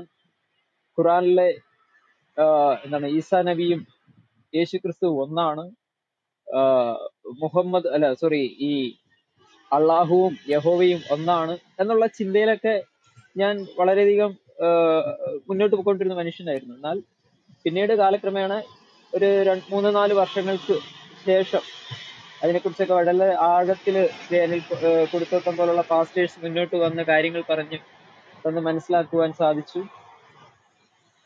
ഇപ്പോൾ എനിക്ക് വളരെയധികം അഭിമാനമുണ്ട് ആക്ച്വലി കാരണം നമ്മൾക്കെതിരെ എന്ത് പ്രശ്നമുണ്ടായാലും നമ്മൾ തെരുവിലിറങ്ങാൻ പോകുന്നില്ല. നമ്മൾ സമരം ചെയ്യാൻ പോകുന്നില്ല. ഈ സമാധാന മതം എന്നൊക്കെ പറഞ്ഞ് തെരുവിലിറങ്ങി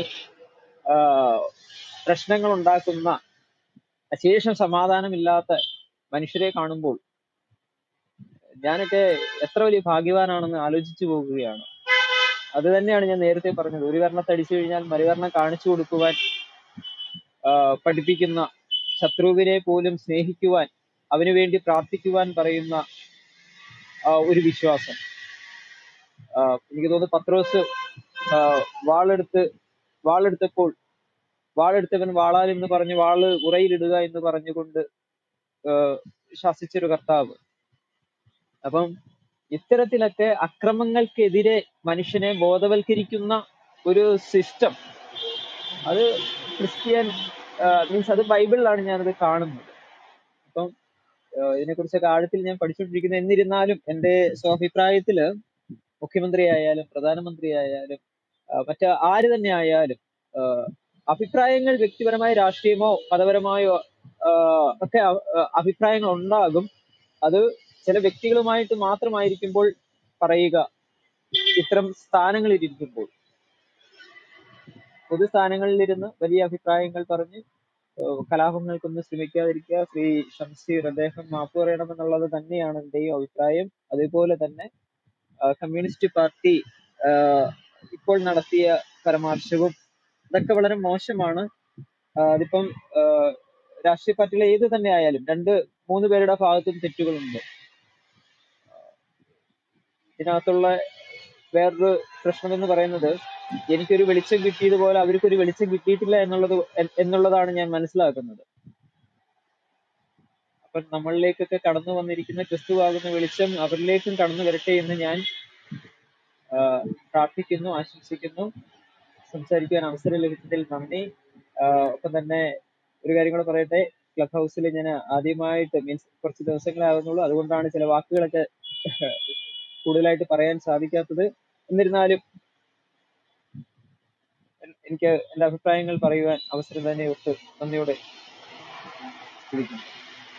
നന്ദി. സഹോദര യേശുക്രിസ്തുവുമായിട്ട് കണ്ടുമുട്ടുവാൻ താങ്കൾക്ക് അവസരം ഉണ്ടായല്ലോ. അത് താങ്കളുടെ ജീവിതത്തിലെ ഏറ്റവും വലിയ ഭാഗ്യമാണ്. സത്യദൈവവും നിത്യജീവനുമായ യേശു ക്രിസ്തു ലോകത്തിന്റെ വെളിച്ചമായ യേശു ക്രിസ്തു ഞാൻ തന്നെ വഴിയും സത്യവും ജീവനുമെന്ന് പറഞ്ഞ യേശു ക്രിസ്തു നിസ്തുല്യനായ ക്രിസ്തു. സ്നേഹസ്വരൂപനായ ക്രിസ്തു. ക്രിസ്തുവിനെ കണ്ടുമുട്ടുവാനും ജീവിതം പരിവർത്തനപ്പെടുവാനും ഒക്കെ സഹോദരൻ ഇടയായത് ഞങ്ങളും വളരെ സന്തോഷിക്കുന്നു. ക്ലബ് ഹൗസിൽ സംസാരിച്ച് സംസാരിച്ചതിനൊന്നും കുഴപ്പമില്ല. ഇങ്ങനെയൊക്കെയാണ് എല്ലാവരും സംസാരിക്കുന്നത്. താങ്കൾ യേശുവിനെ കണ്ടുമുട്ടിയല്ലോ. അത് മാത്രമാണ് ഞങ്ങൾക്ക് നൽകുന്ന സന്തോഷം. യേശു ക്രിസ്തു കേവലം ആചാരാനുഷ്ഠാനങ്ങളുടെയോ അല്ലെങ്കിൽ കേവലം കുറച്ച് ആശയങ്ങളുടെയോ ആൾരൂപമല്ല അതിനപ്പുറത്ത് ഈ ആശയങ്ങളൊക്കെ പ്രായോഗിക തലത്തിൽ നമുക്ക് കാണാവുന്ന തരത്തിൽ നമ്മളുടെ വ്യക്തിപരമായ ജീവിതത്തിൽ ഇടപെടുന്ന മഹത് വ്യക്തിത്വമാണ് യേശു ക്രിസ്തു യേശു ക്രിസ്തുവിനെ കണ്ടുമുട്ടിയ ഒരു മതതീവ്രവാദിയായിരുന്ന. പൗലോസ് പറഞ്ഞത് ഞാൻ ഒരുവൻ ക്രിസ്തുവിലായാൽ പിന്നെ പുതിയ സൃഷ്ടിയാവുന്നു എന്നുള്ളതാണ്. ഞങ്ങൾ ക്രിസ്തുവിനെ കുറിച്ച് പറയുന്നത് രാജ്യം സ്ഥാപിക്കാനല്ല. ഇവിടെ സംഖ്യകൾ പറയുന്നത് പോലെ എന്തോ രാജ്യം എന്നൊന്നില്ല അങ്ങനെ രാജ്യം സ്ഥാപിക്കുക എന്നുള്ളത് ഞങ്ങളുടെ ലക്ഷ്യവുമല്ല. അങ്ങനെ രാജ്യം ഞങ്ങൾക്ക് വേണം. എന്റെ രാജ്യം ഐഹികമല്ലെന്ന് സാക്ഷാൽ യേശു ക്രിസ്തു തന്നെ നേരിട്ട് പറഞ്ഞിട്ടുണ്ട്. അങ്ങനെ ഞങ്ങൾ പറയുന്നുമില്ല. ഞങ്ങളെ സംബന്ധിച്ച് രാജ്യമില്ല. രാജ്യ സ്വപ്നമില്ല രാജ്യം സ്ഥാപിക്കാനുമില്ല. സുവിശേഷം ഞങ്ങൾ പ്രസംഗിക്കും. ഭാരതത്തിന്റെ എല്ലാ ഗ്രാമങ്ങളിലും പട്ടണങ്ങളിലും സുവിശേഷം ഞങ്ങൾ പ്രസംഗിക്കും. സുവിശേഷത്തിനായിട്ട് പ്രതിവാദം നടത്തും. അല്ലാതെ വാളുകൊണ്ടും തോക്കുകൊണ്ടും ബോംബ് കൊണ്ടും രാജ്യം ഉണ്ടാക്കി അതിൽ ജീവിക്കുന്ന വ്രതാ സ്വപ്നത്തിൽ ജീവിക്കുന്ന ആളുകളൊന്നും അല്ല ഞങ്ങൾ. യേശുക്രിസ്തുവിലുള്ള വിശ്വാസത്താലാണ് ഞങ്ങൾ മുന്നോട്ട് നീങ്ങുന്നത്. ക്രിസ്തുവിന്റെ സ്നേഹമാണ് മുന്നോട്ട് നയിക്കുന്നത്. അത് തികച്ചും മനുഷ്യ സ്നേഹം തന്നെയാണ്. ക്രിസ്തുവിന് ക്രിസ്തു മൂലം ഒരാൾ പരിവർത്തനപ്പെടുമ്പോൾ തന്റെ സഹജീവിയെ സ്നേഹിക്കുവാനും ചേർത്ത് പിടിക്കാനൊക്കെ ആ സ്നേഹം പരിവർത്തനപ്പെടുത്തും മാറ്റം വരുത്തും എന്നുള്ളത് തന്നെയാണ് ഞങ്ങൾ വിശ്വസിക്കുന്നത്. ഇവിടെ പ്രിയ സഹോദരൻ പറഞ്ഞത് കേട്ട് എനിക്ക് സന്തോഷം തോന്നി അതുകൊണ്ടാണ് അത്രയും പറഞ്ഞത്. നമ്മുടെ താഴെ ഇരുന്ന ഒരാൾ പറയുന്നുണ്ട് ഗ്രീക്കിൽ എന്താണ് പറഞ്ഞത് ഹിബ്രുവിൽ എന്താണ് പറഞ്ഞതെന്നൊക്കെ പറയുന്നുണ്ട്. ഗ്രീക്കും ഹിബ്രുവും ഇതൊക്കെ നമ്മുടെ കയ്യിൽ ഇരിക്കുന്നുണ്ട്. എന്താണെന്നങ്ങ് പറഞ്ഞോ? ഏഹ് പേരിലുള്ള വ്യത്യാസമായിരിക്കും പറയുന്നത്. ഈ അപ്പൊ പറഞ്ഞു വരുന്ന എന്നാന്ന് പറഞ്ഞാൽ അള്ളാഹു എന്നുള്ള ഒറ്റ പേരേ ഉള്ളെന്ന്. അള്ളാഹുവിന്റെ മുമ്പുള്ള ഒരു കാലഘട്ടം ഉണ്ട് അള്ളാഹുവിന്. ലാഹ് എന്ന ഈജിപ്ഷ്യൻ ദേവനല്ലേ അള്ളാഹു? ലാത്തയും മനാത്തയും. ലാത്തയും മനാത്തയും ഉസയും മക്കളായിട്ടുള്ള അള്ളാഹു. പെൺമക്കളെ കിട്ടിയതിൽ പരാതി പറഞ്ഞ അള്ളാഹു. ആ അള്ളാഹുവിനെ അല്ലേ നിങ്ങൾ ആരാധിക്കുന്നത് അള്ളാഹുവിന് എന്ത് ചരിത്രപരതയുള്ളത് യാതൊരു തരത്തിലുള്ള ചരിത്രപരത അള്ളാഹുവിനില്ല. ഉണ്ടോ? ഇല്ല. അള്ളാഹു ഒരു ചരിത്ര പുരുഷനോ മറ്റാണോ അള്ളാഹു ചരിത്രത്തിൽ ഇറങ്ങി വന്നിട്ടുണ്ടോ? ഇല്ല. മുഹമ്മദാണ് ചരിത്രത്തിൽ ഉണ്ടായിരുന്ന ഒരാൾ ഈ മുഹമ്മദ് തന്നെ ഹിസ്റ്റോറിക്കലി ജീവിച്ചിരുന്നെന്ന് തെളിയിക്കാൻ പറ്റാത്തയാളാണ് പിന്നെ ഖുറാനും ഹദീസുകളാണ് മുഹമ്മദിനെ കുറിച്ച് പറയുന്നത്. അങ്ങ് ആ ഖുറാനും ഹദീസുകളും വെച്ച് തന്നെയാണ് മാനവരിൽ മഹോന്നതനായ ആളുകൾ എയറിലേക്ക് അയക്കുന്നത്. എയറിൽ നിന്ന് താഴെ ഇറക്കാനുള്ള ശ്രമങ്ങൾ ആദ്യം ആരംഭിച്ചിട്ട് വേണം ഇത്തരം കാര്യങ്ങൾ പറയാൻ. ഞാൻ മറ്റു സഹോദരങ്ങളിലേക്ക് ഒന്ന് പോവാണ്. അബ്ബാസ് ബ്രദർ ഇവിടെ ഉണ്ട്. ഇസ്ലാമിന്റെ കനത്ത മതിലുകൾ. എങ്ങനെ? കേൾക്കുന്നുണ്ടോ കേൾക്ക കേൾക്കാം. യാ അബ്ബാസ് ബ്രദർ ഇസ്ലാമിന്റെ ആ കനത്ത മതിൽ കടന്ന യേശു ക്രിസ്തുവിനെ കണ്ടുമുട്ടിയ വ്യക്തിയാണ്. അബ്ബാസ് ബ്രദർ പറഞ്ഞത് ഞാനിപ്പോ ഈ സംസീർ പറഞ്ഞത് രണ്ടു മൂന്ന് പ്രാവശ്യം കേട്ടതാണ്. ഷാനിയുമായിട്ടുള്ള ആ ടി വി ഡിബേറ്റിൽ. അദ്ദേഹം പറയുന്ന ആ അവരുടെ ഇതെല്ലാം കഴിഞ്ഞിട്ട് പറയുന്ന സംഗതിയാണ്. സ്ത്രീകൾക്ക് സുരക്ഷിതം കൊടുക്കുന്ന ഏക ഗ്രന്ഥമാണ് ഖുറാൻ പരിശുദ്ധ ഖുറാൻ എന്നത്. ഇയാൾ എവിടെയാ നിൽക്കുന്നത്? ദൈവമില്ല എന്ന് പറയുന്ന ഒരു പാർട്ടിയിൽ നിന്നുകൊണ്ട് ഇയാൾ സംസാരിക്കുന്നത് എവിടെയാണ്? ഖുറാനിലേക്കാ പോകുന്നത്. ഇയാളുടെ കാപട്യം നിങ്ങളൊന്ന് ആലോചിക്കണേ. താഴെ കേൾക്കുന്ന ഇസ്മായിൽ ആണെങ്കിലും ആരാണെങ്കിലും മുസ്ലിം സുഹൃത്തുക്കളൊന്ന് കേൾക്കണേ. അദ്ദേഹത്തിന്റെ കാപട്യം. എവിടെയാണ് സ്ത്രീകൾക്ക് അവിടെ സംരക്ഷണം കൊടുക്കുന്നത് സുരക്ഷിതം കൊടുക്കുന്നത്? നിങ്ങളുടെ മുഹമ്മദ് നബി തന്നെ ആറ് വയസ്സുള്ളപ്പോൾ തന്നെ ആറു ആറ് വയസ്സുള്ളപ്പോൾ തന്നെ ഒരു കുഞ്ഞിനെ വിവാഹം കഴിക്കുന്നു. ഇത് ഞങ്ങൾ പലവട്ടം ഞങ്ങളുടെ ക്ലബ് ഹൗസ് ചർച്ചകളിൽ കൊണ്ടുവരുന്ന ഒരു സംഭവമാണ്. സൈനബിന്റെ വിഷയം കൊണ്ടുവരും സഫിയാന്റെ വിഷയം കൊണ്ട് ഇതൊക്കെ സ്ത്രീ സുരക്ഷിതമാണ് അടിമ സ്ത്രീകളെ കൊണ്ടുവരുന്നു. യുദ്ധത്തിൽ പിടിക്കപ്പെട്ട അടിമ സ്ത്രീ ഇതൊക്കെ ഈ സംസീർ എന്ന് പറയുന്ന വ്യക്തി വായിച്ചിട്ടുണ്ടോ എന്നറിയില്ല. നേരം പോക്കിന് വേണ്ടി ചാനൽ ചർച്ചകളിൽ വന്നിരിക്കുകയാണെന്ന് എനിക്ക് തോന്നുന്നു. അങ്ങനെ അദ്ദേഹം അത് അയാളുടെ മതഗ്രന്ഥങ്ങൾ അദ്ദേഹം വായിച്ചിട്ടുണ്ടെങ്കിൽ ഇതൊന്നും ഈ വിഡ്ഢിത്തരങ്ങളൊന്നും വിളമ്പില്ലായിരുന്നു. ഇന്ന് അഫ്ഗാനിസ്ഥാനിലേക്ക് നോക്ക് അവിടെ എന്താണ് സ്ത്രീകൾക്ക് സുരക്ഷിതമുള്ളത്? വിദ്യാഭ്യാസമില്ല. അവരെ വിദ്യാഭ്യാസത്തിന് വേണ്ടി കൊടുക്കുന്ന കാര്യങ്ങൾ നിങ്ങൾ നോക്ക്. മറ ചെയ്തിട്ട് ആണുങ്ങൾ കാണാൻ പാടില്ല എന്ന് പറഞ്ഞിട്ട്. എവിടെയാണ് സ്ത്രീ സുരക്ഷിത്വം? പിന്നെ വസ്ത്രധാരണയിൽ നിങ്ങൾ ഇങ്ങനെ തന്നെ ഇരിക്കണം. ഈ വസ്ത്ര ഇടാൻ പറ്റൂ ഇങ്ങനെ പാടൂ എന്നുള്ളതൊക്കെ കൽപ്പിച്ചു കൊടുക്കുന്നു. അപ്പൊ എവിടെയാണ് സ്ത്രീക്ക് സ്വതന്ത്രമായിട്ട് ചിന്തിക്കാൻ കഴിവുള്ളത്? മറിച്ച് അങ്ങനെയാണോ ബൈബിൾ പറയുന്നത്? ബൈബിൾ ഞങ്ങൾ വിശ്വാസിക്കുന്ന ഞങ്ങളുടെ ദൈവം യേസു ക്രിസ്തു അങ്ങനെ ഞങ്ങളെ പഠിപ്പിച്ചിട്ടില്ല. ഗണ്യമായിട്ട് സ്ത്രീകളെ ഗണ്യമായിട്ട് നടത്തുവാൻ. പൗലോസ് പൗലോസ് പറയുന്നു ഭർത്താക്കന്മാരെ തങ്ങളുടെ ഭാര്യമാരെ നിങ്ങൾ സ്നേഹിക്കുന്ന പോലെ സ്നേഹിക്കുന്നു എന്ന് പറയുന്നു. അപ്പൊ എല്ലാവിടെയും സ്ത്രീകൾക്ക് സംരക്ഷണം കൊടുക്കുന്ന ഏക ഗ്രന്ഥം എന്ന് പറയുന്നത് അത് ബൈബിളാണ്. അല്ലാതെ നിങ്ങൾ ഖുറാനോ നിങ്ങളുടെ വേദ മുഹമ്മദിന്റെ വേദഗ്രന്ഥങ്ങളോ ഒന്ന് ഒന്ന് ചരിത്ര പുസ്തകത്തിലേക്ക് ഒന്ന് ചൂണ്ടി കാണിക്കേണ്ടതാണ്. സംസീർ എന്ന് പറയുന്ന വ്യക്തി അതൊന്ന് വായിക്കേണ്ടതാണ്. സി പി എമ്മിൽ ഇരുന്നത് കൊണ്ട് മതമില്ല എന്ന് പറയുന്ന ഒരു രാഷ്ട്രീയ കക്ഷിയിൽ ഇരുന്നു കൊണ്ട് പരിശുദ്ധ ഖുറാൻ എന്ന് പറയാൻ അദ്ദേഹത്തിന് വെക്കക്കേടില്ലേ? എന്തിനാ ആ രാഷ്ട്രീയ കക്ഷിയിൽ ഇരിക്കുന്നു വെളിയെ വന്നിട്ട് നിങ്ങൾ നിങ്ങളുടെ മതത്തിനെ നിങ്ങൾ സ്വതന്ത്രമായിട്ട് പറയൂ. നിങ്ങൾ സി പി എം എന്ന് പറയുന്ന ഒരു കക്ഷിയിൽ ഇരുന്നുകൊണ്ടാണ് ഇതൊക്കെ പറയുന്നത്. എങ്ങനെയുണ്ട് അദ്ദേഹത്തിന്റെ സ്ത്രീ സംരക്ഷണം? അത് അവിടെ സാനി പറയുണ്ടായിരുന്നു നിങ്ങൾ അതൊന്നും പറയണ്ട നിങ്ങൾക്ക് എല്ലാവർക്കും അറിയാ എന്ന് പറയുന്ന കൂടെ കൂടെ പറയുന്നത് നിങ്ങൾ കേൾക്കാം. ഓക്കെ പിന്നീട് സംസാരിക്കാം. ഷിജോ ബ്രദറെ.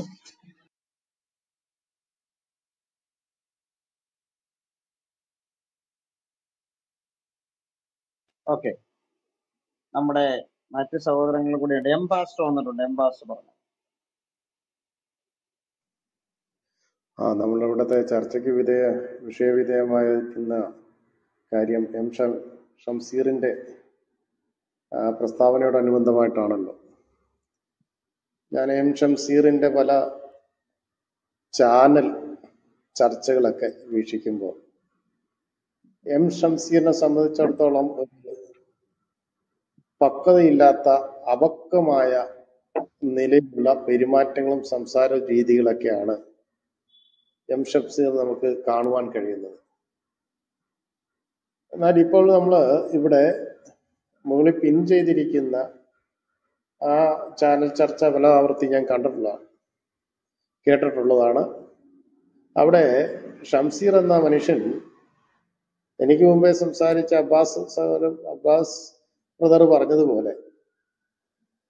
ദൈവമില്ല എന്ന് പറയുന്ന ഒരു പ്രസ്ഥാനത്തോട് ചേർന്ന് നിൽക്കുകയും ആ പ്രസ്ഥാനത്തിന്റെ ഒരു വക്താവായി നിൽക്കുകയും ചെയ്യുന്ന മനുഷ്യൻ ഖുറാനും അതുപോലെ തന്നെ ഇസ്ലാമിന് വേണ്ടി വാദിക്കുന്ന കാണുമ്പോൾ ഇവരെ ഇരട്ടത്താപ്പുകളാണ് നമുക്ക് മനസ്സിലാക്കാൻ കഴിയുന്നത്.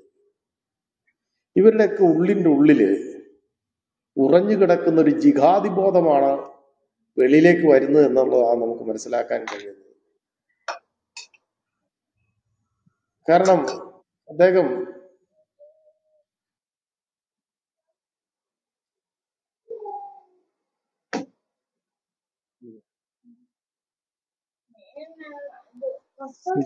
എന്തെങ്കിലും പറയാൻ മയക്കെടുത്തതാണോ ഇല്ല ഇല്ല അറിയാതെ വന്ന പറഞ്ഞോളൂ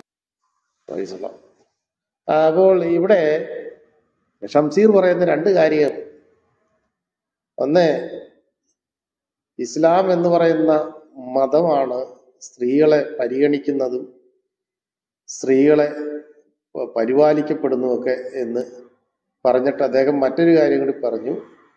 കള്ളം പറയാത്ത ഒരു മതം ഉണ്ടെങ്കിൽ അത് ഇസ്ലാമാണെന്നാണ് അദ്ദേഹം പറയുന്നത്. അതിൽ തന്നെ അദ്ദേഹം കള്ളത്തര പറയുന്നത്.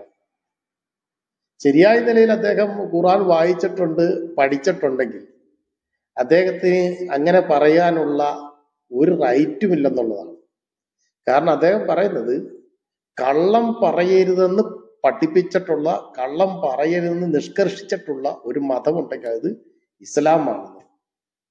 ആ കണ്ടോ ഇവരൊക്കെ ഏതൊരു സ്ഥലത്ത് പോയി നിന്ന് ഏതൊരു ആശയത്തിന്റെ കീഴിൽ നിന്നാലും ഇവരുടെ ഉള്ളിന്റെ ഉള്ളിൽ ഉറഞ്ഞു കിടക്കുന്ന ജിഹാദി ബോധം ആ സമയത്ത് പുറത്തു വരുമെന്നുള്ളതാണ്. ഇതിപ്പോ അബ്ദുൾ റഹ്മാൻ രണ്ടത്താനിയോട് പറയുന്ന നിങ്ങൾ നുണ പറയുന്ന ആളാണ് നിങ്ങൾ നുണ പറയുന്ന വ്യക്തിയാണ് നിങ്ങൾ നുണയനാണ് എനിക്ക് പല ആവർത്തി അത് ബോധ്യപ്പെട്ടു. അത് രാഷ്ട്രീയപരമായുള്ള ഒരു ചെറിയ ഒരു തർക്കം മാത്രമായിട്ട് നമുക്ക് അവിടെ കാണുവാൻ കഴിയുന്നത്. ഇവരുടെ ഉള്ളിന്റെ ഉള്ളിലെല്ലാം കിടക്കുന്നത് ഈ ജിഹാദി ബോധവും അന്ധത പിടിച്ച മതഭ്രാന്തിന്റെ ഒരു തീവ്രവാദി ഇവരുടെ ഇവരുടെ ഉള്ളിലുണ്ടെന്നുള്ളത് നമുക്ക് മനസ്സിലാക്കാൻ കഴിയുന്നത്. ഷംസീറിനെ പോലെ ഒരാൾ ഇപ്പോൾ ഇരിക്കുന്ന പദവി നിയമസഭ നിയമസഭ സ്പീക്കർ എന്ന് പറയുന്നത് നിയമസഭയിൽ ഒരു പാർട്ടിയുടെ വക്താവായിട്ടല്ല ആ നിയമസഭയുടെ ഒരു അധ്യക്ഷനായിട്ടും ആ നിയമസഭയ്ക്ക് ഒരു പിതാവ് ഉണ്ടെങ്കിൽ ആ പിതാവ് എന്നൊരു നിലയിൽ നിൽക്കുമ്പോൾ ഷംസീറിനെ പോലുള്ള ഉന്നത പദവി അലങ്കരിക്കുന്ന എല്ലാവരെയും പാർട്ടിക്ക് അതീതമായി മറ്റുള്ളവരെല്ലാം ഒരുപോലെ കാണുക എന്നുള്ള മനോഭാവത്തോടെ ഇരിക്കേണ്ട ആൾ ഇതുപോലത്തുള്ള പ്രസ്താവനകളും അപക്വമായ വാക്കുകളൊക്കെ സമൂ സമൂഹത്തിൽ സ്പർദ്ധ ജനിപ്പിക്കുകയും പരസ്പരം സമൂഹങ്ങൾ തമ്മിൽ അകലിച്ച സൃഷ്ടിക്കാനേ ഇതിന് കഴിയുള്ളൂ എന്നുള്ള ഒരു കാര്യം നമുക്ക് മനസ്സിലാക്കാൻ കഴിയും. ഇത്ര ഉന്നത പദവിയിലിരിക്കുന്ന ഷംസീറിനെ പോലുള്ള സ്പീക്കർ സ്ഥാനത്തിരിക്കുന്ന ഷംസീറിനെ പോലുള്ള ആളിൽ നിന്നൊന്നും ഇതുപോലുള്ള അപക്വമായ പ്രസ്താവനകൾ ഉണ്ടാകാൻ പാടില്ല എന്നുള്ളതാണ്. ഇത് ചർച്ച ചെയ്യപ്പെടണം. കൂടാതെ ഇതുപോലത്തെ അപക്വമായ പ്രസ്താവനകൾ ഇറക്കിവിടുന്ന മുഖാന്തരം സമൂഹത്തിലുണ്ടാകുന്ന സ്പർശയും സമൂഹത്തിൽ സാമൂഹ്യ ബന്ധങ്ങൾക്കുണ്ടാകുന്ന വിള്ളലുകളൊക്കെ വലുതാണെന്ന് അദ്ദേഹത്തെ ബോധ്യപ്പെടുത്തുവാൻ അദ്ദേഹം പ്രതിദാനം ചെയ്യുന്ന പാർട്ടിയുടെ ഉന്നത തലങ്ങളിലുള്ളവർക്ക് ബാധ്യതയുണ്ടെന്നും കൂടെ നമ്മൾ മനസ്സിലാക്കണം. അതുകൊണ്ട് ഷംസീറിനെ പോലുള്ള ആളിൽ നിന്നൊക്കെ ഇത് കേൾക്കുമ്പോൾ നമുക്ക് കാണുവാൻ പിന്നെയും ജനത്തെ അന്ധ അന്ധന്മാരാക്കി ആക്കുവാൻ ശ്രമിക്കുകയാണ്. ഖുറാൻ എന്ന് പറയുന്ന മതഗ്രന്ഥവും അതിലൂടെ മുന്നോട്ട് വെക്കുന്ന ആശയമനുസരിച്ച് കള്ളം പറയരുതെന്നുള്ള ഒരു വസ്തുത എന്ന് പറയുമ്പോൾ തന്നെ അതിൽ തന്നെ കള്ളം അദ്ദേഹം പറയുന്നത്. കാരണം ഏത് നിമിഷം തക്കിയ പറഞ്ഞ് രക്ഷപ്പെടണമെന്ന് അല്ല തക്കിയ പറയാനുള്ള അനുവാദം കൊടുത്തിട്ടുള്ള മതമാണെന്നുള്ളത് മറച്ചു വെച്ചുകൊണ്ട് സമൂഹത്തിൽ ഇത് അദ്ദേഹം ഇതിന്റെ ശ്രേഷ്ഠത ഉയർത്തിപ്പിടിക്കുമ്പോൾ ഇദ്ദേഹത്തിന്റെ ഉള്ളിലുള്ള ആ ജിഹാദി ബോധത്തിന്റെ യഥാർത്ഥ രൂപമാണ് വെളിയിലേക്ക് വരുന്നെന്ന് പറഞ്ഞ് ഞാൻ നിർത്തുന്നു. തുടർന്നുള്ള ആ സമയങ്ങൾ മറ്റുള്ളവർക്ക് സമയം വേർതിരിക്കുക. Thank you. ഒരു കാര്യം ഒന്ന് ഓർമ്മപ്പെടുത്തട്ടെ. ഇവിടെ പ്രിയപ്പെട്ട ജലാലോ ജലീൽ വന്നിട്ട് ജലാൽ. ഈ ജലാൽ വളരെ മോശം കമന്റാണ് ഇവിടെ എഴുതുന്നത്. ഈ ജലാൽ വളരെ സൗമ്യനായിട്ടൊക്കെ അഭിനയിച്ച് കാണിക്കും. വളരെ നികൃഷ്ടമായ വിധത്തിൽ കമന്റുകൾ എഴുതുന്ന അദ്ദേഹത്തിന്റെ ഒരു ശൈലിയാണ്.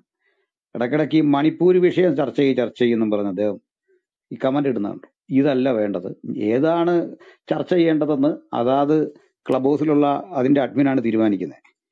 അപ്പോൾ ട്വന്റി ഫോർ അവേഴ്സും മണിപ്പൂർ തന്നെ പറയാൻ പറ്റില്ല. ഞങ്ങൾ മണിപ്പൂർ ഒത്തിരി ചർച്ച ചെയ്താണ്. നാളെയും ചർച്ച ചെയ്യും. അതിനകത്ത് കുഴപ്പമൊന്നുമില്ല. ഈ മണിപ്പൂർ വിഷയത്തെ ഞങ്ങൾ കാണുന്നത് കൃത്യമായി അതിന്റെ വ്യക്തതയിലാണ്. അതിൽ മാറ്റമൊന്നുമില്ല. ഇവിടെ ഇപ്പോൾ ചർച്ച ചെയ്യുന്ന മണിപ്പൂർ വിഷയമല്ല. അതുകൊണ്ട് ആ രൂപത്തിൽ സംസാരിക്കേണ്ട. മണിപ്പൂർ ഞങ്ങൾ വേറെ ചർച്ച ചെയ്തോളാം. ചില ആളുകളോട് ഒരു വിഷയം ചർച്ച കൊണ്ടിരിക്കുമ്പോൾ അതിലും വലുത് ഇതാണെന്ന് പറഞ്ഞ് പോകേണ്ട കാര്യമുണ്ടോ? അതിന്റെ ആവശ്യമൊന്നുമില്ല. നിങ്ങൾ പോയി മണിപ്പൂർ റൂമിട്ട് ചർച്ച ചെയ്യുക ആർക്കാ പ്രശ്നം? അപ്പൊ നിങ്ങൾക്ക് മണിപ്പൂരോ ഇഷ്ടമുള്ള വിഷയമോ ചർച്ച ചെയ്യാം. പക്ഷെ ഇവിടെ ഞങ്ങൾ ഇപ്പോൾ ചർച്ച ചെയ്തേക്കുന്നത് ഷംസീർ എന്ന് പറയുന്ന ബഹുമാനപ്പെട്ട നമ്മുടെ നിയമസഭാ സ്പീക്കർ ഒരു ജിഹാദിയുടെ ഭാഷയിലേക്ക് തരം താണിരിക്കുന്നു അതേ പറഞ്ഞുള്ളൂ. അപ്പോൾ അതിനെ പറ്റിയാണുള്ള ഉള്ള ചർച്ചയിലാണ് താങ്കൾ വന്നെങ്കിൽ കുഴപ്പമൊന്നുമില്ല. അത് ചർച്ച ചെയ്താൽ മതി. അല്ല ഇതിന്റെ ഇടയ്ക്ക് എന്താണ് ചർച്ചയെന്ന് തീരുമാനിക്കാനുള്ള അവകാശമൊന്നും താങ്കൾക്കില്ല. താങ്കൾ ഒരു പൗരൻ എന്നുള്ള നിലയിൽ വേറിട്ട് പോയി താങ്കൾ മണിപ്പൂരോ കോഴിക്കോടോ കോട്ടയോ അഫ്ഗാനിസ്ഥാനോ ഒക്കെ ചർച്ച ചെയ്യാം. അതിനൊന്നും കുഴപ്പമില്ല. പക്ഷെ അത് ഇതല്ല ഞങ്ങൾ ഇവിടെ പറയാൻ ഉദ്ദേശിച്ചത്. ഷംസീർ എടുത്ത ഈ നിലപാടിലെ ഒരു നെപ്പോട്ടിസം ഒരു സ്വജനപക്ഷപാതമാണ് നമ്മൾ പ്രധാനമായിട്ട് എയിം ചെയ്തത്. താങ്ക് യു ഓക്കെ സംസാരിച്ചോട്ടെ പാസ്റ്ററെ? ഇത് വഴി തിരിച്ചുവിടാനായിട്ട് ചർച്ച അല്ല അല്ല വഴി ഒരിക്കലും ഞാൻ ഈ വിഷയത്തിൽ സംസാരിക്കാൻ വന്നാണ് സംസാരിക്കാമോ? പറഞ്ഞോളൂ പറ. ആ നമസ്കാരം എല്ലാവർക്കും. എല്ലാവർക്കും മറ്റേ ഷംസീറിന്റെ ആ ഒരു ഇരട്ടത്താപ്പ് തീർച്ചയായിട്ടും അയ്യോ അദ്ദേഹം പോയാ? കൊടിത്തോട്ടം പാസ്റ്റർ പോയാ? ഞാൻ എന്ത് മോശം കമന്റ് ആണ് ഇട്ടെന്നുള്ളത് എനിക്ക് ചോദിക്കണമെന്നുണ്ടായിരുന്നു. അത് ചോദിച്ചില്ല. ഞാൻ ഞാനിവിടെ ഞാനിവിടെ താഴെ കുറെ നേരം ഇരിക്കണ്. ഞാൻ ഇത് ഇവിടെ ഇതുവരെ ഹാൻഡ് റൈസും ചെയ്തില്ല കയറാനും നിന്നല്ല പക്ഷെ ഞാൻ ഇപ്പൊ എന്നെ ഇൻവൈറ്റ് ചെയ്തപ്പോൾ കയറാനുള്ള കാരണം ഞാൻ ഈ ഒരു വിഷയം ഈ ഞാൻ പറഞ്ഞില്ലേ ഷംസീറിന്റെ ഇരട്ടത്താപ്പ് നമ്മൾ തുറന്നു കാണിക്കണം. തീർച്ചയായിട്ടും അങ്ങനെയുള്ള കാര്യങ്ങളിലൊക്കെ ഞാൻ നിങ്ങളെ സപ്പോർട്ട് ചെയ്യുന്നു. അതിലൊന്നും ഒരു ഇതിലും ഒരു ആശങ്കയിലും ഒന്നുമില്ല പക്ഷേ അബ്ബാസ് എന്ന് പറഞ്ഞൊരു വ്യക്തി ഇവിടെ ഒരു സംഭവം പറഞ്ഞതിന്റെ പേരിൽ ഞാൻ അതിനെക്കുറിച്ച് പറയാൻ വേണ്ടി കയറിയതാണ്. പുള്ളി അഫ്ഗാനിസ്ഥാനിലെ പെണ്ണുങ്ങളെ കുറിച്ച് വളരെ വ്യാകുലനായി സംസാരിച്ചു വളരെ ആശങ്കയോട് സംസാരിച്ചു. അപ്പോൾ ഞാൻ ഞാൻ പറയുന്നത് ഈ അഫ്ഗാനിസ്ഥാനിലെ തീവ്രവാദികളുടെ വിടുക. നമ്മുടെ കൺമുമ്പിൽ ഉടുതുണിയില്ലാതെ കിടപ്പാടമില്ലാതെ ഓടുന്ന ഒരുപാട് സ്ത്രീകളുണ്ട്. ഇപ്പോൾ ഈ വിഷയം മാറ്റാൻ സംഘപരിവാർ കേരളത്തിൽ എടുത്തേക്കുന്ന ഒരു അജണ്ടയുണ്ട്. ആ അജണ്ടയുമ്പോൾ നിങ്ങളെപ്പോലുള്ളവർ പോയി തൂങ്ങുന്ന ഈ ശംസീറിന്റെ ഒക്കെ ഇപ്പോഴും വീഡിയോ ഉണ്ട് നമുക്ക് ഇഷ്ടം പോലെ ചർച്ച ചെയ്യാൻ സമയമുണ്ട്. കാരണം ഒരു മനുഷ്യനിക്കും ഒരു പോറൽ പോലും മേക്കാത്ത മൈക്കിലൂടെ ഇപ്പൊ മുസ്ലിം ലീഗിന്റെ ഒരു വിവാദ മുദ്രാവാക്യമായിട്ടുണ്ട്. അങ്ങനെ ഒരുപാട് മുദ്രാവാക്യങ്ങൾ പല സംഘടനകളും പലപ്പോഴായിട്ട് വിളിച്ചിട്ടുണ്ട്. അതൊന്നും മനുഷ്യ സമൂഹത്തിന് ഇപ്പോൾ നിലവിൽ അപകടമില്ലാത്തൊരു കാര്യമാണ്. പക്ഷേ അറുപതിനായിരം പേരോളം ഒരു എങ്ങോട്ട് പോകണോ എന്ന ദിശയില്ലാതെ കിടന്ന് അലയുമ്പോൾ ഈ കേരളം ഒറ്റക്കെട്ടായി ആ ഒരു വിഷയം ചർച്ച ചെയ്യുമ്പോൾ സംഘപരിവാറിന്റെ ആ ഒരു അജണ്ടക്ക് പോയി ഏണി വെച്ച് കൊടുക്കുന്ന നിങ്ങളെ പോലുള്ളവരെ കാണുമ്പോൾ ലജ്ജയും പരിഭവം തോന്നി. അതിന്റെ പേരിലാണ് നിങ്ങൾക്ക് എന്താ കഴിഞ്ഞില്ല. സിജോ കഴിഞ്ഞില്ല. അല്ല ഞാൻ കഴിഞ്ഞിട്ട് പറയാലോ. അതല്ലേ മര്യാദ? ഡെക്കോർ അതല്ലേ റൂമിന്റെ? ഞാൻ പറഞ്ഞിട്ട് പറഞ്ഞോളൂ. പ്ലീസ് ഞാൻ അവിടെ ഇരിക്കാം. അപ്പോ ആ ഓക്കെ. അതല്ലേ എന്റെ മര്യാദ? പറഞ്ഞു ജലാലെ. ടൈം കഴിഞ്ഞു. അതുകൊണ്ടല്ല. നിങ്ങൾ പറഞ്ഞത് വേണ്ട ഞാൻ ടൈം കഴിഞ്ഞ് കഴിയുമ്പോൾ നിങ്ങൾ പറഞ്ഞു ഞാൻ നിർത്തിക്കോളാം. ഞാൻ പറഞ്ഞു. സ്റ്റേറ്റ്മെന്റിന് മറുപടി പറയേണ്ടതുണ്ട് ആ പറഞ്ഞോ. ഞാൻ ഇരിക്കാലോ. അപ്പോ ഈ കൊടുത്തോട്ടം അവിടെ ഞാൻ എഴുതിയ കമന്റുകൾ ഡിലീറ്റ് ചെയ്ത് ഞാൻ എഴുതിയ കമന്റുകൾ ഇത് മാത്രമേ ഞാൻ ഒരു അനാവശ്യവും പറഞ്ഞിട്ടില്ല. എന്റെ എഫ് ബി വാളിൽ പോയാലും വളരെ ആത്മാർത്ഥത്തോടു കൂടി അതല്ലാതെ ഒരു ക്രിസ്തംഗികളുടെ സപ്പോർട്ട് പറഞ്ഞില്ല നാളെ എന്റെ വീട്ടുമുറ്റത്തും വരും എന്നുള്ള ഒരു ആശങ്ക പൊതുബോധമുള്ള ഒരു മലയാളിക്കുള്ളത് കൊണ്ടാണ് ഇതിനെക്കുറിച്ച് ചർച്ച ചെയ്യുന്നത് അതല്ലാതെ ഇവിടുത്തെ പെന്തകളെ സൂചിപ്പിക്കാനോ ഇവിടുത്തെ ക്രിസംഖ്യകൾ സൂചിപ്പിക്കാനോ ഒന്നുമല്ല. മനുഷ്യൻ എന്ന നിലയിൽ കേരളം ഒന്നാകെ ഒരു മിനിറ്റ് നിന്ന് കേരളം ഒന്നാകെ ഇപ്പോൾ ദേശീയ തലത്തിൽ ഒന്നാകെ. അർണാബ് വരെ ബി ജെ പിക്ക് വേണ്ടി സംസാരിച്ച അർണാബ് വരെ അത് പിന്തള്ളി സംസാരിക്കുമ്പോൾ അഫ്ഗാനിസ്ഥാനിലെ പെൺകുട്ടികളെ കുറിച്ച് വ്യാകുലത വ്യാകുലപ്പെടുന്ന നിങ്ങളെ പോലുള്ള പമ്പര വിഡ്ഢികളെ കാണുമ്പോൾ പുച്ഛവും ആശങ്കയും ആശങ്കയും തോന്നുന്നു മക്കളെ. ഓക്കെ. വളരെ കഴിഞ്ഞില്ല ചാക്കോ പക്ഷെ ഒരു മിനിറ്റ്. അല്ല പുച്ഛവും ഈ സംഘയുടെ പൈസ മേടിച്ചിട്ട് ഈ സംഘപരിവാറിന്റെ പൈസ മേടിച്ചിട്ട് ഈ മാതിരി ഊളത്തരം ചെയ്യുന്ന പുച്ഛങ്കയും ആശങ്കയും തോന്നുന്നു. Okay bye bye. അത് മതിയായിരിക്കുമല്ലോ. ജലാൽ അത്ര മതിയായിരിക്കും അത്രയും മതിയായിരിക്കും. ജലാലിന് പറയാനുള്ളതെല്ലാം പറഞ്ഞിട്ടുണ്ടല്ലോ. ആ, ജലാൽ അവിടെ പോയി? ശേ പോയോ? ചാക്കോ പാസിലേക്ക് ഞാൻ വരാം. അതിനുമുമ്പ് ഇദ്ദേഹം പറഞ്ഞ ചില കാര്യങ്ങൾ. മണിപ്പൂരിലെ സംഭവത്തിൽ മണിപ്പൂരിലെ സംഭവം പറഞ്ഞുകൊണ്ടിരിക്കണം എന്നാണ് അദ്ദേഹം പറയുന്നത്. സുഹൃത്തെ മണിപ്പൂരിലെ കാര്യം ഞങ്ങൾ എപ്പോഴും പറയുന്നുണ്ട്. ഇനിയും പറയും നാളെയും പറയും. ഞങ്ങളുടെ സഹോദരങ്ങളാണ് അവിടെ പീഡിപ്പിക്കപ്പെടുന്നത്. അതിലുപരി അതിലുപരി ലോകത്തിന്റെ ഏത് ഭാഗത്തും ഒരു മനുഷ്യൻ ഇതേ രീതിയിൽ ആക്രമിക്കപ്പെട്ടാൽ നിന്ദിക്കപ്പെട്ടാൽ നിന്ദിക്കപ്പെട്ടാൽ ഞങ്ങളുടെ പ്രതികരണം ഞങ്ങൾ എങ്ങനെയാണോ മണിപ്പൂർ വിഷയത്തെ ഇപ്പോൾ കാണുന്നത് അതുപോലെ തന്നെയായിരിക്കും. കാരണം യേശു ക്രിസ്തുവിന്റെ സ്നേഹമാണ് ഞങ്ങളെ അതിന് പ്രാപ്തമാക്കുന്നത്. അത് തികച്ചും മനുഷ്യ സ്നേഹത്തിൽ അധിഷ്ഠിതമാണ്.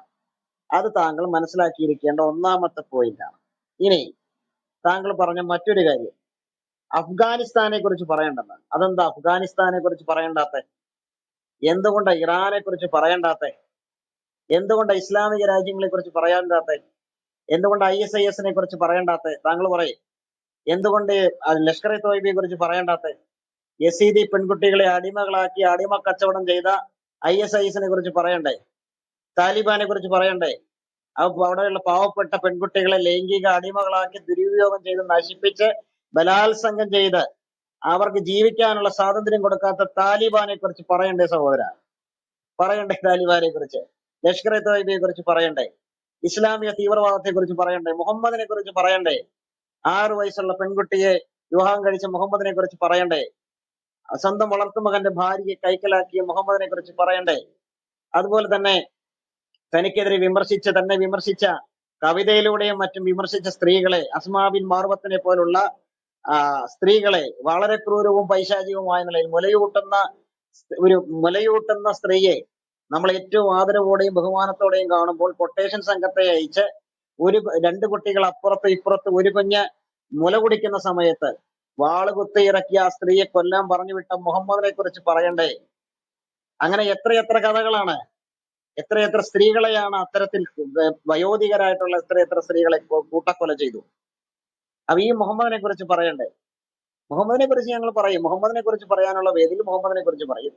ഇസ്ലാമിക തീവ്രവാദത്തെ കുറിച്ച് പറയാനുള്ള വേദിൽ ഇസ്ലാമിക തീവ്രവാദത്തെ കുറിച്ച് ഞങ്ങൾ പറയും. മണിപ്പൂരിനെ കുറിച്ച് പറയേണ്ട സ്ഥലത്ത് മണിപ്പൂരിനെ കുറിച്ച് പറയും.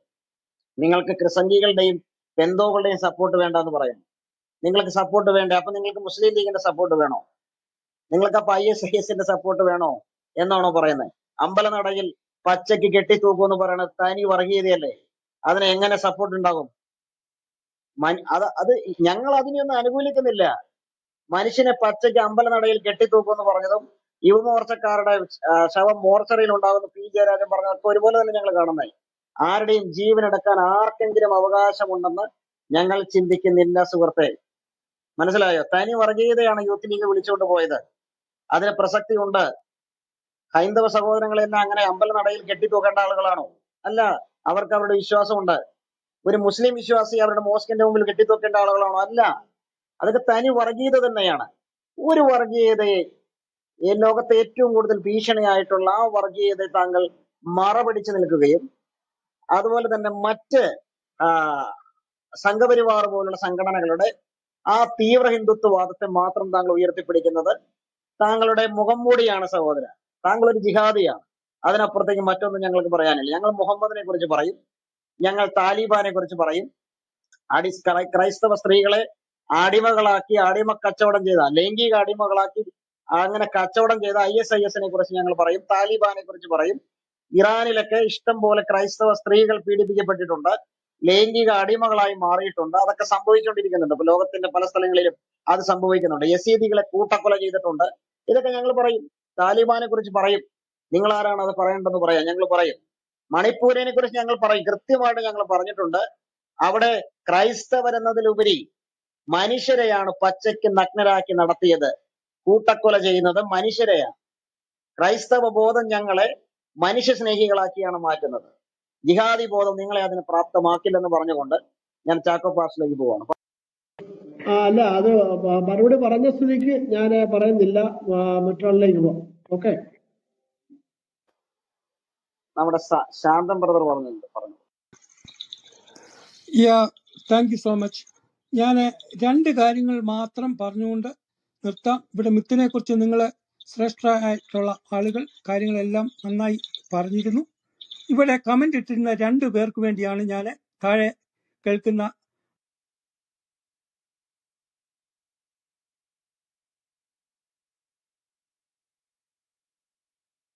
പറഞ്ഞോളൂ. സഹോദര ശാന്തം ബ്രദർ അൺമ്യൂട്ട് പോയി. ആ ഞാൻ ഇവിടെ പറയാൻ ഉദ്ദേശിക്കുന്നത് മിത്തല്ല മിത്തിനെ കുറിച്ച് നിങ്ങൾ എല്ലാവരും പറഞ്ഞു. അതിന് വളരെ നന്ദി. പലർക്കും അതിനെക്കുറിച്ച് മനസ്സിലാക്കാൻ കഴിഞ്ഞു. ഇവിടെ കമന്റ് ഇട്ട രണ്ട് വ്യക്തി ജീവിതങ്ങൾക്ക് വേണ്ടിയാണ് ഞാൻ. ഒന്ന് ന്യൂക്ലിയർ നാഥൻ. രണ്ട് ആ, ഇസ്മയിൽ പള്ളിപ്പുറം. ഇവർ ഞാൻ മിത്തല്ല നിങ്ങളുടെ ശ്രദ്ധ ഞാൻ ക്ഷണിക്കുന്നു. താഴെ ആരെങ്കിലും മുസ്ലിം സഹോദരങ്ങൾ കേൾക്കുന്നുണ്ടെങ്കിൽ അവർക്ക് വേണ്ടി. ഇവിടെ മിത്തല്ലാത്ത രണ്ട് കാര്യങ്ങൾ പറഞ്ഞുകൊണ്ട് ഞാൻ നിർത്തട്ടെ. സുനൻ അൻ സായി മുന്നൂറ്റി ഇരുപത്തി ആറ് മുന്നൂറ്റി ഇരുപത്തി ഏഴ് വായിക്കുമ്പോൾ മലം ആർത്തവ സമയത്ത് സ്ത്രീകൾ ഉപയോഗിച്ചിരുന്ന തുണി പട്ടിയുടെ ചത്ത അവശിഷ്ടങ്ങൾ കിടന്ന കുളത്തിലെ വെള്ളത്തിൽ ഉളു എന്റെ ഇംഗ്ലീഷ് ഉദു എന്നാന്ന് തോന്നുന്നു ചെയ്തിരുന്നു മുഹമ്മദ് എന്ന് ഖുറാനിൽ പറയുന്നു. അതായത് സുനൻ അൻ സായി. മുന്നൂറ്റി ഇരുപത്തി ആറിലും മുന്നൂറ്റി ഇരുപത്തി ഏഴിലും ഇത് മിത്തല്ല. രണ്ട് മുഹമ്മദിന്റെ സഹാബികൾ ഒട്ടകത്തിന്റെ മലം അല്ലെങ്കിൽ ചാണകം എടുത്ത് പിഴിഞ്ഞ് അതിന്റെ വെള്ളം ജ്യൂസായി കുടി കുടിക്കുമായിരുന്നു. ഇത് മിത്തല്ല. സഹോദരങ്ങളെ നിങ്ങൾ അതൊന്ന് ശ്രദ്ധിക്കണം. അല്ലെങ്കിൽ ഖുറാൻ നിങ്ങൾ വായിച്ചു പഠിക്കണം. എനിക്ക് എനിക്കിനിയും കൂടുതലൊന്നും പറയാനില്ല. നിങ്ങളെല്ലാം പറഞ്ഞു കഴിഞ്ഞു. താങ്ക് സോ മച്ച് അവസരം തന്നതിന്. താങ്ക് യു നമ്മുടെ ചർച്ചയുടെ ഒരു അവസാന സമയങ്ങളിലേക്ക് പോകുമ്പോൾ ചാക്കോപാസ്റ്റെ ചാക്കോപാസ്റ്റോട് ഒരു ചോദ്യമുണ്ട്. ഈ ഷംസീർ പറയുന്ന ഒരു ഇസ്ലാമുണ്ട്. അതുപോലെ തന്നെ അക്ബർ പറയുന്ന ഒരു ഇസ്ലാമുണ്ട്. ഇത് രണ്ടും ഒരുപോലെ പോകുന്നതാണ്. അക്ബർ പറയുന്നത് ഇസ്ലാമിന്റെ ദൈവം ഭീകരനാണോ എന്ന് ചോദിച്ച് അക്ബർ പറയുന്നത് അതെല്ലാം മറ്റുള്ളവരുടെ സൃഷ്ടിയാണ്. അള്ളാഹു കരുണാമയനാണെന്നാണ് പറയുന്നത്. ഷംസീറും അത് തന്നെയാണ് പറയുന്നത്. ഷംസീറിന്റെയും മറ്റേ അക്ബറിന്റെയും വാദങ്ങളെ അങ്ങ് എങ്ങനെ കാണും? തീർച്ചയായിട്ടും. അവർ അവരുടെ നിലനിൽപ്പിന്റെ ഭാഗമാണ് അവരുടെ ആ സ്റ്റേറ്റ്മെന്റുകൾ. അതായത് ഇസ്ലാമിനെ ഇന്ന് നിലനിർത്തണമെങ്കിൽ ഷംസീറിനും അക്ബറിനും ഒക്കെ അങ്ങനെ പറഞ്ഞേ മതിയാകും ഇപ്പൊ ഈ ചോദ്യത്തോടനുബന്ധിച്ച് ഒരു മറുപടി എന്ന നിലയിൽ മുജാഹിദ് ബാലുശ്ശേരി പറഞ്ഞതായ ഒരു കാര്യം എന്റെ ഓർമ്മയിൽ വരികയാണ്. അദ്ദേഹം ഒരിക്കൽ പറഞ്ഞു മുഹമ്മദ് നബി ആയിരം പേരുടെ തലയരിഞ്ഞാൽ അതും ഒരു കാരുണ്യമാകുന്നു എന്ന് അദ്ദേഹം പറഞ്ഞു. മനസ്സിലാകുന്നുണ്ടോ ഇതാണ് ഇസ്ലാമിക കാഴ്ചപ്പാടെന്ന് പറയുന്നത്. അപ്പം ഇവർ മനസ്സിലാക്കി വെച്ചിരിക്കുന്ന ഇസ്ലാം എന്ന് പറയുന്നത് വാസ്തവത്തിൽ ഇവരുടെ മതപാഠശാലകളിൽ നിന്നും ഇവർക്ക് ലഭിച്ചതായ അറിവാണ്. ആ അറിവ് വെച്ചുകൊണ്ടാണ് ഇവരെന്ന് ഇസ്ലാമിനെ മുന്നോട്ട് തള്ളി നിൽക്കൊണ്ടു പോകുന്നു. എന്നാൽ ഇവിടുത്തെ അപ്പോളജിസ്റ്റുകൾ എന്ന് പറയുന്ന നമ്മൾ കൃത്യമായ നിലയിൽ ഇവരുടെ പണ്ഡിതന്മാർ പോലും വായിച്ചിട്ടില്ലാത്തതും ഇവരുടെ കൈകളിൽ എത്തിയിട്ടില്ലാത്തതുമായ ഗ്രന്ഥങ്ങൾ തുറന്നു വെച്ചുകൊണ്ട് ഇസ്ലാമിന്റെ കൃത്യത ഇസ്ലാം എന്താകുന്നു എന്ന് മതഗ്രന്ഥങ്ങളിൽ നിന്ന് നമ്മൾ ചൂണ്ടിക്കാണിക്കുക. ഇത് വളരെ നാൾ മുന്നോട്ട് പോകത്തില്ല എന്നാണ് എനിക്ക് പറയാനുള്ളത്. അതായത് ഇസ്ലാമിന്റെ പൊള്ളത്തരങ്ങൾ ഈ മതത്തിന്റെ വസ്തുതകളെ യഥാർത്ഥ വസ്തുതകളെ മറച്ചു വെച്ചുകൊണ്ട് ഈ പറയപ്പെട്ട ആളുകൾ ഇസ്ലാമിനെ പൊക്കിപ്പറയുന്നതായ ആ സ്ഥിതിവിശേഷം താമസിക്കാതെ തകർന്ന് തരിപ്പണമാകും. അതിന്റെ ലക്ഷണങ്ങൾ ഇന്ന് ആഗോളതലത്തിൽ കാണാൻ തുടങ്ങി. ഇറാനിൽ എഴുപത്തി അയ്യായിരം ഇസ്ലാമിക പള്ളികൾ മോസ്കുകൾ പൂട്ടിയിരിക്കുകയാണ്. അത് പത്രമാധ്യമങ്ങൾ ദ്വാര ഇവിടെ പുറത്തു വന്നിരിക്കുന്ന വസ്തുതയാണ്. കേരളക്കരയിൽ നിന്നും നിരവധി ഇസ്ലാം മതവിശ്വാസികൾ ചെറുപ്പക്കാർ ഈ മതം വിട്ടുപോയിക്കൊണ്ടിരിക്കുന്നു. എന്തുകൊണ്ടാണ് അത് സംഭവിക്കുന്നത്? അവരെ സംബന്ധിച്ച് ഒരു വസ്തുതയുണ്ട്.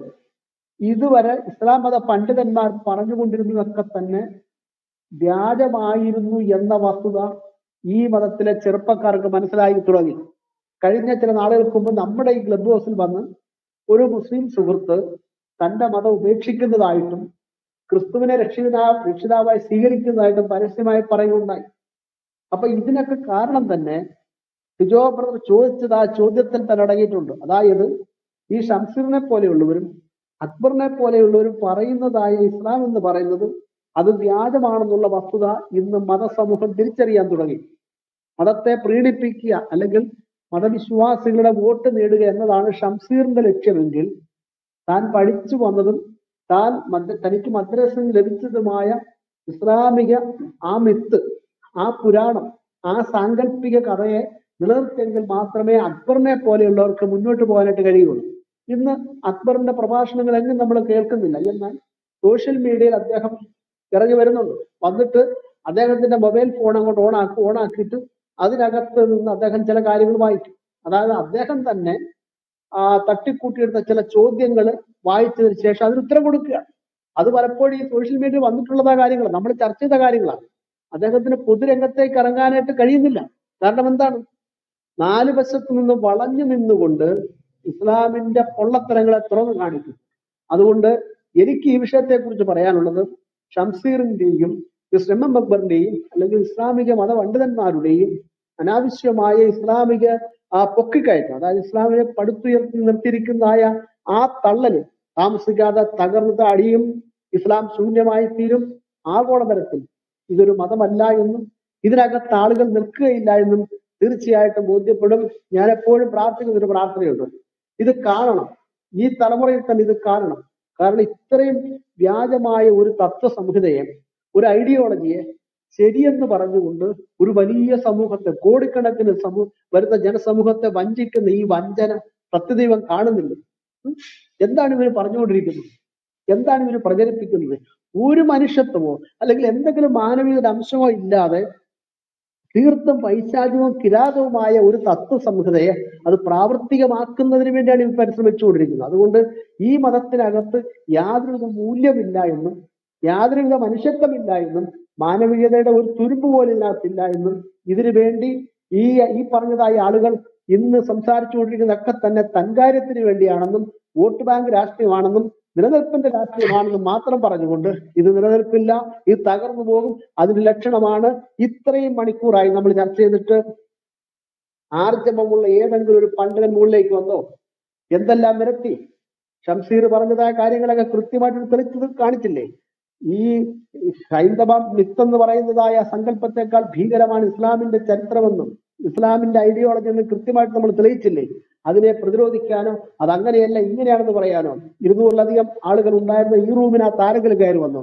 ഒരു കാരണവശാലും മുകളിലേക്ക് വരത്തില്ല. മുമ്പ് പറയും സാമുവൽ പറഞ്ഞതുപോലെ തന്നെ.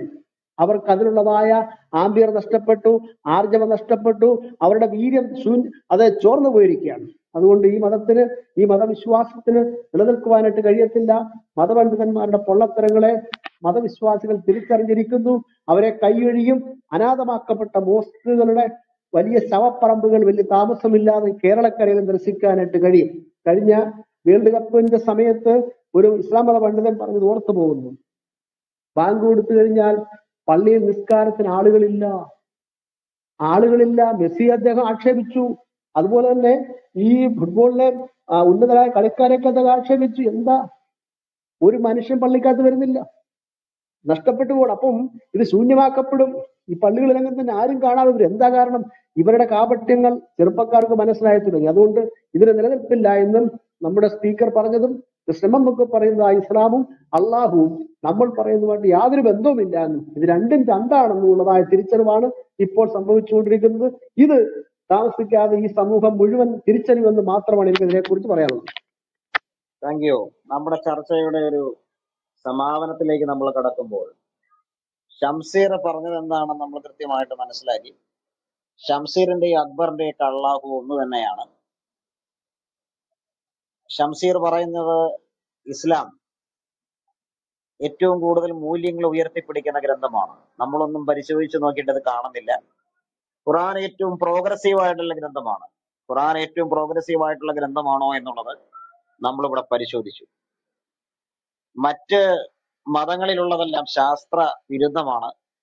ഖുറാനാണ് പ്രോഗ്രസീവ്. സ്ത്രീകൾക്ക് ഏറ്റവും കൂടുതൽ പ്രാധാന്യം കൊടുത്ത പ്രാധാന്യം കൊടുക്കുന്ന ആശയമാണ് ഇസ്ലാം.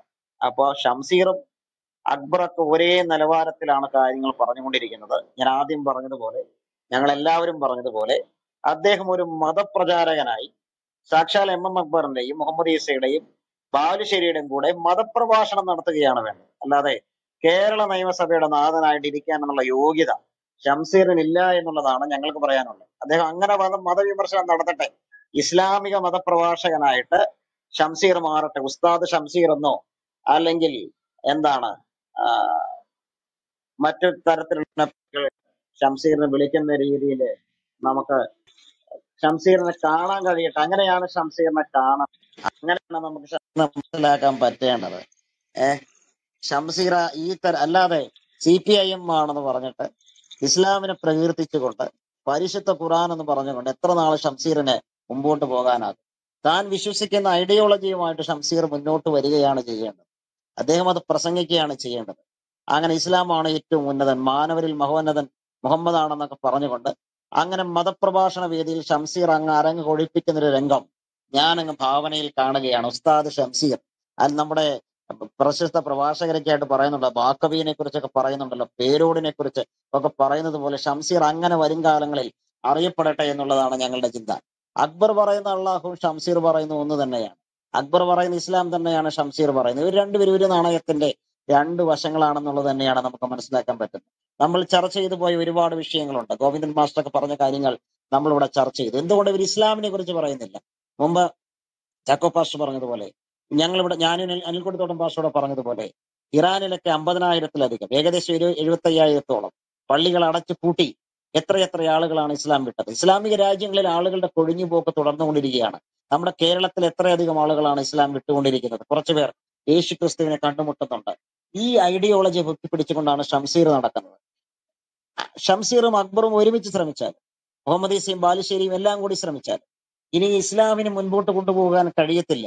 ഈ ഐഡിയോളജി എല്ലാവരും എക്സ്പോസ് ചെയ്ത് കഴിഞ്ഞു. ഇതെല്ലാവരും തിരിച്ചറിഞ്ഞു കഴിഞ്ഞു. ഞങ്ങൾക്ക് പകരം വെക്കാൻ ഒന്നുണ്ട്. മുഹമ്മദിനെ പിൻപറ്റുന്ന അള്ളാഹുവിനെ പിൻപറ്റുന്ന പ്രിയപ്പെട്ടവരോട് ഷംസീറിനെ പോലുള്ളവർക്ക് ഞങ്ങൾക്ക് പറയാനുള്ള മറ്റൊരു സന്ദേശമുണ്ട്. ലോകത്തിന്റെ വെളിച്ചമായ ഞാൻ മാത്രം വഴിയും സത്യവും ജീവനെന്ന് അവകാശപ്പെട്ട എല്ലാവർക്കും നിത്യജീവൻ കൊടുക്കുന്ന സമാധാനത്തിന്റെ ആൾരൂപമായ സ്നേഹത്തിന്റെ ആൾരൂപമായ യേശു ക്രിസ്തു യേശു ക്രിസ്തുവിനെ കണ്ടുമുട്ടിക്കഴിഞ്ഞാൽ അത് മനുഷ്യന്റെ പരിവർത്തനത്തിന് കാരണമാകും. ഷംസീർ അല്ല അക്ബർ അല്ല സാക്ഷാൽ മുഹമ്മദ് തന്നെയും യേശു ക്രിസ്തുവിനെ കണ്ടുമുട്ടിയിരുന്നെങ്കിൽ പരിവർത്തനത്തിന് വിധേയമാകുമെന്നുള്ളതാണ് വിശുദ്ധ ബൈബിൾ പഠിപ്പിക്കുന്നത്. ഐ എസ് ഐ എസിലെ തീവ്രവാദികളായിക്കോട്ടെ ലഷ്കർ എ തോയിബിലെ തീവ്രവാദികളായിക്കോട്ടെ സാക്ഷാൽ ബാഗ്ദാദി തന്നെ ആയിരുന്നോട്ടെ യേശു ക്രിസ്തുവിനെ ഒരാൾ കണ്ടുമുട്ടിക്കഴിഞ്ഞാൽ പരിവർത്തനം ഉണ്ടാകും ഒരുവൻ ക്രിസ്തുവിലായാൽ പുതിയ സൃഷ്ടിയാകും എന്ന് തന്നെയാണ് ബൈബിൾ പഠിപ്പിക്കുന്നത്. അത് അക്ഷരാർത്ഥത്തിൽ സംഭവിക്കുന്ന കാര്യം കൂടിയാണ്. മണിപ്പൂരിലൊക്കെയുള്ള ക്രൈസ്തവ പീഡനങ്ങളിൽ ഞങ്ങൾ അതിനെ അതിന് വൈകാരികമായിട്ടല്ല ഞങ്ങൾ പ്രതികരിക്കുന്നത്. വാളും തോക്കും ബോംബും എടുത്തുകൊണ്ടല്ല ഞങ്ങൾ പ്രതികരിക്കുന്നത്. ഞങ്ങൾക്ക് വാളെടുക്കാൻ പറ്റത്തില്ല തൂക്കെടുക്കാൻ പറ്റത്തില്ല ബോംബെടുക്കാൻ പറ്റത്തില്ല ഞങ്ങളുടെ പള്ളികളിൽ ആയുധം സൂക്ഷിക്കാൻ പറ്റത്തില്ല പൊതുമുതൽ നശിപ്പിക്കാൻ പറ്റത്തില്ല. ഞങ്ങൾ ആകെ ചെയ്യുന്നത് കവലപ്രസംഗങ്ങളാണ്. അല്ലെങ്കിൽ എഴുത്തുകളിലൂടെയാണ് പ്രസംഗങ്ങളിലൂടെയാണ് സംവാദങ്ങളിലൂടെയാണ് ആശയ പ്രഘോഷണങ്ങളാണ് ഞങ്ങൾ നടത്തുന്നത്. അല്ലാതെ മറ്റൊന്നും പറയാനുള്ള അവകാശം ഞങ്ങൾക്കില്ല. ഞങ്ങളുടെ നാഥൻ പഠിപ്പിച്ചത് വാളെടുക്കരുത് എന്നുള്ളതാണ്. സംഖ്യകൾ പറയുന്നത് പോലെ ഇവിടെ ഒരു രാജ്യം സ്ഥാപിക്കാനോ ഇവിടെ ഒരു രാഷ്ട്രം സ്ഥാപിക്കാനുള്ള ഒരു വകുപ്പ് ഞങ്ങൾക്കില്ല. ശ്രീ യേശു ക്രിസ്തു അതിനുള്ള അനുമതി നൽകുന്നില്ല. എന്റെ രാജ്യം ഐഹികമല്ലെന്ന് ക്രിസ്തു തന്നെ പറഞ്ഞു. ഞങ്ങൾ ആകെ ചെയ്യുന്നത് എന്താണ്? ക്രിസ്തുവിന്റെ സ്നേഹത്തെക്കുറിച്ച് അറിയിക്കുകയാണ്. ഭാരതത്തിന്റെ എല്ലാ ഗ്രാമങ്ങളിലും ഞങ്ങളിത് പ്രസംഗിക്കും. എല്ലാ പട്ടണങ്ങളിലും ഞങ്ങളിത് പ്രസംഗിക്കും. അത് ഞങ്ങൾക്ക് സംഘികളെ പേടിക്കേണ്ടതില്ല. അതുപോലെ തീവ്ര ഹിന്ദുത്വ സംഘടനകളെ പേടിക്കേണ്ടതില്ല. യേശു ക്രിസ്തുവിന്റെ സ്നേഹത്തെ ലോകം മുഴുവൻ അറിയിക്കുക എന്നുള്ളത് ഞങ്ങളുടെ ദൗത്യമാണ്. ആ ദൗത്യത്തിൽ ഞങ്ങൾ തുടരുക തന്നെ ചെയ്യും. ക്രിസ്ത്യാനിറ്റി ഇല്ലാണ്ടാക്കുവാൻ മണിപ്പൂരിലെ കൂട്ടക്കൊല കൊണ്ട് പേടിച്ചോടി മാറി നിൽക്കുന്ന ആളുകളൊന്നുമല്ല ഞങ്ങൾ. അവിടെ ഹൈന്ദവ സഹോദരങ്ങൾ മൊത്തം കുറ്റക്കാരാണോ? അല്ല. അവിടെയുള്ള തീവ്ര ഹിന്ദുത്വ സംഘടനകളും സനാമഹി തീവ്ര സനാമഹി സംഘടനകളുമാണ് ഇത്തരത്തിലുള്ള കൂട്ടക്കൊലകൾ നടത്തിക്കൊണ്ടിരിക്കുന്നത്. ഞങ്ങൾ അതിനെ ഞങ്ങൾ വൈകാരികതയോടെയല്ല കാണുന്നത്. ക്രിസ്ത്യാനിത്വത്തെ അങ്ങനെ കൊന്നു തീർക്കാൻ പറ്റിയൊരു മാർഗമല്ല. അങ്ങനെ കൊന്നു കൊന്ന് തീർക്ക തീർക്കാമെന്ന് ആരെങ്കിലും വ്യാമോഹിക്കുന്നുണ്ടെങ്കിൽ അങ്ങനെ തീരുന്നൊരു മാർഗമല്ല ക്രിസ്ത്യാനിത്വം. അതിന്റെ മുമ്പിൽ നിൽക്കുന്നത് യേശുക്രിസ്തുവാണ്. മരണത്തെ തോൽപ്പിച്ച് ഉയർത്തെഴുന്നേറ്റ പാതാളത്തെ തോൽപ്പിച്ച വാഴ്ചകളെയും അധികാരങ്ങളെയും ആയുധവർഗം വെപ്പിച്ച യേശുക്രിസ്തുവാണ് അതിന്റെ മുമ്പിൽ നിൽക്കുന്നത്. യേശുക്രിസ്തു മരണത്തെ തോൽപ്പിച്ചവനാണ്. യേശുക്രിസ്തു വീണ്ടും വരുമെന്നാണ് ഞങ്ങൾ വിശ്വസിക്കുന്നത്. യേശുവിന്റെ ക്രൂശുമരണത്തിലൂടെ പുനരുത്ഥാനത്തിലൂടെ ആളുകളെ തന്നിലേക്ക് ആകർഷിച്ചിരിക്കുന്ന വ്യക്തിയാണ്. ആ വ്യക്തി പ്രഭാവത്തിന് പകരം വെക്കുവാൻ മറ്റൊരു വ്യക്തിയില്ല. ആ നിസ്തുല്യ വ്യക്തിത്വത്തിന് പകരം വെക്കുവാൻ മറ്റൊന്നില്ല. യേശുവിന്റെ വചനങ്ങൾക്ക് പകരം പറയുവാൻ മറ്റൊന്നില്ല. ക്രിസ്തുവിനെ പോലെ മറ്റൊരാളില്ല. അതുകൊണ്ടാണ് ഞങ്ങൾ അവനെ അനുഗമിക്കുന്നത്. യേശുവിനെ കണ്ടുമുട്ടി. യേശുവിനെ അനുഗമിച്ചുകൊണ്ട് അങ്ങനെ പരിവർത്തനം വരുവാൻ പ്രിയപ്പെട്ട സഹോദരങ്ങളെ ഞങ്ങൾ ആഹ്വാനം ചെയ്യുകയാണ്. ഞങ്ങൾ അഭ്യർത്ഥിക്കുകയാണ്. നിങ്ങൾ ബൈബിൾ വായിച്ചിട്ടില്ലെങ്കിൽ ബൈബിൾ ഒരിക്കലെങ്കിലും വായിക്കുക മുസ്ലിം സുഹൃത്തുക്കളെ. മറ്റ് സഹോദരങ്ങളെ ബൈബിൾ നിങ്ങൾ വായിക്കുക അത് സ്നേഹത്തിന്റെ പുസ്തകമാണ്. എവിടെയെല്ലാം ബൈബിൾ ചെന്നിട്ടുണ്ടോ അത് മാനസാന്തരത്തിനും പരിവർത്തനത്തിനും ഒക്കെ മാ അതിന്റെയൊക്കെ മാറ്റത്തിന് കാരണമായിട്ടുണ്ട്. നമ്മുടെയൊക്കെ നാട്ടിലെ നവോത്ഥാനത്തിന്റെ ആ വിപ്ലവത്തിന് ആ നാന്ദി കുറിച്ചത് ബൈബിളാണ്. വിശുദ്ധ ബൈബിളിലെ ചിന്തകളാണ് ക്രിസ്ത്യൻ മിഷണറിമാരെ ഇവിടേക്ക് എത്തിച്ചത്. ക്രിസ്തുവിന്റെ സ്നേഹമാണ്. ആ സ്നേഹത്തിലൂന്നിയാണ് ഞങ്ങളും പ്രവർത്തിക്കുന്നത്. പ്രായോഗികതയിൽ പരിമിതികളൊക്കെ നിങ്ങൾക്ക് കണ്ടേക്കാമെങ്കിലും ക്രിസ്തുമാർഗം നിസ്തുല്യമാണ്. ഈ ആശയത്തിന് പകരം വെക്കുവാൻ മറ്റൊന്നില്ല എന്നുള്ളതാണ് ഞങ്ങൾക്ക് പറയാനുള്ളത്. അതുകൊണ്ട് യേശു ക്രിസ്തുവിനെ കണ്ടുമുട്ടുവാൻ നിങ്ങൾക്കിടയാകട്ടെ. ഞങ്ങളെ ഇത്രയും നേരം ഇവിടെ ഇരുന്ന് കേട്ട എല്ലാ പ്രിയപ്പെട്ടവരോടും നന്ദി പറയുന്നു. നിങ്ങൾ താഴെയിരിക്കുന്നവരൊക്കെ ഞങ്ങളെക്കാൾ അറിവുള്ളവരാണെന്നുള്ളത് തന്നെയാണ് ഞങ്ങൾ ചിന്തിക്കുന്നത്. നിങ്ങൾ സഹിഷ്ണുതയോടെ ഞങ്ങളെ കേട്ടതിന് നന്ദി പറയുന്നു. ഇവിടെ കയറി വന്ന് സംസാരിച്ച ഓരോ പ്രിയപ്പെട്ടവർക്കും നന്ദി പറയുന്നു. അനിൽ കൊടുത്തോട്ടം പാസ്റ്ററിന് നന്ദി. ചാക്കോ പാസ്റ്ററിന് നന്ദി. അതുപോലെ തന്നെ വർഗീസം സാമുൽ പാസ്റ്ററിന് നന്ദി. സാജു പാസ്റ്ററിന് നന്ദി. എ ടി സഹോദരന് നന്ദി. ഇവിടെ വന്ന് സംസാരിച്ച ഓരോ പ്രിയപ്പെട്ടവർക്കും ഞങ്ങൾ നന്ദി പറയുകയാണ്. താഴെ ഇരുന്ന് കേട്ട ഓരോ പ്രിയപ്പെട്ടവർക്ക് നന്ദി പറയുകയാണ്. അവസാനമായി ഞാൻ പറഞ്ഞ് അവസാനിപ്പിക്കുമ്പോൾ. ഇസ്ലാം എന്ന ഐഡിയോളജിക്കെതിരെയാണ് ഞങ്ങളുടെ ആശയയുദ്ധം. മുസ്ലിം സമൂഹത്തിന് എതിരല്ല. ഇസ്ലാമിന്റെ ഏറ്റവും വലിയ ഇരകൾ മുസ്ലിം സമൂഹമാണെന്നുള്ളതാണ് ഞങ്ങൾ ചിന്തിക്കുന്നത്.